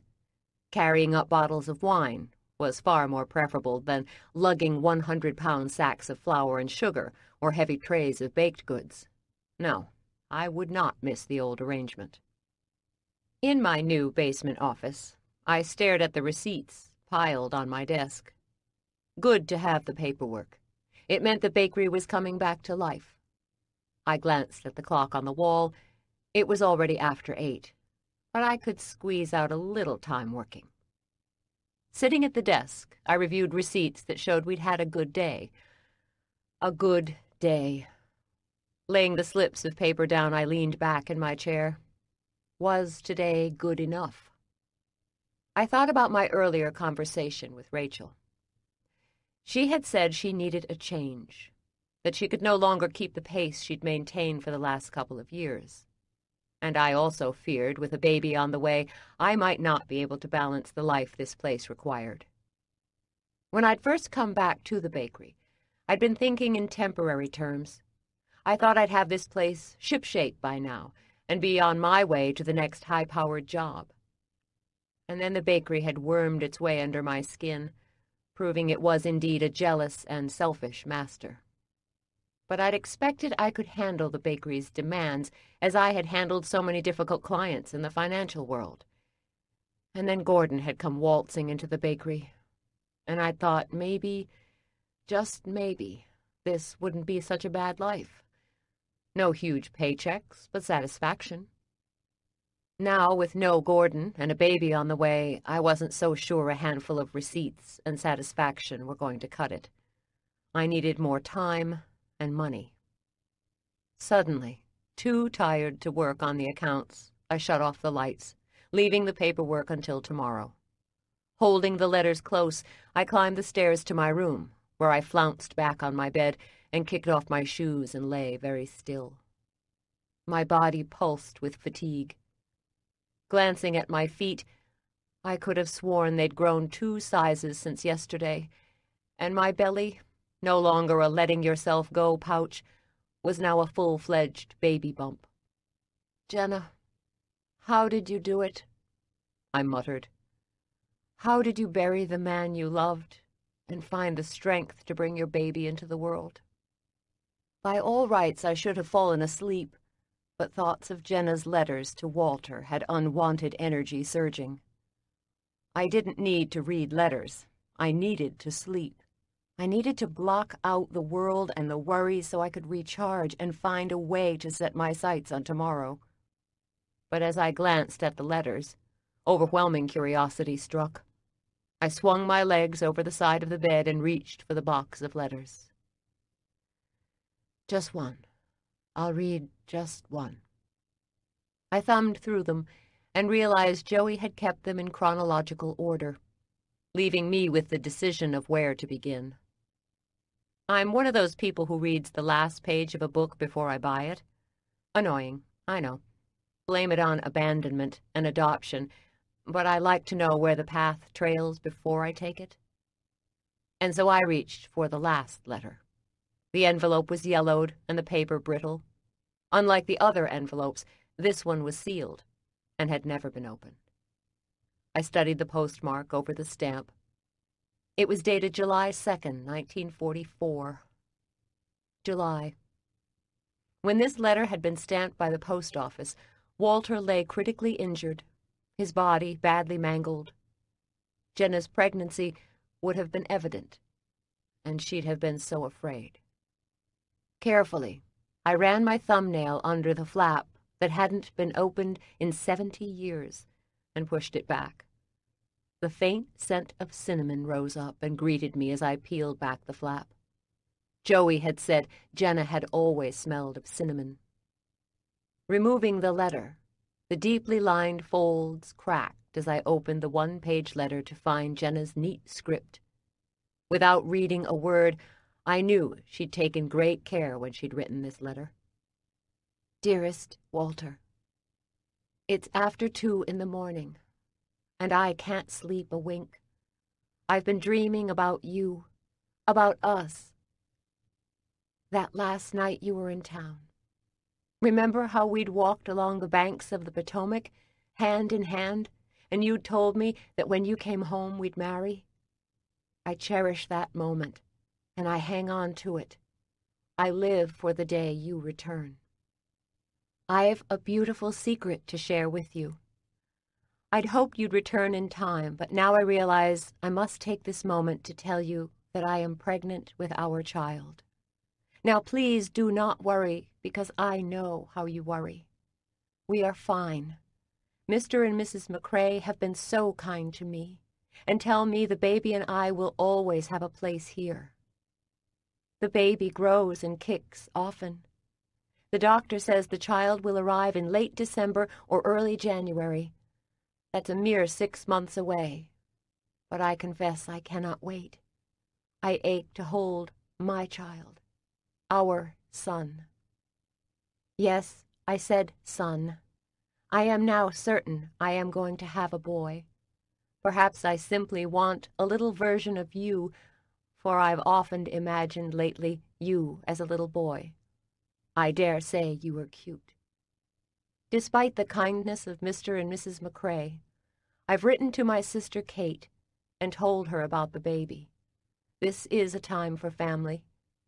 She's already promised to smooth the waters between my father and me. She tells me not to worry, and I will take her advice and keep good thoughts. I'm hoping you'll be home by spring, so you and I and our child can enjoy the apple blossoms. There is no lovelier place than the Shenandoah Valley in the spring. Do not worry about us. We will be fine. When you write again, don't send your letter care of the bakery, but to my sister's farm. Kate Davis, Rural Route 10, Winchester, Virginia. I send you all my love and wish you a speedy, safe return. With all my love, Jenna. I sat back on the bed, staring at her neat, clear handwriting. Had she felt his life seeping away on that far-off island as she'd written a letter no one opened? Two o'clock in the morning would have been nine o'clock Pacific time. The fighting remained constant in July on Saipan, and Walter, wherever he lay, would have heard it. I traced Jenna's name with my fingertip. Find him. The feeling rose up in me, and I sensed this wasn't a trick of my mind. It was Jenna. She wanted me to find her son, and now I had an address for her sister Kate. I opened my laptop and typed in Kate Davis, Winchester, and hit enter. The chance of Kate being in the same location after all these years was slim, but not out of the question. Farms, like bakeries, could stay in families for generations. Several hits popped up. Mrs. Kate Davis Simmons of the First Presbyterian Church of Winchester was honored for her service to the church. Mrs. Kate Simmons pays tribute to veterans on Memorial Day. Mrs. Kate Simmons and her oldest son, Walt. Walter. Walt. Chapter 21 Sunday, 8 a.m. One day after grand reopening. Income lost, $5,000. When I pushed out of bed, the sun shone bright in the room. The baby rested heavily on my bladder, and despite the bed's comfort and warmth, I quickly made my way to the bathroom, took care of business, and then jumped into the shower. As I stood under the hot spray, savoring the water beating against my skin, I realized I still wasn't sick to my stomach. I'd become so accustomed to feeling bad, a day or two of feeling good hadn't been enough for me to fully trust I'd turned a corner. The fact that I might really be rejoining the ranks of the living had me feeling hopeful. Opening my eyes, I smoothed my hand over my stomach. It seemed as quickly as the nausea had come, it left. Score one for the home team. Feeling freshened and actually hungry, I toweled off and dressed in my maternity fat pants and a larger size bakery t-shirt. A side profile in the mirror had me wincing. I wouldn't be making the best dressed list anywhere today. In the kitchen, I found a coffee pot gurgling, and it smelled surprisingly good. I poured a cup as Rachel pushed through the doors. Morning, she said. Her face glowed with a pink hue, and her smile looked bright and natural. You look chipper. I pulled out the flour, sugar, and maple syrup and lined them up on the counter. The girls and I are headed to the park. It's an all-girl day of fun. Want to join us? No.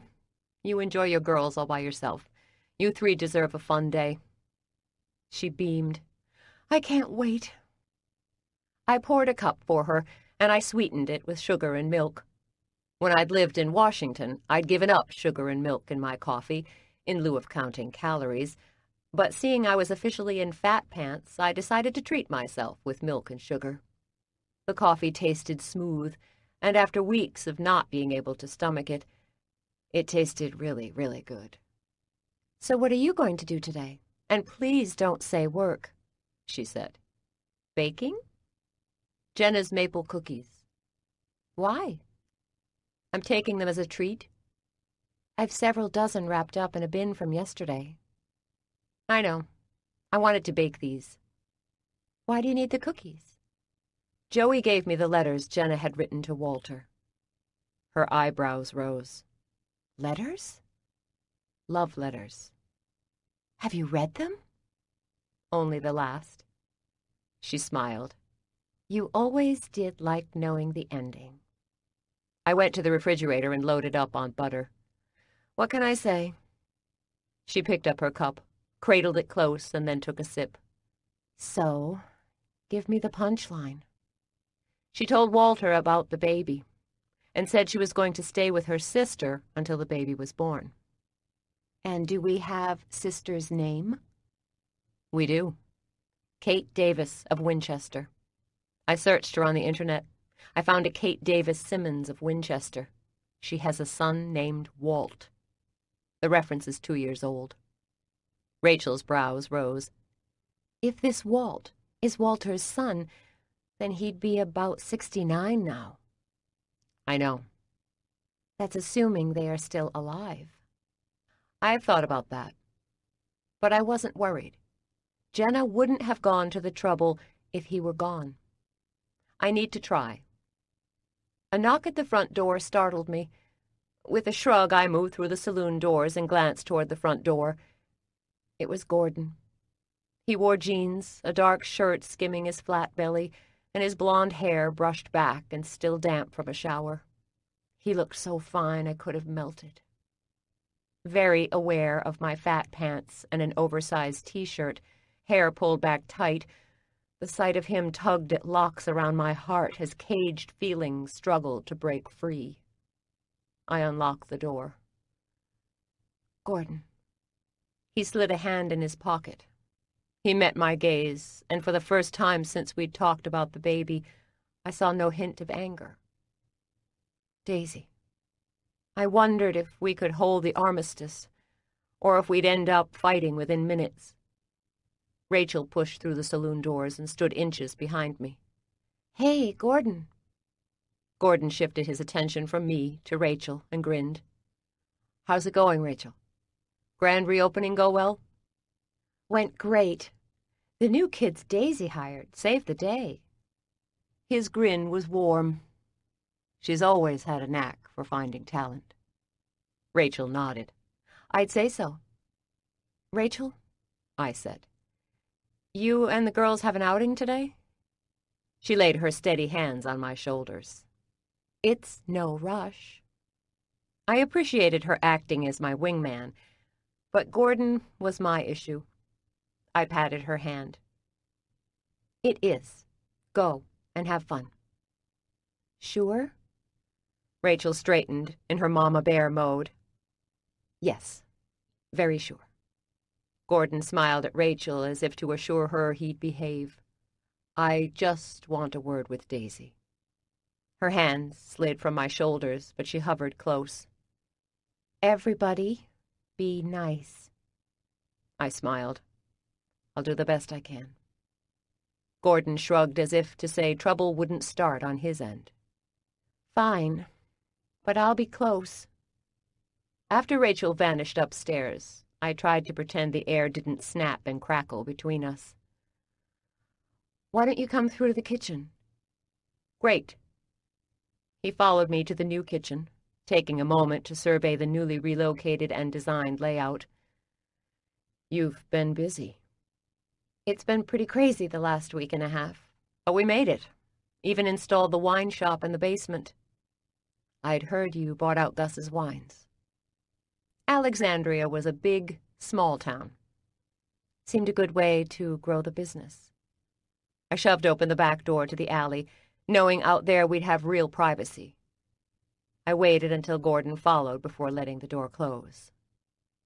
The day's growing heat warmed the sudden chill in my bones.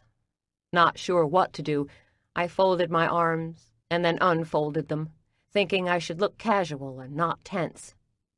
I was tense, but it didn't hurt to hide it, or the fact that I had no idea what to say to Gordon. None. I'd apologized, explained my position, and still my stomach fluttered as if I weren't much older than a teenager. His gaze darted over my body, taking in my growing belly that could no longer be hidden. I bet you haven't eaten. I did manage coffee this morning, a milestone. No morning, or rather, all day sickness for me right now. His face tensed a little, but he seemed to recover. Good. That's good. So, you and the baby are doing well. The baby. Not our baby. One day, I supposed, it wouldn't be awkward when we talked about this child. We are hanging tough. Little McCrae is as hardy as her old lady. An awkward silence settled between us. We were both trying to be adult and mature. We were trying. But it still felt so weird between us. To fill the silence, I said, I emailed Terry, and she did get back to me. She said she had morning sickness midway through her pregnancy. Not with me, but with her last boy. Stands to reason, I guess. She would have been about my age when her last child was born. His gaze bore into me. She got back to you. That's good. Yeah, not a gushy, motherly note, but I've the sense she was trying to help, and I appreciated that. He shoved his hands in his pockets. Good. I know you've wanted a connection with her. I thought I was fine without it, but her email really meant a lot. I've read it. She's not Mom, but she is my birth mother, and we should be friends, don't you think? Yeah. More silence. The elephant in the alley lumbered around us, and finally, I drew in a ragged breath. I also emailed Roger. Haven't heard back yet. Gordon's lips flattened into a grim line. That guy is an ass. I know. But there's no changing the past, no matter how much I want to. I really wish I could, but I can't. I wished with all my heart that this baby was yours. But it's not. He glanced at his hands and then tucked them in his pocket. I'm sorry. I cocked my head. For what? You haven't done anything wrong, Gordon. You are a saint for putting up with me for this long. I get that I'm not easy. The lines in his forehead furrowed deeper. I've not been very helpful. All the changes you made to the bakery, being sick, and the news of the baby, you really didn't need me heaping onto the pile. I'm a tough bird, Gordon. And I get that I hurt you. I know if I could turn back the clock, I would. I reached out and took his hand, wondering if he'd flinch and pull away. When he didn't, I rubbed my callous fingers against his. It's okay. I can do this alone. I will figure it out. He tightened his fingers around mine. That's what's digging at me, Daisy. I hate the idea of you having to do it all alone. I'm not the first woman to raise a baby alone, and I won't be the last. It's okay. And I meant it. I loved Gordon enough not to saddle him with guilt because he couldn't accept my mistake. He tipped his head back as if weighing words he might later regret. I miss you. I miss you, too. I cleared my throat. None of this changes my feelings for you. I do love you, Gordon. I do. He met my gaze. I love you, too. You drive me crazy. But I love you. The words sounded so sweet. Stepping away from the loneliness that had dogged me, I leaned in and kissed him gently on the lips. He tasted so good, and it took all my energy not to lean into the kiss. He closed his eyes, and he leaned into me. He rubbed my palm with his thumb. Shots of desire pinged around in me. Sexual desire was a welcome feeling. Couple that with the love I had for Gordon, and this could be very beautiful and explosive. But as much as I dearly wanted to give in to these feelings, I resisted. It wasn't about me anymore. With a great effort, I pulled back. It's not the two of us anymore, Gordon. There is the kid, and we are officially a package deal. He didn't pull back as he met my gaze. His voice sounded rough when he spoke. I know. And I'm still struggling. I'm sorry. Don't be. This is one of those problems that doesn't have an easy fix. He raised his hand as if to touch me and then hesitated. How about we spend the day together? If you can break away from this place. Smiling, I nodded. I'd like that. But I need to visit this person in Winchester. Winchester? Is he a supplier? Not exactly. He would be in his late sixties. The first hints of amusement danced in his gaze. I explained about Jenna's recipe box and my visit with Joey.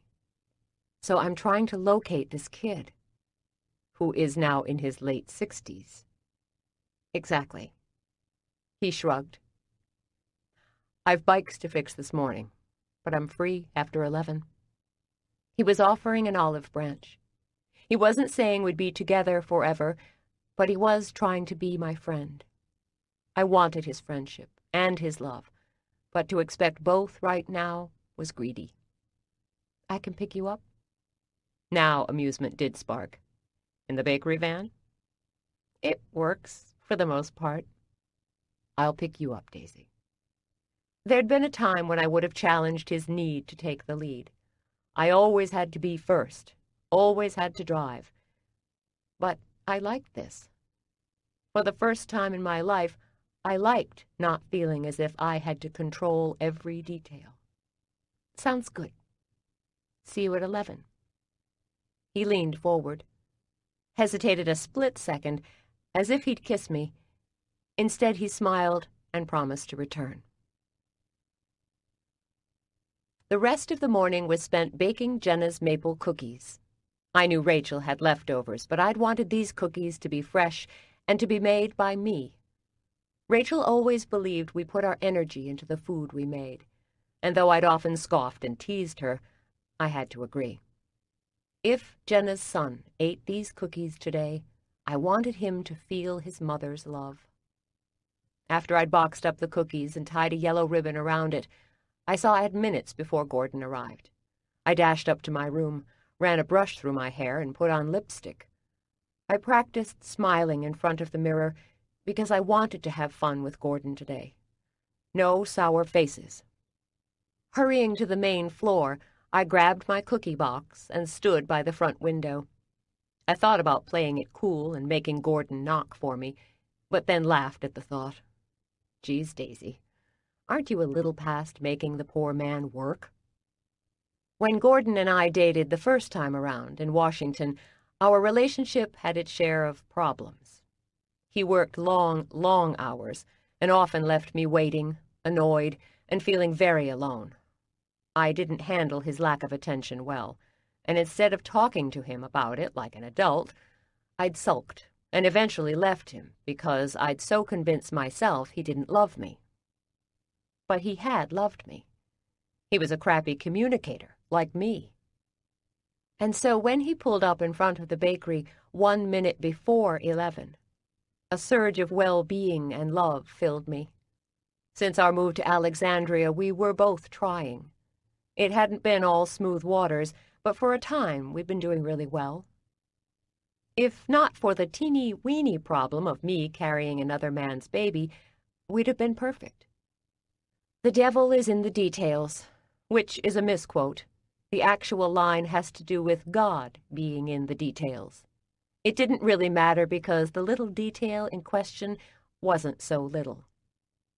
Tossing him a wave, I hurried outside, opened the front door of his truck, and slid into the seat. Weeks ago, it would have been natural to lean over and kiss him. I wanted to kiss him, but wasn't sure if I should. Was I overthinking this? Should I go ahead and kiss him? Good morning again, I said. He studied me a beat. So, what conversation are you having in your head? I laughed. How do you know I was having a conversation in my head? You've that panicked, far-off look. You get that look when you're thinking. What does that look like? He made a face which I was sure did not look like my expression. I laughed. I was thinking I would have kissed you if it were a couple of weeks ago. That I'd be totally comfortable and not tense. His hand rested casually on the steering wheel, but his eyes bored into me. You could kiss me. The rough timbre of his voice had my toes tingling. I could? Sure. But... A brow arched. Has the baby somehow damaged your lips? God bless him, he was trying. I moistened my lips and pretended to inspect them. No, I don't think so. He sat, still as a stone, not moving toward me. If I wanted this, I would have to make the big move. Moistening my lips again, I scooted across the seat, glanced into his steady gaze for any sign of doubt, and when I saw none, I leaned into him and kissed him softly on the lips. The touch was gentle and tentative like a couple of middle school kids, but sweet quickly warmed to hot when Gordon slid his hand to my waist. My pulse throbbed under his fingertips as I leaned into the kiss, hoping to deepen it. And the baby kicked. Hard. So hard, we both felt it. He straightened, but didn't remove his hand. She kicked the last time I touched you. I glanced at his tan, lean fingers lying over my full belly. She seems to be trying to figure you out. He nodded, staring at my belly. Looks like she and I are in the same boat. We both love Mommy, but aren't sure if we can love each other. He was being honest, and I appreciated that.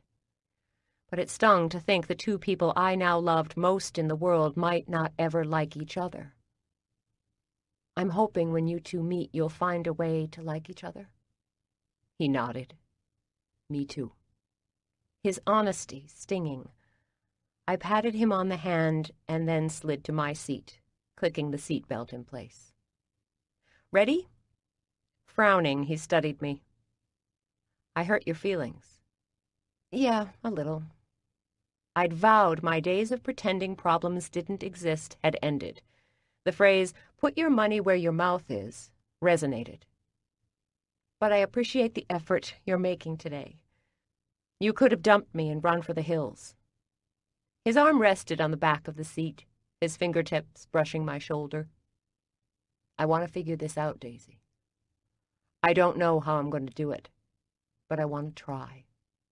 For today, let's not worry about the baby or what's next. Let's go to Winchester and see if we can solve a mystery. He nodded, a smile teasing the edge of his lips. You sound like Nancy Drew. A laugh bubbled. If Nancy were as curious about her cases as I am about Jenna, then maybe I finally get old Nancy. As a kid, I read a couple of her books, but she annoyed the hell out of me. Laughing, he pulled into traffic. Why is that? Perfect hair, perfect grades, always had the right answer while I was schlepping around with 20 extra pounds, always angry, and without a clue of who I was. You've come a long way. Let's hope.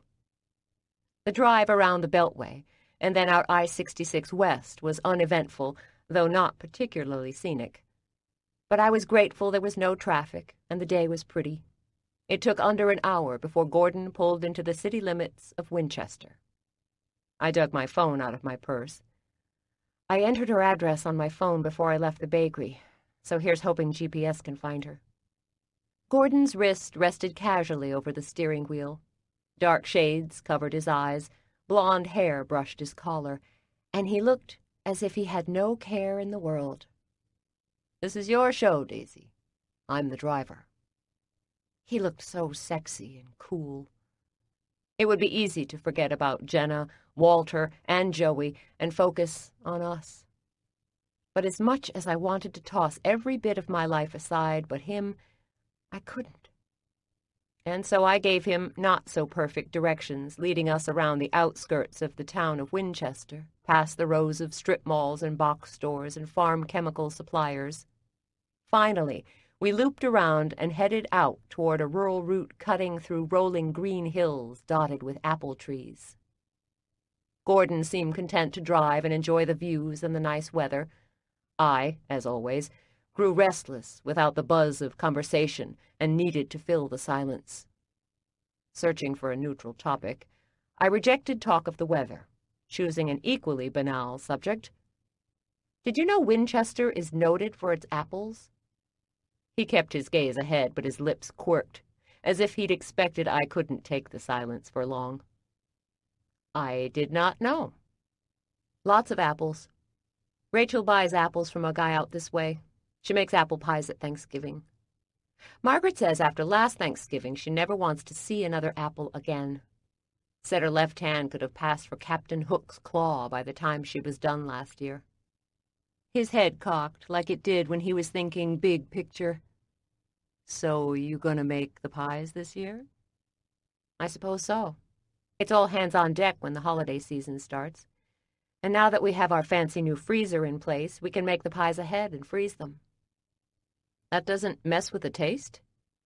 He had a knack for sounding interested, no matter what I babbled about. I don't think so, but I know we will be taste testing in the fall. Rachel and I will figure it out. And did I mention we also had a couple of email orders today for the frozen cookie dough? I didn't realize you sold frozen dough. We don't, or didn't. Kind of fell into that one last week, but it seems to be catching on. I shook my head. People like the idea of bringing the bakery home and baking without the work. Bring our bakery home. Sounds like a slogan. Maybe. His offhand comment had me thinking. What if we not only baked and froze the pies ahead, but cookies and maybe some bread dough, maybe cakes? What if we packaged holiday desserts in a box and sold them before Christmas? I've been worried about what we're going to do this Christmas, in case I'm out of commission earlier than I expected. Tension rippled through him, but he kept his tone light. It's good to be thinking ahead. Sorry I'd taken a wrong turn in the conversation. I glanced at my phone and then at the road ahead. According to the phone, we should be turning up ahead. His gaze followed the direction of my finger, which had zeroed in on a rusted mailbox leaning slightly to the left. By the looks, there'd been a name painted on it, but the lettering had long ago faded and chipped. He slowed and we both peered up the long graveled driveway snaking up the hill. By the driveway was a large sign that read, Posted. Beside it, another read, No trespassing. Gordon slid his sunglasses on top of his head and glanced at me. Doesn't look very welcoming. I don't think those signs are for us. Really? What kind of strangers do you think they might be referring to? bad strangers. We are good strangers. He chuckled. Right. Good strangers from Alexandria bring obscure questions about a woman who may or may not have lived here 70 plus years ago. Well, if it were me living up on that hill and 70 years had passed and someone had information about my long-dead sister, I sure would want to know, wouldn't you? Maybe. Gordon. You wouldn't want to know? Not necessarily. I was so starved for information about my biological family that his viewpoint was foreign to me. I couldn't imagine anyone not wanting to gather every morsel of information. Not all information adds value. I straightened the yellow bow on the box of cookies. How do you know? He shook his head. You think more than I do. You can trace your line back to the Mayflower. You have all the pieces. True. Again, he tossed me that heart-stopping smile. Let's find out what they say. I relaxed back into the seat. Thank you. You're welcome. He shifted it to first and drove up the hill. Gravel crunched under the tires, and I stared out at the fields covered with tall grass and willowy dandelions reaching toward the hot sun. As the truck rounded a corner, I spotted a dilapidated barn to the right. Ravaged by time, the main support beam had collapsed long ago, pulling the building in on itself. Weeds grew up through the sun-baked beams, covered with faded patches of red paint. But set against the crystal blue sky, it had its own kind of beauty. Old and broken, the barn still had a presence that telegraphed it belonged. Gordon didn't say a word as we climbed the gravel driveway. He played along, keeping his good humor, but I knew he thought I'd lost my mind. The Daisy he'd known in Washington, D.C. would never have put herself out like this. Sure, that Daisy was a ballbuster professionally and would go toe-to-toe with the toughest brokers or bankers. But when it came to personal issues, Daisy never stuck her neck out. That Daisy bristled at the first sign of emotional turmoil. In so many ways, she was so fragile. And here I was, six months out of D.C., with my neck stuck out so far, metaphorically, with Gordon and Jenna's family, a slight chop would sever my head from my body. And I was oddly okay with the risk. These last months, meeting Terry, connecting with my family, had made me stronger. Gordon rounded a second corner, and this time we came upon a white farmhouse. Clay planters filled with tall, full marigolds stood silent and welcoming at the foot of three steps leading up to a deep, tongue-and-groove porch that wrapped around the front of the house. Twin rockers swayed ever so slightly in the breeze on the porch by floor-to-ceiling windows flanking a large black front door. A simple brass knocker hung on the door. Faced with the reality of speaking to perfect strangers about a dead woman, had my stomach rolling. The flowers look welcoming. Gordon parked the car. Yeah, and the house looks nice. And there isn't a sign that says, warning. I smiled. So basically the house is saying, it wants us here. As long as Freddy Krueger doesn't answer the front door, we should be good. Right. I slid out of the front seat, box in hand, and met Gordon in front of the truck. Together, the two of us walked up to the front door. I searched for a bell, but when I didn't see one, I opened the screen door and rapped the knocker against the door a couple of times. I slowly closed the screen door, and we both took a step back. With Freddy Krueger still in mind, I wondered how fast I could make it to the truck in a full-on sprint. Gordon smiled, as if he'd read my mind. I'd beat you to the truck, but don't worry. I wouldn't drive off until you have at least one foot in the front seat. The tension knotting my back eased. Thanks, but I'd beat you. You're pregnant, and a girl. The pregnant reference came easier and easier to both of us. My survival instinct is so honed right now, it's as sharp as a razor. You wouldn't stand a chance. He grinned when we both heard footsteps in the entryway. Seconds later, we saw the rustle of curtains to the right of the door and then heard a lock click open. Slowly, the door opened, and instead of finding ourselves face to face with a fictional killer, we were greeted by an elderly woman. She barely stood over five feet. Thinning white hair was tied back in a bun, and wrinkles deepened the lines around her eyes and mouth. Laugh lines, I thought as I stared into her clear green eyes. I don't entertain solicitors, the woman said in a crisp voice. We aren't solicitors, ma'am. We're from Alexandria. My name is Daisy McCrae. I manage the Union Street Bakery, and this is Gordon Singletary, uh... Who was this man standing next to me? A good friend of mine. We came to ask you about a recipe box. A slight cock of the woman's head conveyed annoyance more than curiosity. I don't know about a recipe box. She didn't make a move to open the screen door, and I didn't ask her to. This had to be so weird. I dug in my satchel purse and held it up. We were renovating the bakery and taking out walls last week.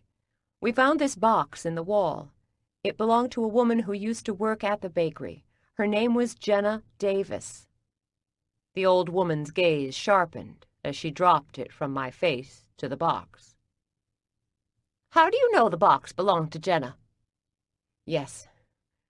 She looked at me like I was crazy, but I also knew in an instant she recognized Jenna's name. Excitement rushed through me. You knew Jenna? The older woman pursed her lips, but her gaze remained on the box. I didn't say that. A cloud of impatience swirled around, and I could hear the chant, Find him, find him, find him.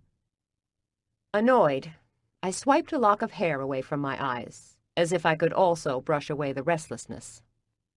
Her first name was written inside the box, and then I searched bakery records from 1940 onward. I found the name Jenna Davis. From there I traced a picture I found of her and two soldiers, and then I was given a letter Jenna had written that gave this address. I took a chance she still had family living here. The woman stood silent for a long moment. Her hands trembled slightly, and she nibbled her bottom lip. Did you know, Jenna? I asked. The woman looked at me, her sharp eyes now watery. Yes, I knew Jenna. She unlatched the screen door and pushed it open. My name is Kate Simmons. You're Jenna's sister. She swallowed, as if struggling with emotions. Why don't you come in? And I'll fix you a lemonade. I smiled and glanced back at Gordon, very grateful he was there. I wasn't sure why, but I was suddenly unsure of this entire trip. I clearly had dug into a deep and painful wound this woman harbored. Understanding what it was like to carry such a wound, I took pity on her. We followed her into the house, lighted by the sunlight streaming in through the large windows. Instead of being dark or dreary, the room had a bright, cheery feel. White lace curtains hung from clean windows, and fresh daisies filled several mason jars and vases in the room. A soft, beige color gave the walls a fresh look, and there were dozens of framed black and white photos. A rose floral fabric covered a couple of wing chairs and an overstuffed couch. All old and well worn, but well cared for. Along the hallway, Gordon and I followed Kate, drawn deeper into the house by the soft, sweet smell of goodies baking in the oven. It reminded me of the maple cookies I'd baked this morning. Jenna's cookies.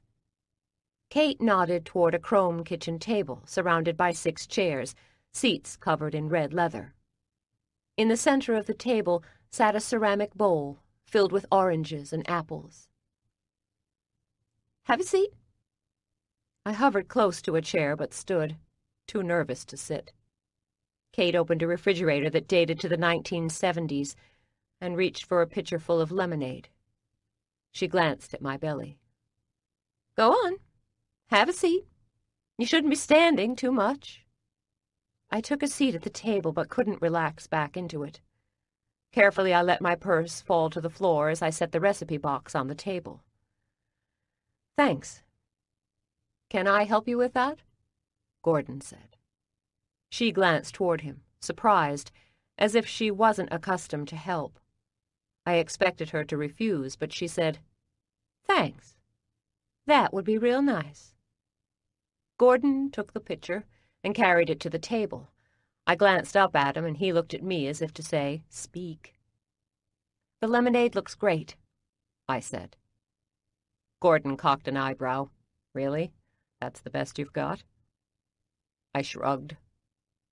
Kate retrieved three glasses from a whitewashed cabinet. Gordon took the glasses from her and filled them before replacing the lemonade in the refrigerator. Kate carried a platter of cookies to the table. Have a seat. Gordon pulled out a chair for her, and when she sat, he took the chair beside me. I shouldn't have been nervous. I offered information to Kate. This wasn't like searching for my birth mother. The moments and seconds shouldn't have been loaded with emotion, but every ticking second was charged with a nervous energy I didn't understand. I held up my bakery box, wrapped in yellow ribbon. I baked cookies today, too, Maple cookies. Kate stared at the box, but didn't reach for it. I haven't baked them in years. I sipped, needing a task more than I needed refreshment. The lemonade blended sweet and tart. I'm sorry to drop in on you like this. Instead of reaching for one of my cookies, she opened the recipe box. Her thickly veined, bent fingers trembled a little when she fingered the first card. I traced the rim of my glass as I watched her thumb through the cards. Carefully, I picked up one of her warm cookies. When we found the recipe box, we couldn't resist baking some of Jenna's recipes. These cookies are Jenna's maple cookies. Jenna always had a knack for baking. Her head cocked as she removed a card and studied it. I haven't seen her handwriting in so long. We had a mini grand reopening yesterday and sold cookies like this. We sold out in an hour. Kate nodded. That would have made Jenna happy. She liked to watch people eat what she baked. I searched the old woman's face for similarities to the pictures I had of Jenna. There seemed little resemblance except for the eyes. They were Jenna's eyes. The cookie recipe was our mother's, we grew up making these cookies every Saturday to have with Sunday dinner. Like I said, I've not baked them in years. But today, I had a hankering for the sweet taste. I made them by memory and wasn't sure if I'd get them right. I took a bite. They are perfect. She smiled and nodded. How did you say you found this? We were taking out a wall in the bakery, and I found this wedged between the beams. I reached in my purse and pulled out the photos I had found. Gently, I slid them toward her. I found these pictures of Jenna. Kate picked up the picture of Jenna, Walter, and Joey, standing arm in arm, smiling in front of the bakery. She was so full of energy and life. She was two years older than me, and I followed her around everywhere. I cried fiercely when she left for the city. Why did she leave? She wanted to see the city. It was the fall of 1943. Daddy wanted her to get married, but she'd have none of it. They fought something fierce. But he couldn't sway her. She was supposed to be gone six months, Daddy wouldn't speak her name after she left, but I know he missed her. We all figured she'd come back within the year. By the fall of 1944, Jenna would have been noticeably pregnant. She didn't come home, did she? No. I wrote her in October of 1944 and told her I was getting married at Christmas. She wrote me back right away and told me about her young man. After 70 years, Kate still protected Jenna. Did she tell you about the baby? Tears welled in Kate's eyes. She did. Said she'd met Walter, and she'd received word he'd died in the Pacific. He wanted to marry her, but never got the chance. She was afraid and alone.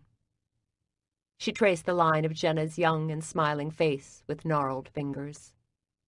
I had the sense She'd cut through the years and had landed in the past. I told Mama.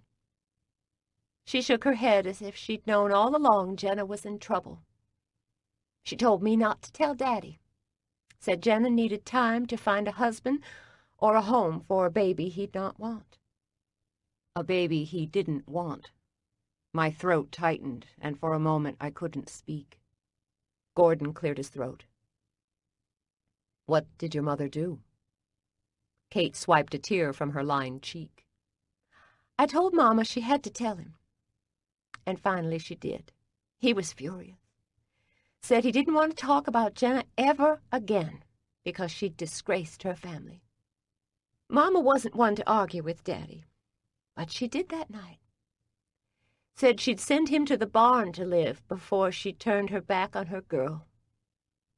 A faint smile tugged at the edge of Kate's mouth.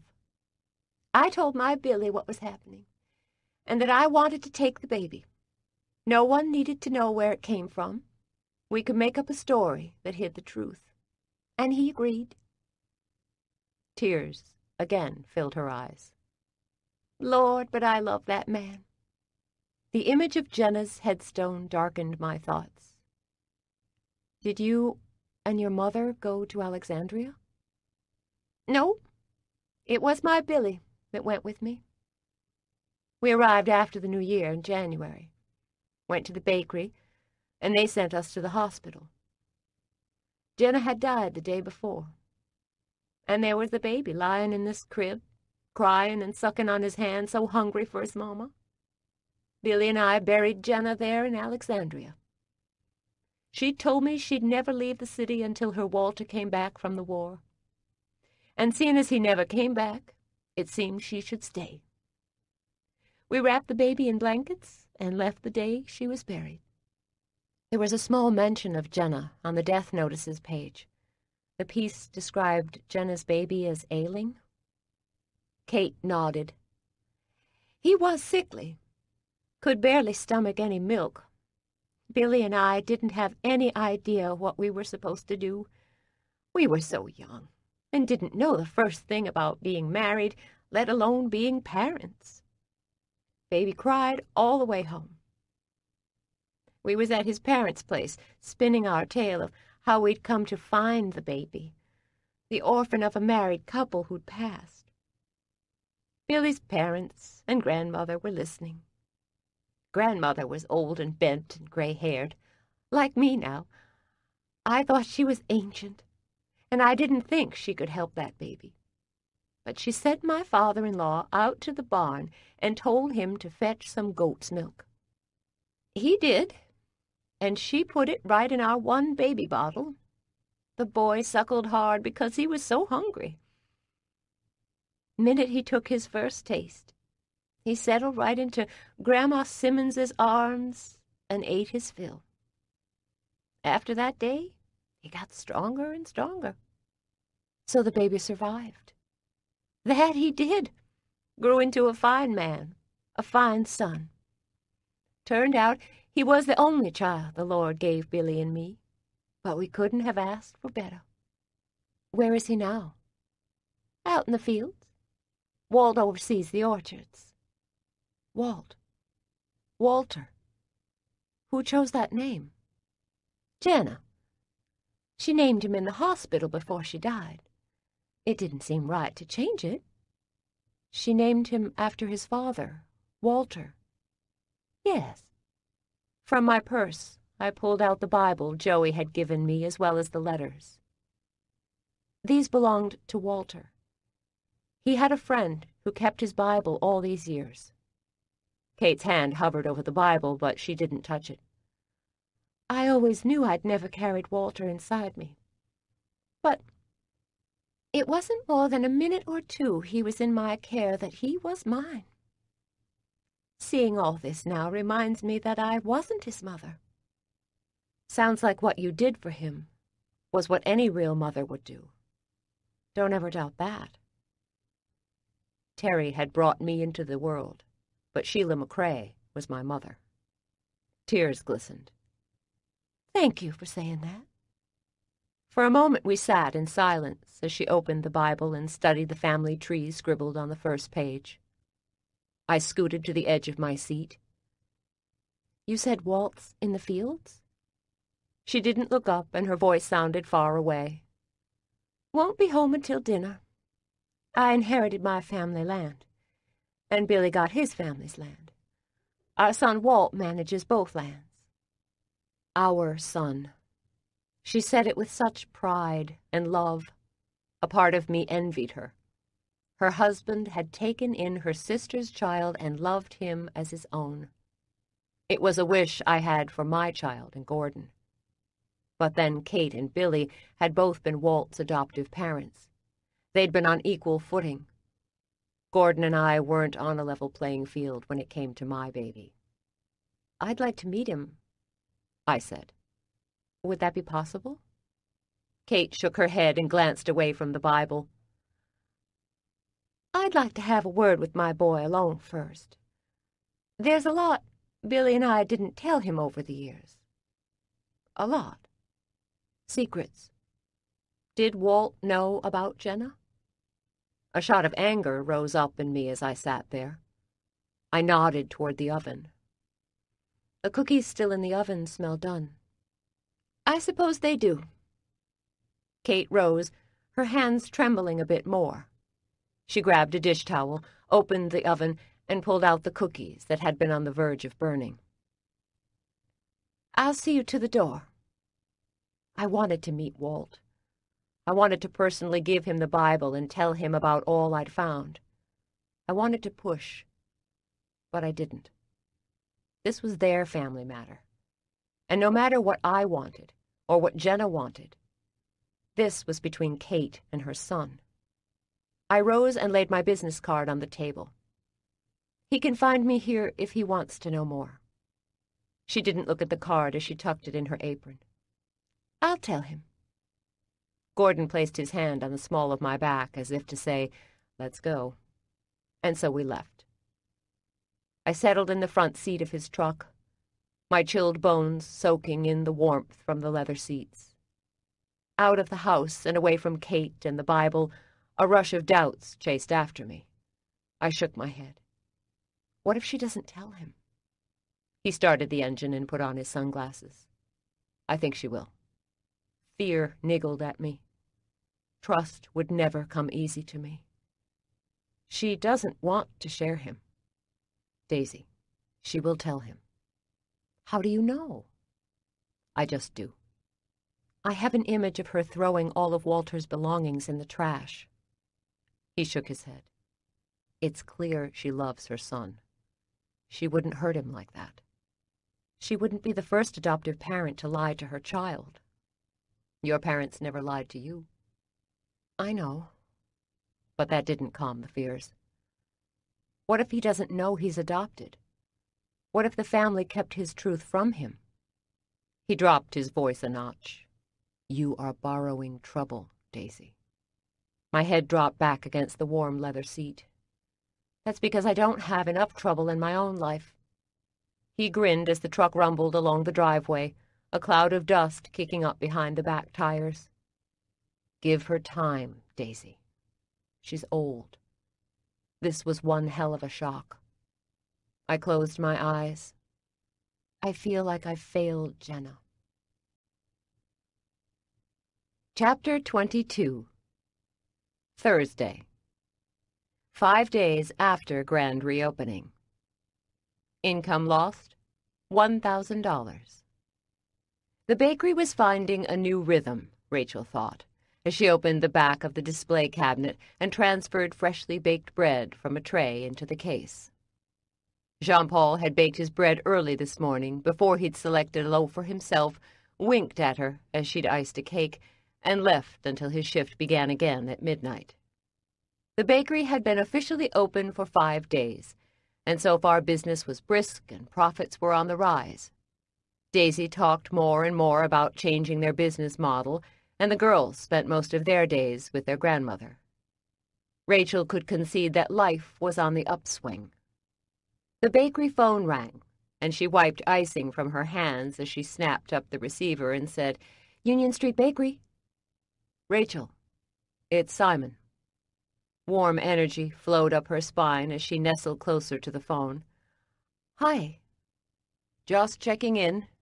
We're still on for Saturday at 2 p.m.? Yes. She'd been too busy to think about the date, but the sound of his voice churned nervous energy in her belly. I'm looking forward to it. Great. She cleared her throat. If the weather is nice, I can make us a picnic lunch. Sounds good. A silence settled, and she scrambled for a question or statement that didn't pertain to the time, weather, or food. The words wouldn't gel, and her panic grew as the saloon doors swished open. Daisy, carrying a tray of freshly iced cupcakes, moved to the display case, opened the glass, and began to line up the cupcakes in single file. Rachel turned from Daisy back to the phone and said, I've got to get back to work, but I'll see you on Saturday. Sure, he said. See you then. Rachel hung up the phone, relieved but disappointed she'd been so tongue-tied. You are frowning. Daisy closed the display case and set the tray on the counter. Rachel imagined Simon in his office, blushing as he sat back in his executive chair. She glanced up at Daisy. Simon was making arrangements for our date. He likes me. So why the frown? I'm not good with conversation, especially with him. All I know are kids and baking, and I just can't imagine those topics interest him. Conversation will come in time. And all the talking doesn't rest with you. Daisy's knowing grin sent a fresh wave of nervous energy racing through Rachel's body. How do you feel about him? Rachel moistened her lips and wondered how different his kisses would be from Jean-Paul's. I like him. But beyond that, it's hard to say. She frowned. I could read every one of Mike's moods and expressions. With Simon, I'm starting from scratch. And Jean-Paul?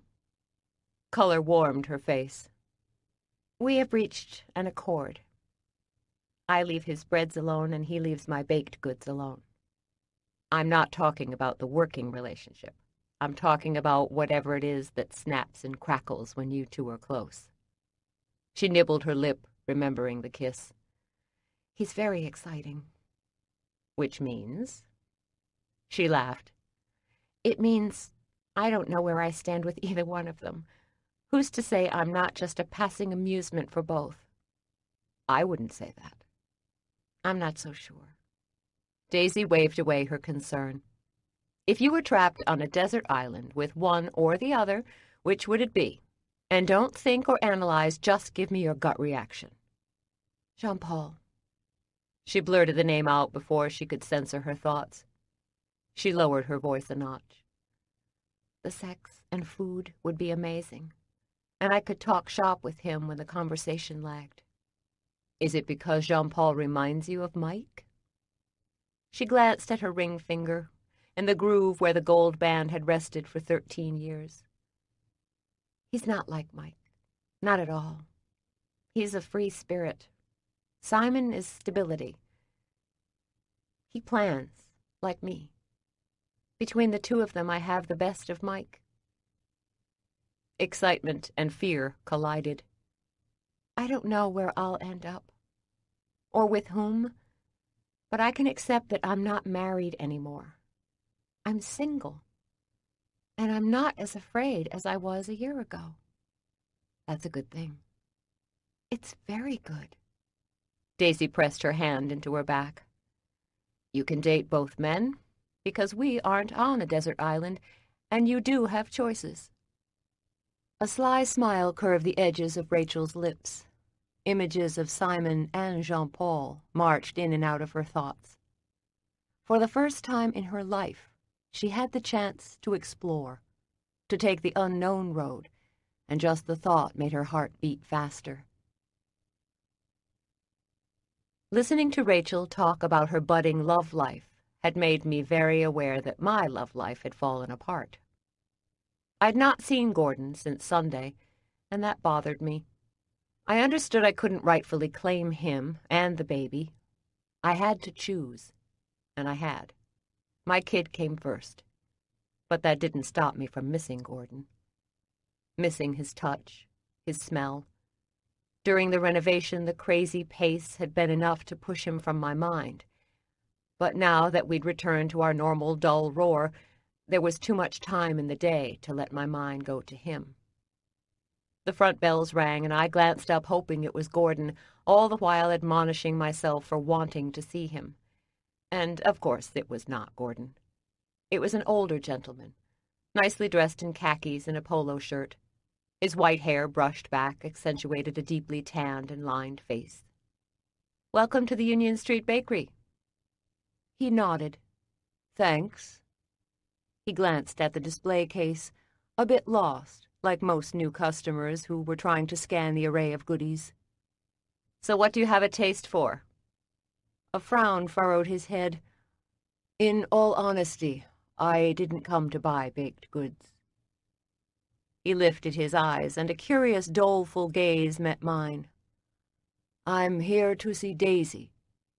When people came looking for me by name, my suspicions tend to rise. Surprises, never good.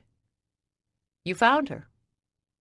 He studied my face as if trying to read my thoughts. Just then the doors jingled and a young woman entered the shop. Blonde hair framed an oval face and large expressive eyes. Her bobbed hair grazed a strong jaw and she wore jeans and a purple t-shirt.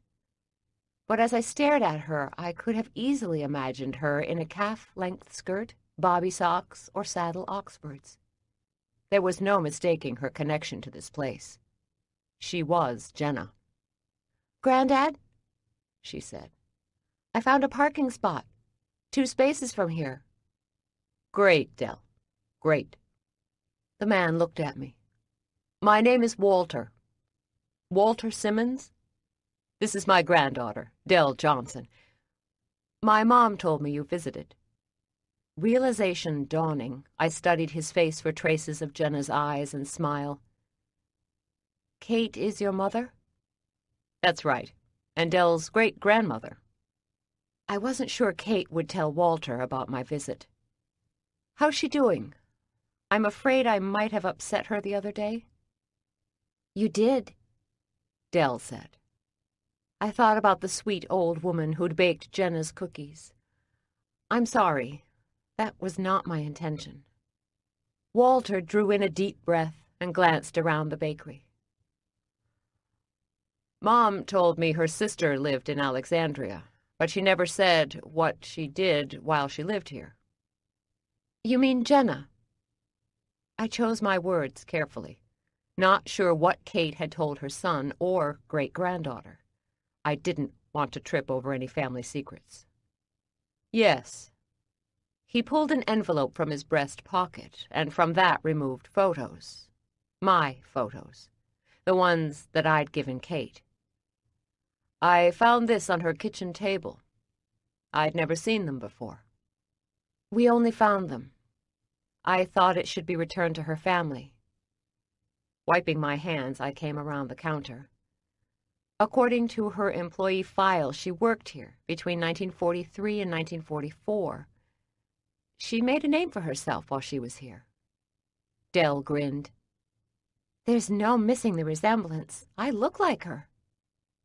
Yes, you do, I said. The family doesn't talk about her much, Walt said. Sadness coated each of the words. I'm sorry to hear that. I heard she was a vibrant woman.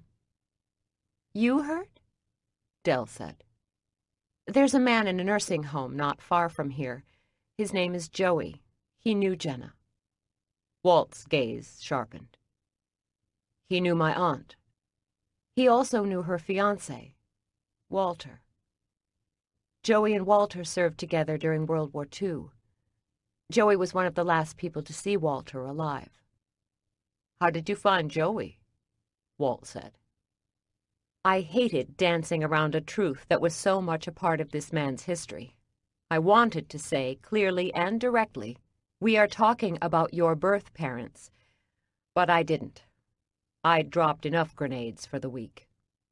For the next 15 minutes, I talked about how we'd found Jenna's recipe box during our renovation and detailed my winding route to Winchester.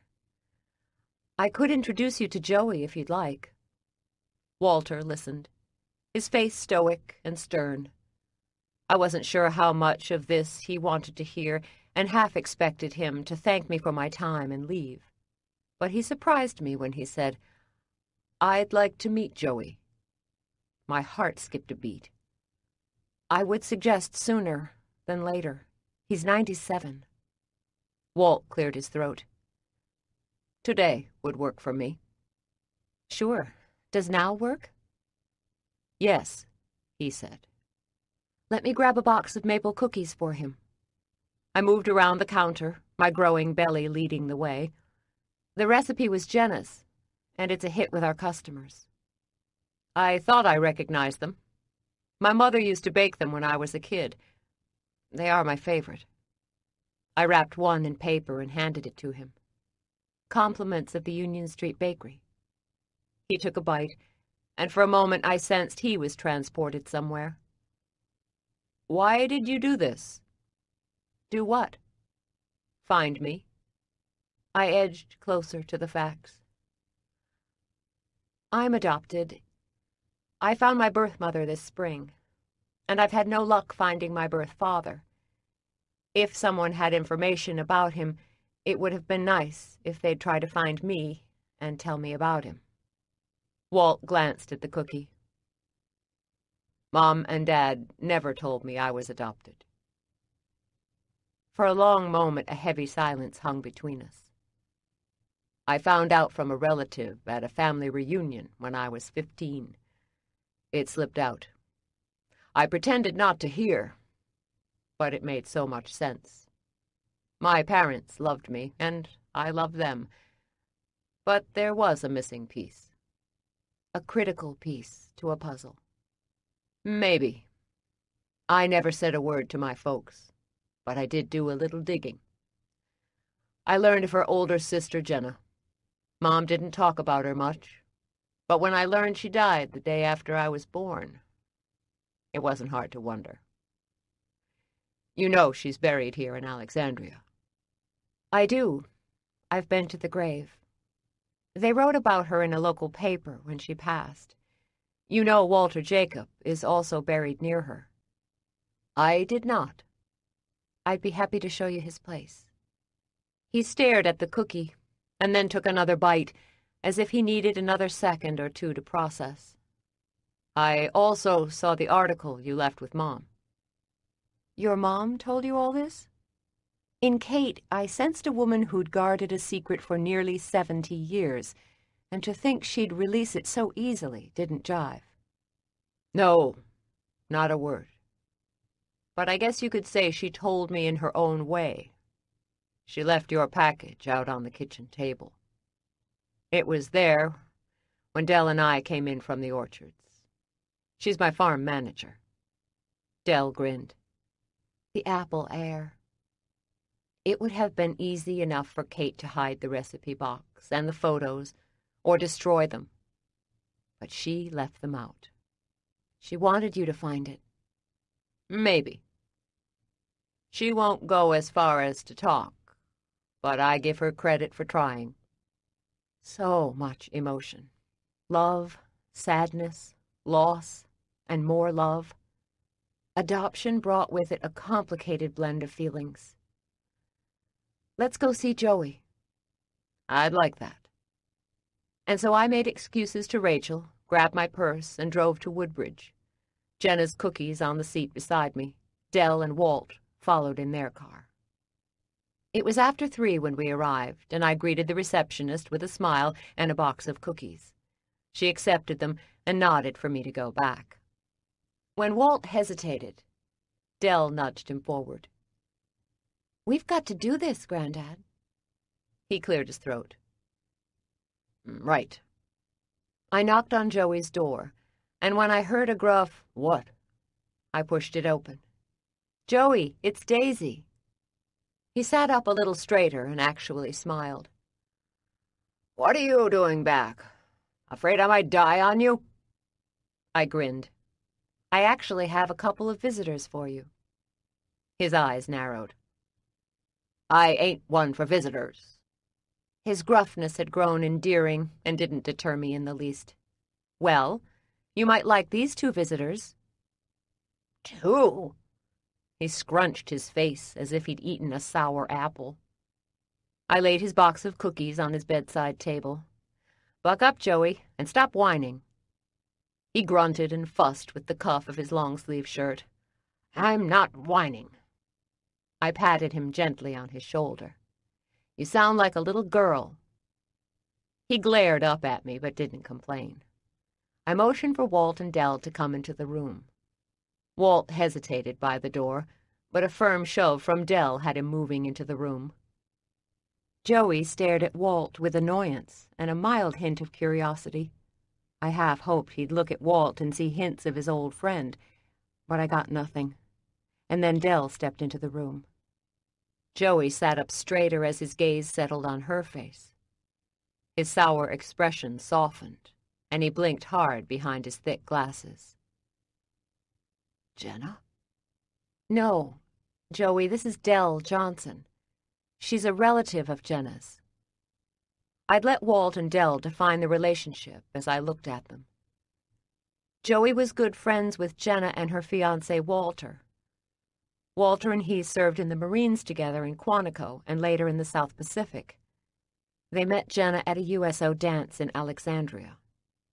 Walt looked stunned, as if a hundred-pound sack of flour had fallen on his head. I knew the look and the sense of being hit by an emotional tsunami. I'd been there, been hit by the same rush of thoughts and feelings. Joey, why don't you tell Walt about the first time you met Jenna? I think he is very curious about her. Joey tore his gaze from Dell and zeroed in on Walt. How did you know Jenna? I never knew her. She died when I was a day old. He hesitated. She was my mother. Walt's voice broke under the weight of words he must have thought a million times, but had never been able to say out loud. Dell smiled and laid a hand on his shoulder. My great-grandmother. Walt laid his hand over hers. And so Dell and Walt sat on chairs by Joey's wheelchair as I quietly backed out of the room to the sound of Joey saying, Walter and Jenna would have loved you so much. By the time I returned to the bakery, I felt pretty good about myself. Jenna had to be pleased with me. She and Walt could rest in peace, knowing the loop between past and present had been closed. Their son knew he'd been loved and wanted even before he'd been born. Karma should have been grinning like a circus clown over the good deed I'd done. Karma should have been tossing a break my way. But, as my mom often said, karma could be a bitch. When I entered the bakery, I saw a man talking to Rachel. His dark hair brushed the collar of a worn leather jacket, and his worn jeans hugged well-muscled legs. However, Italian loafers gave him away as a man of means. Rachel's smile strained with tension as she glanced over his shoulder at me. Do you ever read your texts? No missing the frustration sharpening her words. I was busy. This gentleman is asking for you, but he won't tell me why. The man turned, and I recognized his angled, lean face and gray-blue eyes immediately. My appearance may have downgraded over the last five months, but his had improved. Roger. His gaze wandered from my face to my belly. So, it is true. The sense of goodwill I enjoyed seconds ago vanished. Outrage chainsawed into my composure. Do you think I send random emails out telling men they are the father of my baby for giggles? Rachel's mouth dropped open and her eyes widened. Her gaze shifted to Roger, as if seeing him for the first time, and then back to me. She cocked her head and mouthed, Really? I shrugged. One matter to talk about mistakes. It was another to have one walk around. Unaware of Rachel, Roger shoved a hand in his pocket and rattled change. I'll expect a DNA test before I fork over a dime. I rubbed the tension banding the muscles at the base of my skull. Why aren't you in China? I've been back in New York for a couple of weeks. When I received your email, I thought I should see you myself so we could deal with this. Deal with this? Anger, sharp and hot, surged in my chest. How do you propose we deal with this? The steel reinforcing my words tugged Rachel out from behind the counter. If you attack from the front, I'll take the rear. Roger's head whipped around, as if he'd forgotten Rachel. I came here in good faith. Good faith? I said. Sounds like you're worried. Roger stiffened. That won't be necessary. The thought of Roger having my baby on alternate weekends sent a chill through my veins, and I realized if I didn't get a handle on my temper, Roger would demand visitation out of spite. I shook my head. I told you about the baby because I thought you had a right to know. Beyond that, I don't want anything from you. Consider yourself off the hook. You don't want anything suspicion coupled with hope. Not a damn thing. I said, jaw clenched. Roger's stance relaxed, and he glanced toward the door. Unless, of course, the baby asks questions one day, Rachel added. Let's face it, Daisy. The baby is going to ask questions if she's like you. I'd been ready to toss Roger out of our lives forever but Rachel was right. I could eject him out of my life, but I didn't have the right to make that decision for the baby. One day she might have questions, and she deserved answers. Roger shook his head. Once I have DNA confirmation, I will provide the genetic information you need, so the child can answer whatever medical forms come its way. But I don't want a relationship with the child. I shook my head. I wasn't thinking you'd have a relationship with her. But one day, she might like to set eyes on you for her own peace of mind. He tugged at a monogrammed white cuff that peeked out from the leather jacket. I don't want any surprise visits. That could be unpleasant for all of us. He reached in the breast pocket of his jacket and pulled out neatly folded papers, extending them as if wielding a knife. My fingers curled into fists. What's this? I've had papers drawn up. I've agreed to terminate parental rights in exchange for a cash payout. Outrage curdled in my belly. You said you wanted DNA testing. He hesitated. He was a jerk, but he knew me well enough that I didn't cry wolf. I want this over and done with. I don't want your money. He jabbed the papers toward me. Don't you want to see how much I'm offering? No. He arched a brow. Money is your driving force, Daisy. That might have been true for the Daisy he'd known. Now it was the kid and the bakery that drove me. I sign the papers and you go away. Like I never happened. So tempting to wash away an old mistake that still made me cringe when I remembered. His lips curled, a conspirator's smirk. Sign them, Daisy. It's what you want. Signing would clear the way for Gordon. Without Roger in the picture, we could forge our own lives with the baby. Oh, but that vision tempted. However, as much as I wanted Roger to vanish, I didn't have the right to rewrite the kid's history. Rachel huffed in a breath. I can kill him now if you want me to, Daisy. We can cut him up and bake him in a pie. Her protective fire jostled loose a smile. Not necessary, Rachel. I'm used to Roger. I understand his tactics. I snatched the papers from him, moved to the counter and grabbed a pen. A scan of the document revealed a cut-and-dry, bloodless agreement. So, Roger. I crossed out the cash settlement paragraph and wrote in a paragraph that demanded he supply all family medical history and meet with the child at a meeting to be determined by the child.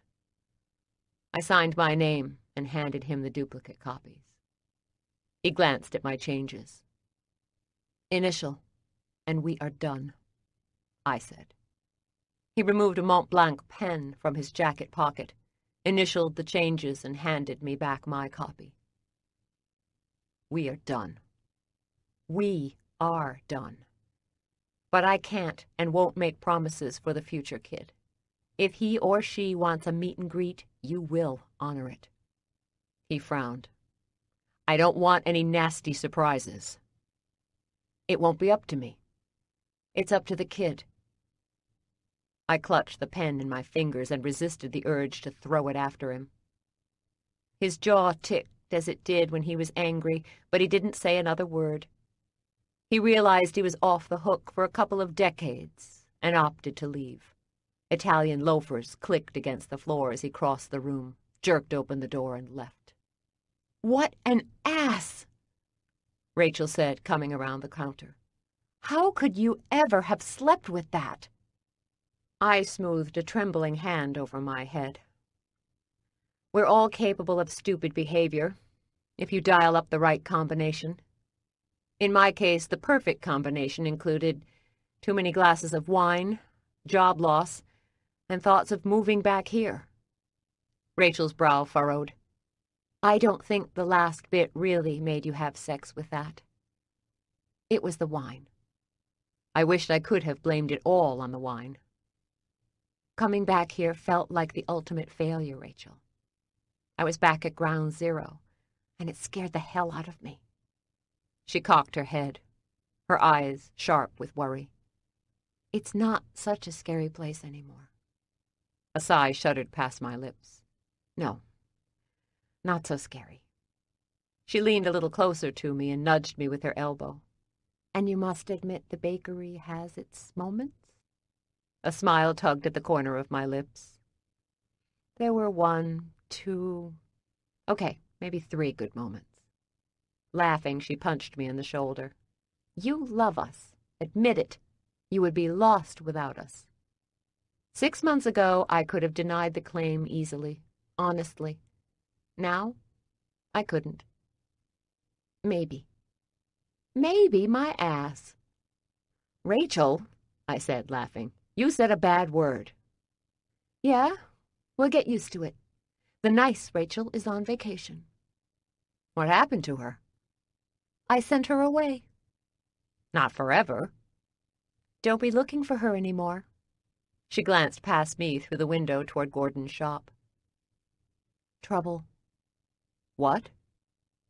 We hurried to the window in time to see Gordon throwing Roger out of his bike shop. Roger stumbled and fell to the curb. We hustled outside, the front doorbells jangling like an early warning system. Why would Roger go to Gordon's shop?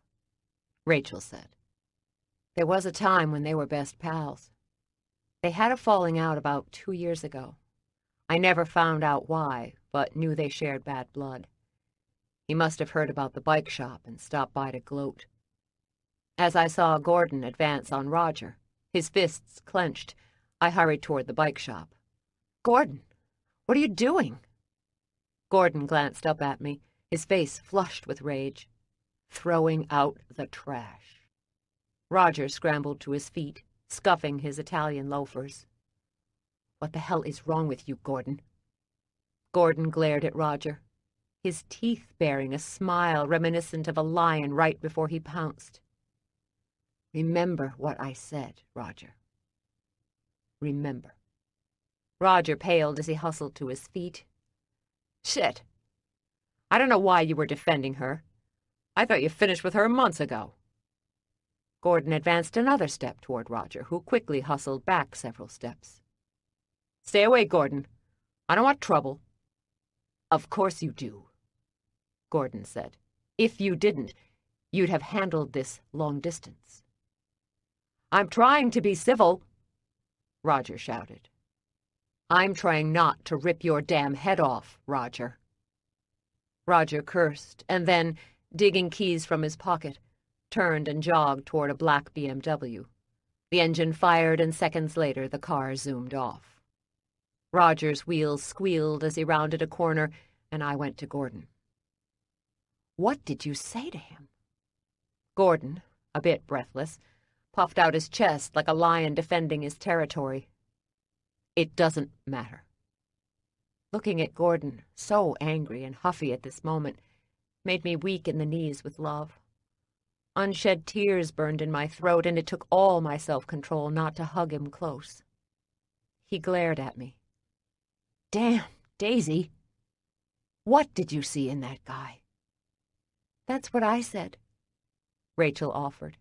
I'd been so distracted by Roger and Gordon, she'd slipped from my mind.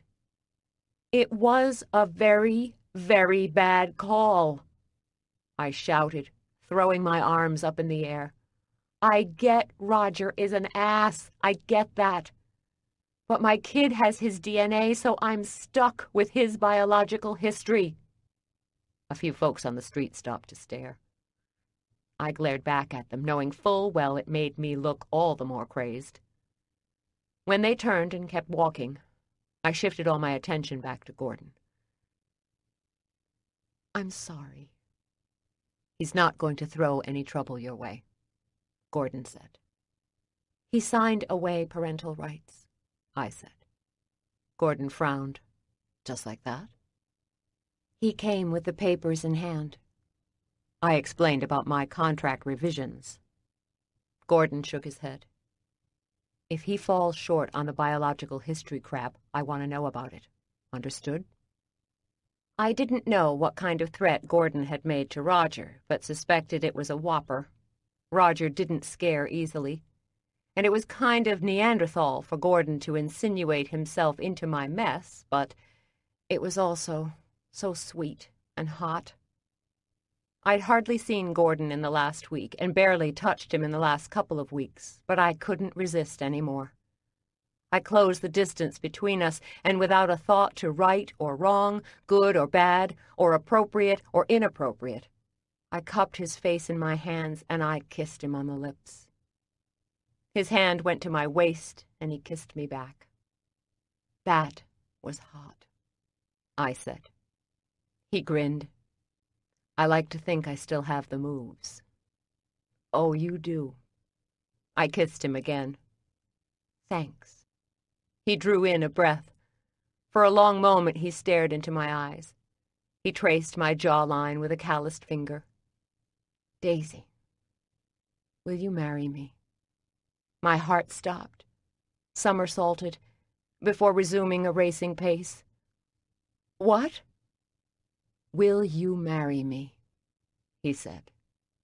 I'd always been careful never to want too much. I understood the danger of hope. I come with baggage. He squeezed my hand. Don't we all? Don't we all? His energy pulled me toward a breathless yes, but still I resisted. What about the baby? I'll legally adopt her, so all she'll ever need from Cheese Dick is DNA information. Are you sure, Gordon? I still didn't understand the ramifications of parenthood, which meant Gordon sure did not. This is a game changer. I know. No hesitation blinked warnings from his gaze. He had the determination of a cyclist barreling down a hill at 30 miles an hour, excitement thrumming in his veins. But it's a change I want. Warmth spread up through me, and I couldn't stem the tide of emotions rushing. Yes, Gordon Singletary, I will marry you. Rachel clapped her hands. This is so cool. Epilogue December 20 Last day before end of the year closing. Income profit $19,243. Jingle bells chimed on the radio, but I wasn't feeling very festive. The kid rested heavy and low in my belly, and Rachel and I had at least a couple more hours of packaging frozen cookie dough and pie orders that had come in from our website last night. The frozen dough had become more popular than we'd ever expected. The pies were a sensation. A good problem to have, as my mother said over and over. And yes, it was a good problem. The bakery had been running in the black for two months straight, and we'd set up a rainy day fund. All good and it would be perfect if the kid would get off my bladder.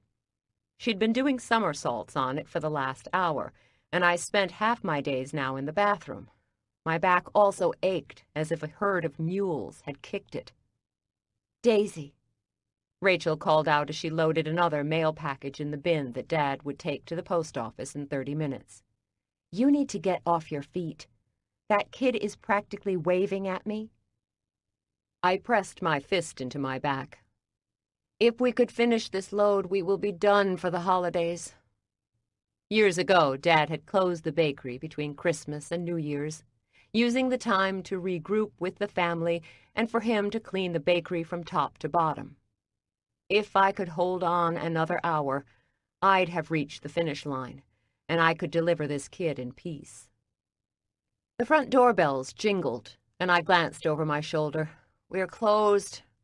I locked the door, I grumbled. It's Gordon, Rachel said. I glared at Rachel as I placed a UPS sticker on a frozen dough order and loaded it into a box. You called him. On cue, Gordon pushed through the swinging saloon door. I told her to call me if you stayed on your feet. Before I could grumble, he kissed me on the lips. We are almost done, I said. He smelled of soap and bike oil, and being close to him soothed my seething blood pressure. No, you are now done. He blocked me from reaching for the next bag of dough and roll of stickers. Gordon and I had married in mid-October on a sunny afternoon under a tree by the Potomac River. My sisters had been there, Mom and Dad and the girls, Gordon's parents had also been present, as well as his brother Scott. I'd worn a simple white dress with an empire waist and carried a bouquet of red roses. Rachel had made a stunning wedding cake we'd cut back at the bakery and enjoyed with a toast of ginger ale. I'd moved into the small apartment above Gordon's bike shop, trading one attic apartment for a second floor loft apartment. As I'd cut back in the last week, Rachel had really stepped up. She'd done preliminary site visits to several locations where we'd consider moving our dough making operation.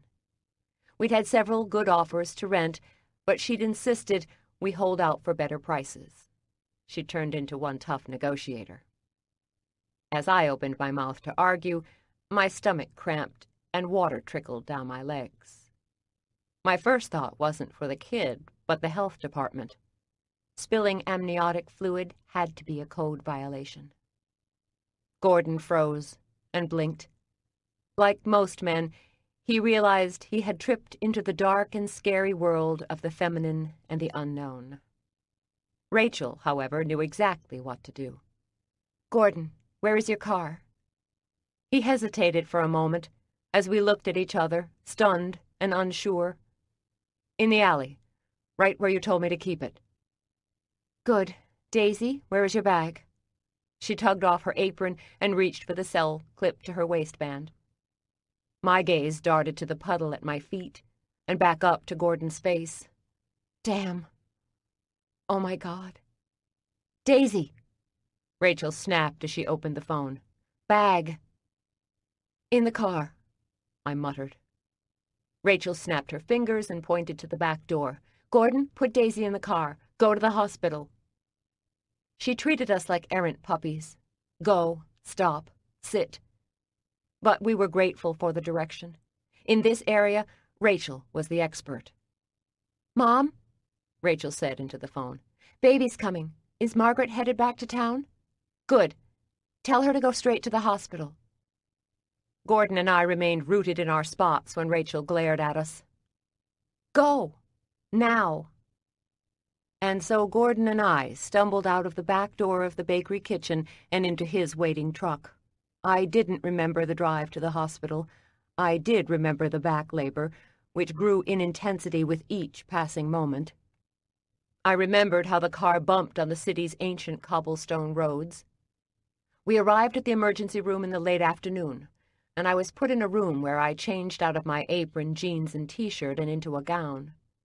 The nurse gave Gordon a green scrub that read Dad on the back. When I read the letters, tears welled in my eyes. Gordon had already officially adopted the baby, and as far as I was concerned, we were a family. We would one day explain to our child about genetics and bloodlines and what makes a parent. Terry had sent me an email two weeks ago. It had been brief and to the point thinking of you and your baby. I'd taken them as gushing words of love from Terry, who was offering what she could. She was trying, and that was enough. As my parents, nieces, and sisters gathered in the lobby, a nurse did a quick exam and determined that the baby was breech. Stuck. Ass first. My kid.